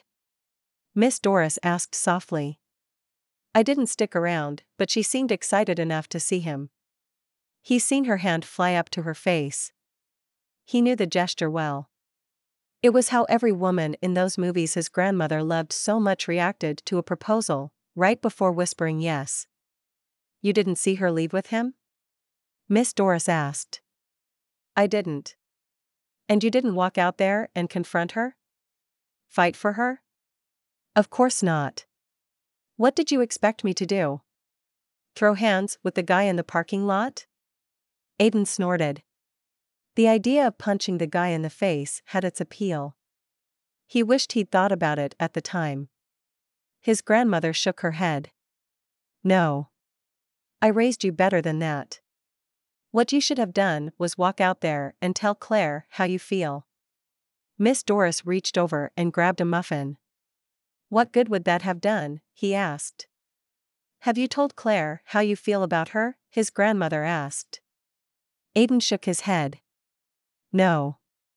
We don't have a future with her in New York and me here, taking care of you. What happened to moving back to Atlanta? his grandmother asked. I decided last night to quit. I emailed my resignation this morning.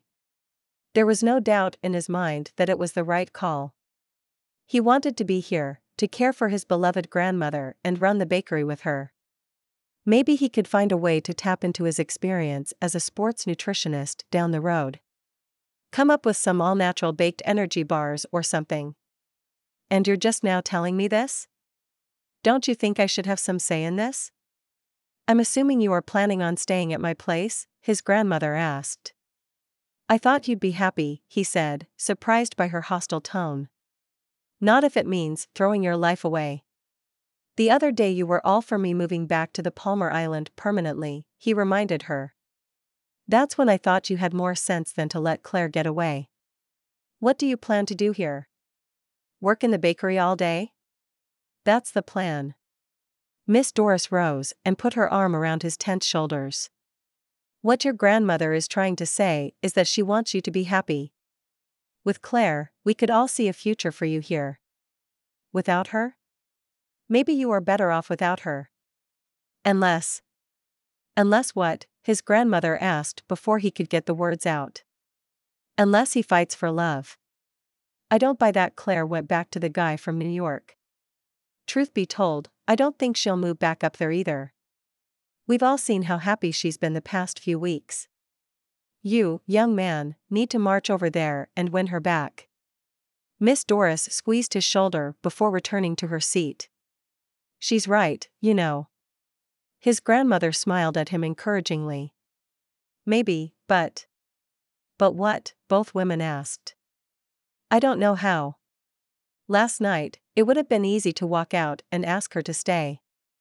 Now that she'd possibly accepted Brent's proposal, he wasn't so sure. Oh, that's easy, his grandmother said. Miss Doris turned to look at him. Go talk to her. I'll stay here with your grandmother. I'll call you if we hear anything from the doctor. What do I say? Aiden grabbed his jacket and patted his pants pocket to make sure the keys to his truck were still there. Tell her how you feel. Lay it all out. Ask her to stay here on the island with you. His grandmother smiled at him encouragingly. Aiden hesitated. Sometimes we have to risk getting hurt. It's the price we all pay for a chance at love. And it's worth the risk every time. Miss Doris's eyes locked with his, and he got the feeling she spoke from experience. I'm not afraid of a little risk, he said. Being shut down wouldn't be pleasant, and the last thing he wanted was for Claire to tell him Brent was the one, but not knowing and wondering what could have been would be worse. That's my boy. Now go get the girl and then come back and get me out of here. I'm ready for my own bed and some real coffee. His grandmother motioned for Aiden to leave. He pulled his keys from his pocket and walked to the door. Oh, and Aiden? Miss Doris said. He turned around to look at the two of them. Flowers don't hurt either. The gift shop downstairs has some nice rose bouquets. Thanks. He nodded and pulled the door open. Wait. Come back here, his grandmother called after him, waving him to her bedside. Her tone was urgent. Are you feeling worse? he asked, rushing to her side. No. I want you to take this. She pulled the ring she'd worn every day for as long as he could remember from her finger and handed it to him. I can't take that. Yes, you can. I hope it will bring you and Claire as much love and happiness as your grandfather and I enjoyed. She put the diamond ring in his hand and closed his fingers around it. Chapter 26 Who could that be? her mother asked when the doorbell rang the next morning. It was Christmas Eve morning, and the two of them were the only ones awake. Her mother was busy rolling out dough to make cinnamon rolls. I'll get it, Claire said, grabbing her cardigan from the back of her chair. What are you doing here? Claire asked when she opened the door, surprised to see Aiden standing on her parents' porch. I need to talk to you. Do you have a minute? Aiden shuffled his feet, his hands shoved in his pockets. It was cold, but not freezing. Claire wondered if he was nervous about something. Of course. Everything okay with your grandmother? she asked, dread washing over her. She's fine. Miss Doris is with her. I'm hoping the doctors will let her come home today. That's not why I'm here. Why are you here, then? Is Brent around? Aiden asked. He pulled his hands from his pocket and rubbed them together. Of course not. Why would he be here? Claire was getting more confused by the minute. I saw the two of you together in front of the hospital last night. I came down to give you a ride back to your car. His eyes were guarded. Ah, I see. Claire pulled the cardigan closer around herself to keep warm. Claire, don't make me drag everything out of you. Are the two of you back together? It looked like he proposed. Aiden took a step closer, his eyes intently watching her face. No, we're not. He showed up out of nowhere, and I told him we were done. I hope he gets the message this time. Good. Because there's something I need to get off my chest. Aiden took another step and raised his hand to cup her cheek. I'm crazy in love with you, Claire. I have been since middle school, and I don't think I ever stopped. Say that again. Claire was in a daze. This had to be a dream. I love you, Claire. I always have. The thought of you and that guy. It was driving me insane. He shook his head. Are you sure? Aiden nodded. I love you, too, she whispered. And she always had. Even when she moved to New York. When she started going out with Brent. It had never felt like this. Whole. Complete. Good. We can figure out everything else as we go along, Aiden said. He brushed his lips across hers, pulling her closer to deepen the kiss. Claire lost herself in the feeling of having him close.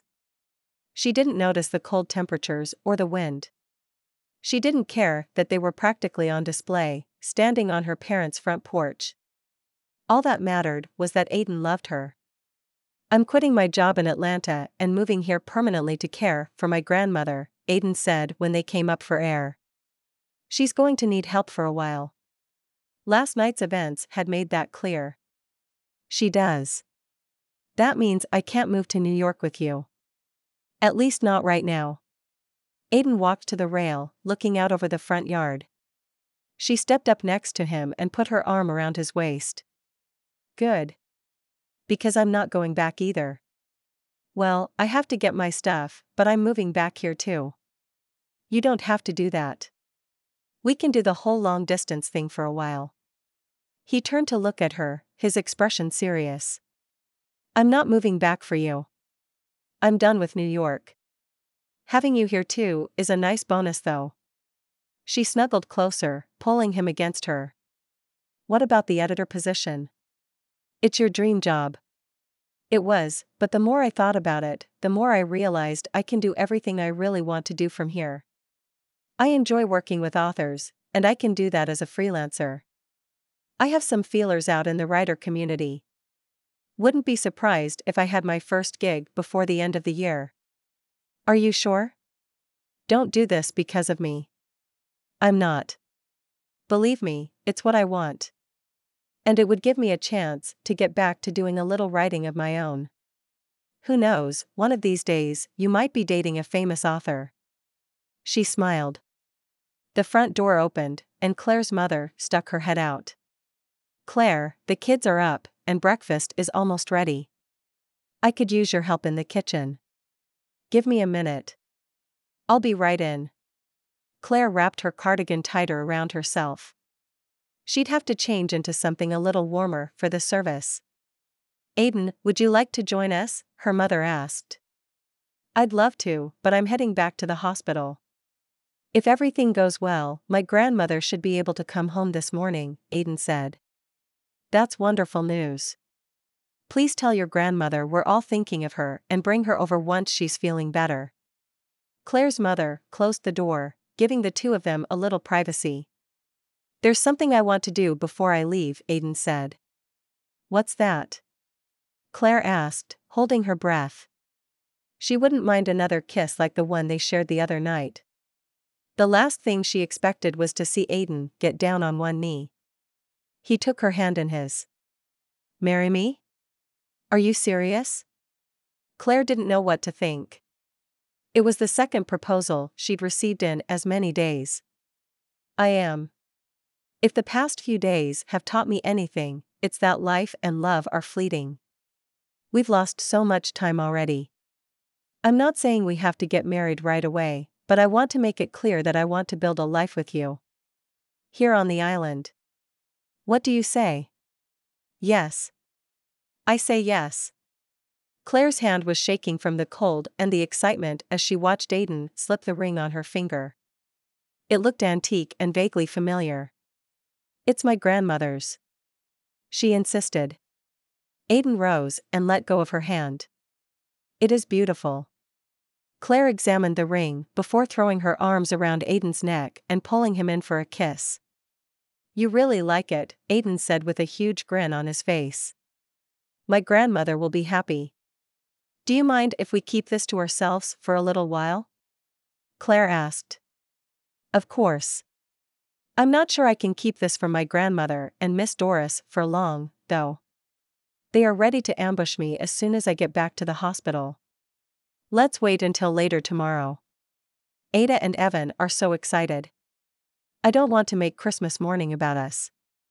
Claire turned around to see if either of her sister's kids was watching them from the window.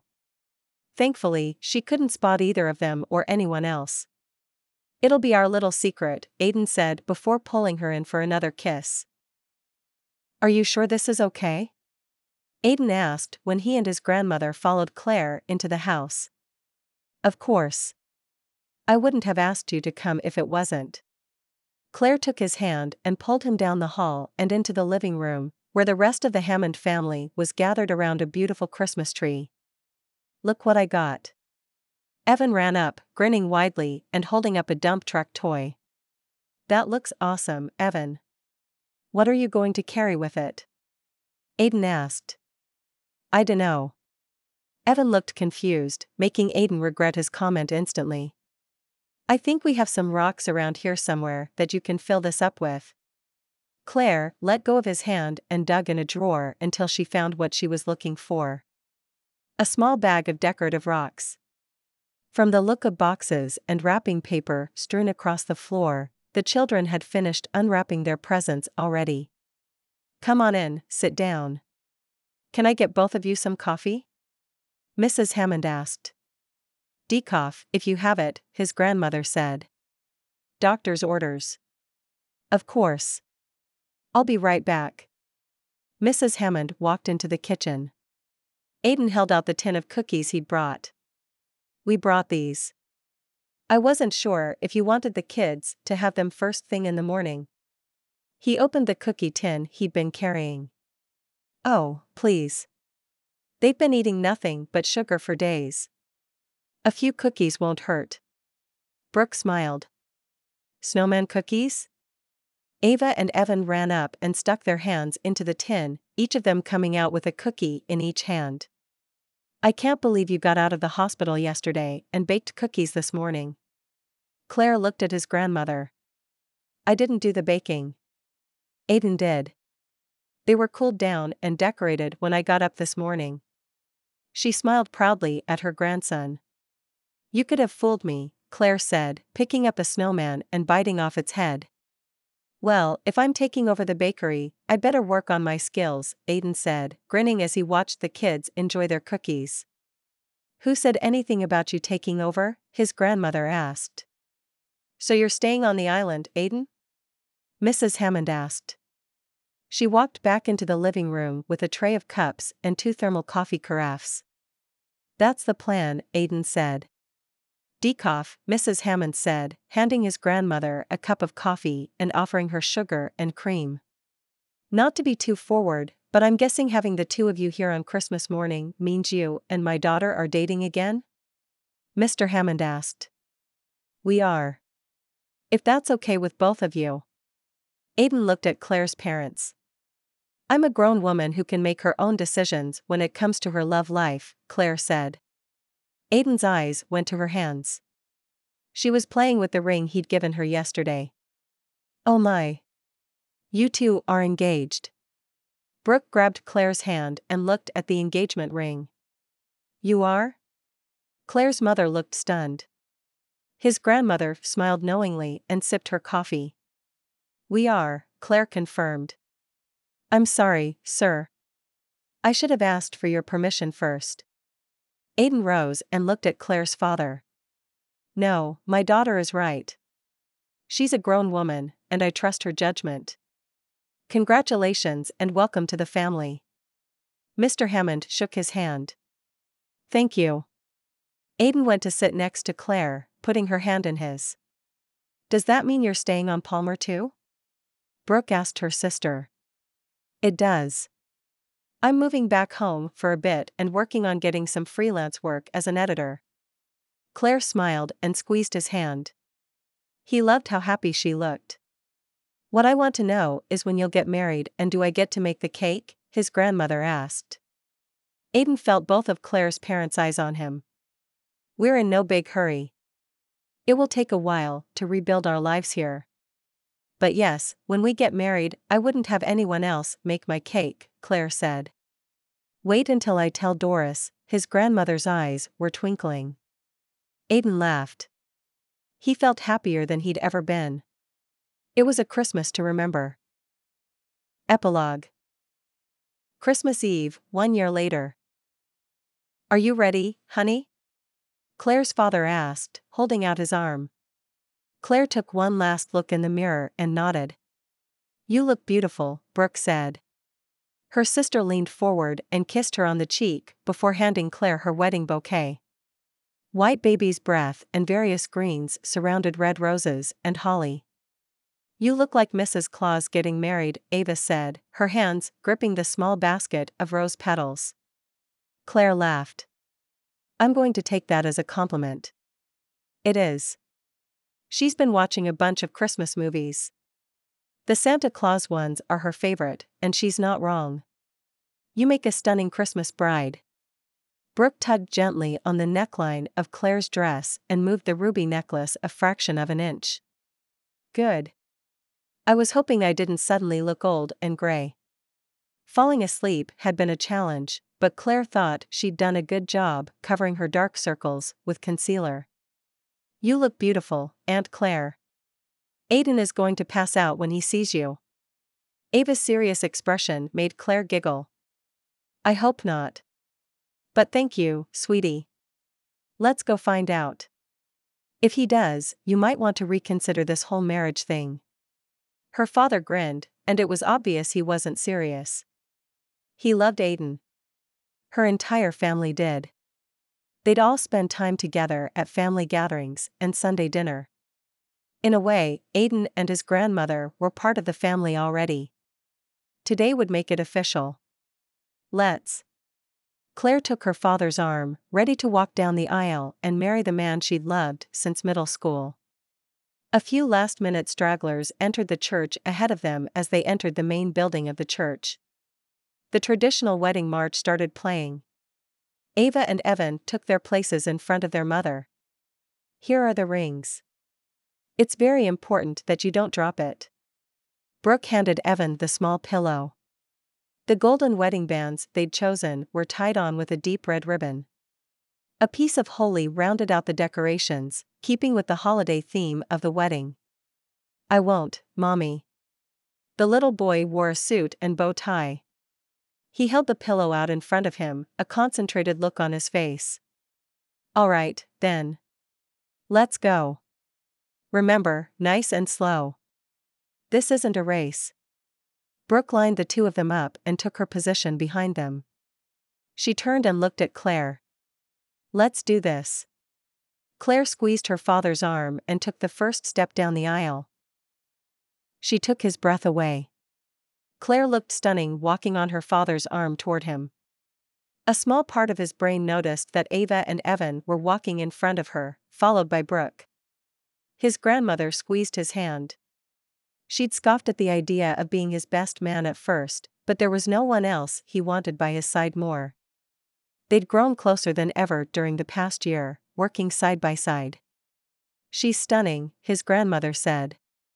Aiden nodded and swallowed hard. It was surprisingly hard to stand there and wait for the small group to make their way to the nave where he was waiting. Who gives this woman to be married today? the Reverend asked. Her mother and I do. Claire's father's voice was loud and clear. Aiden stepped forward and held out his hand for his beautiful bride. Claire turned to hug her father before facing him, her eyes bright with excitement and anticipation. Ready? he asked softly. Claire nodded and took his hand. Standing before the Reverend, their family and friends behind them, the past year flashed in front of Aiden's eyes. So much had happened since the day he walked into Claire Hammond a few days before Christmas. His life was nothing like it had been 18 months ago when he'd worked long days in Atlanta. And he wouldn't have it any other way. We're here today to join Aiden and Claire in the union of marriage. This is not a step taken lightly. I have had the pleasure of watching Claire and Aiden's relationship grow and strengthen over this past year. They support one another. They make the other one a better person. And I have no doubt that they will take on the responsibility of this marriage with great care and the attention it deserves. I can't think of two lovelier people to join this Christmas Eve. Here, here, someone yelled, followed by a round of laughter and murmurs of approval. The Reverend raised his hands, calling his congregation to order. Aiden bit his lip, holding back a laugh. Claire was grinning widely. It didn't help. At this rate, he'd chew through his cheek before this wedding was over. The man turned his gaze at the two of them, and everything and everyone else faded into the background. Aiden, do you take Claire to be your wife?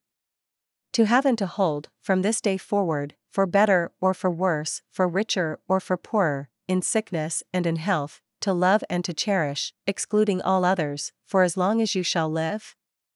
Aiden cleared his throat. I do. Claire, do you take Aiden to be your husband? To have and to hold, from this day forward, for better or for worse, for richer or for poorer, in sickness and in health, to love and to cherish, excluding all others, for as long as you shall live? Aiden looked at his bride. Claire took a deep breath, looked deep into his eyes, and then he heard the two words he'd been waiting for with bated breath. I do.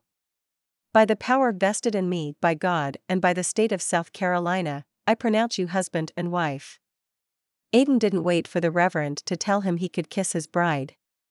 He closed the distance between them in one step, cupped her face with both hands, and kissed her until they were both gasping for air.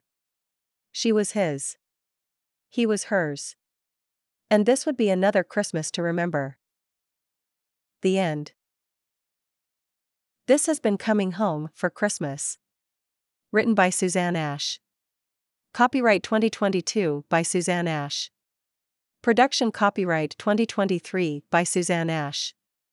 Thanks for listening. Please like and subscribe if you want me to put more of my books on YouTube. Visit my website at www.susanneash.com for more of my books or find me on Amazon.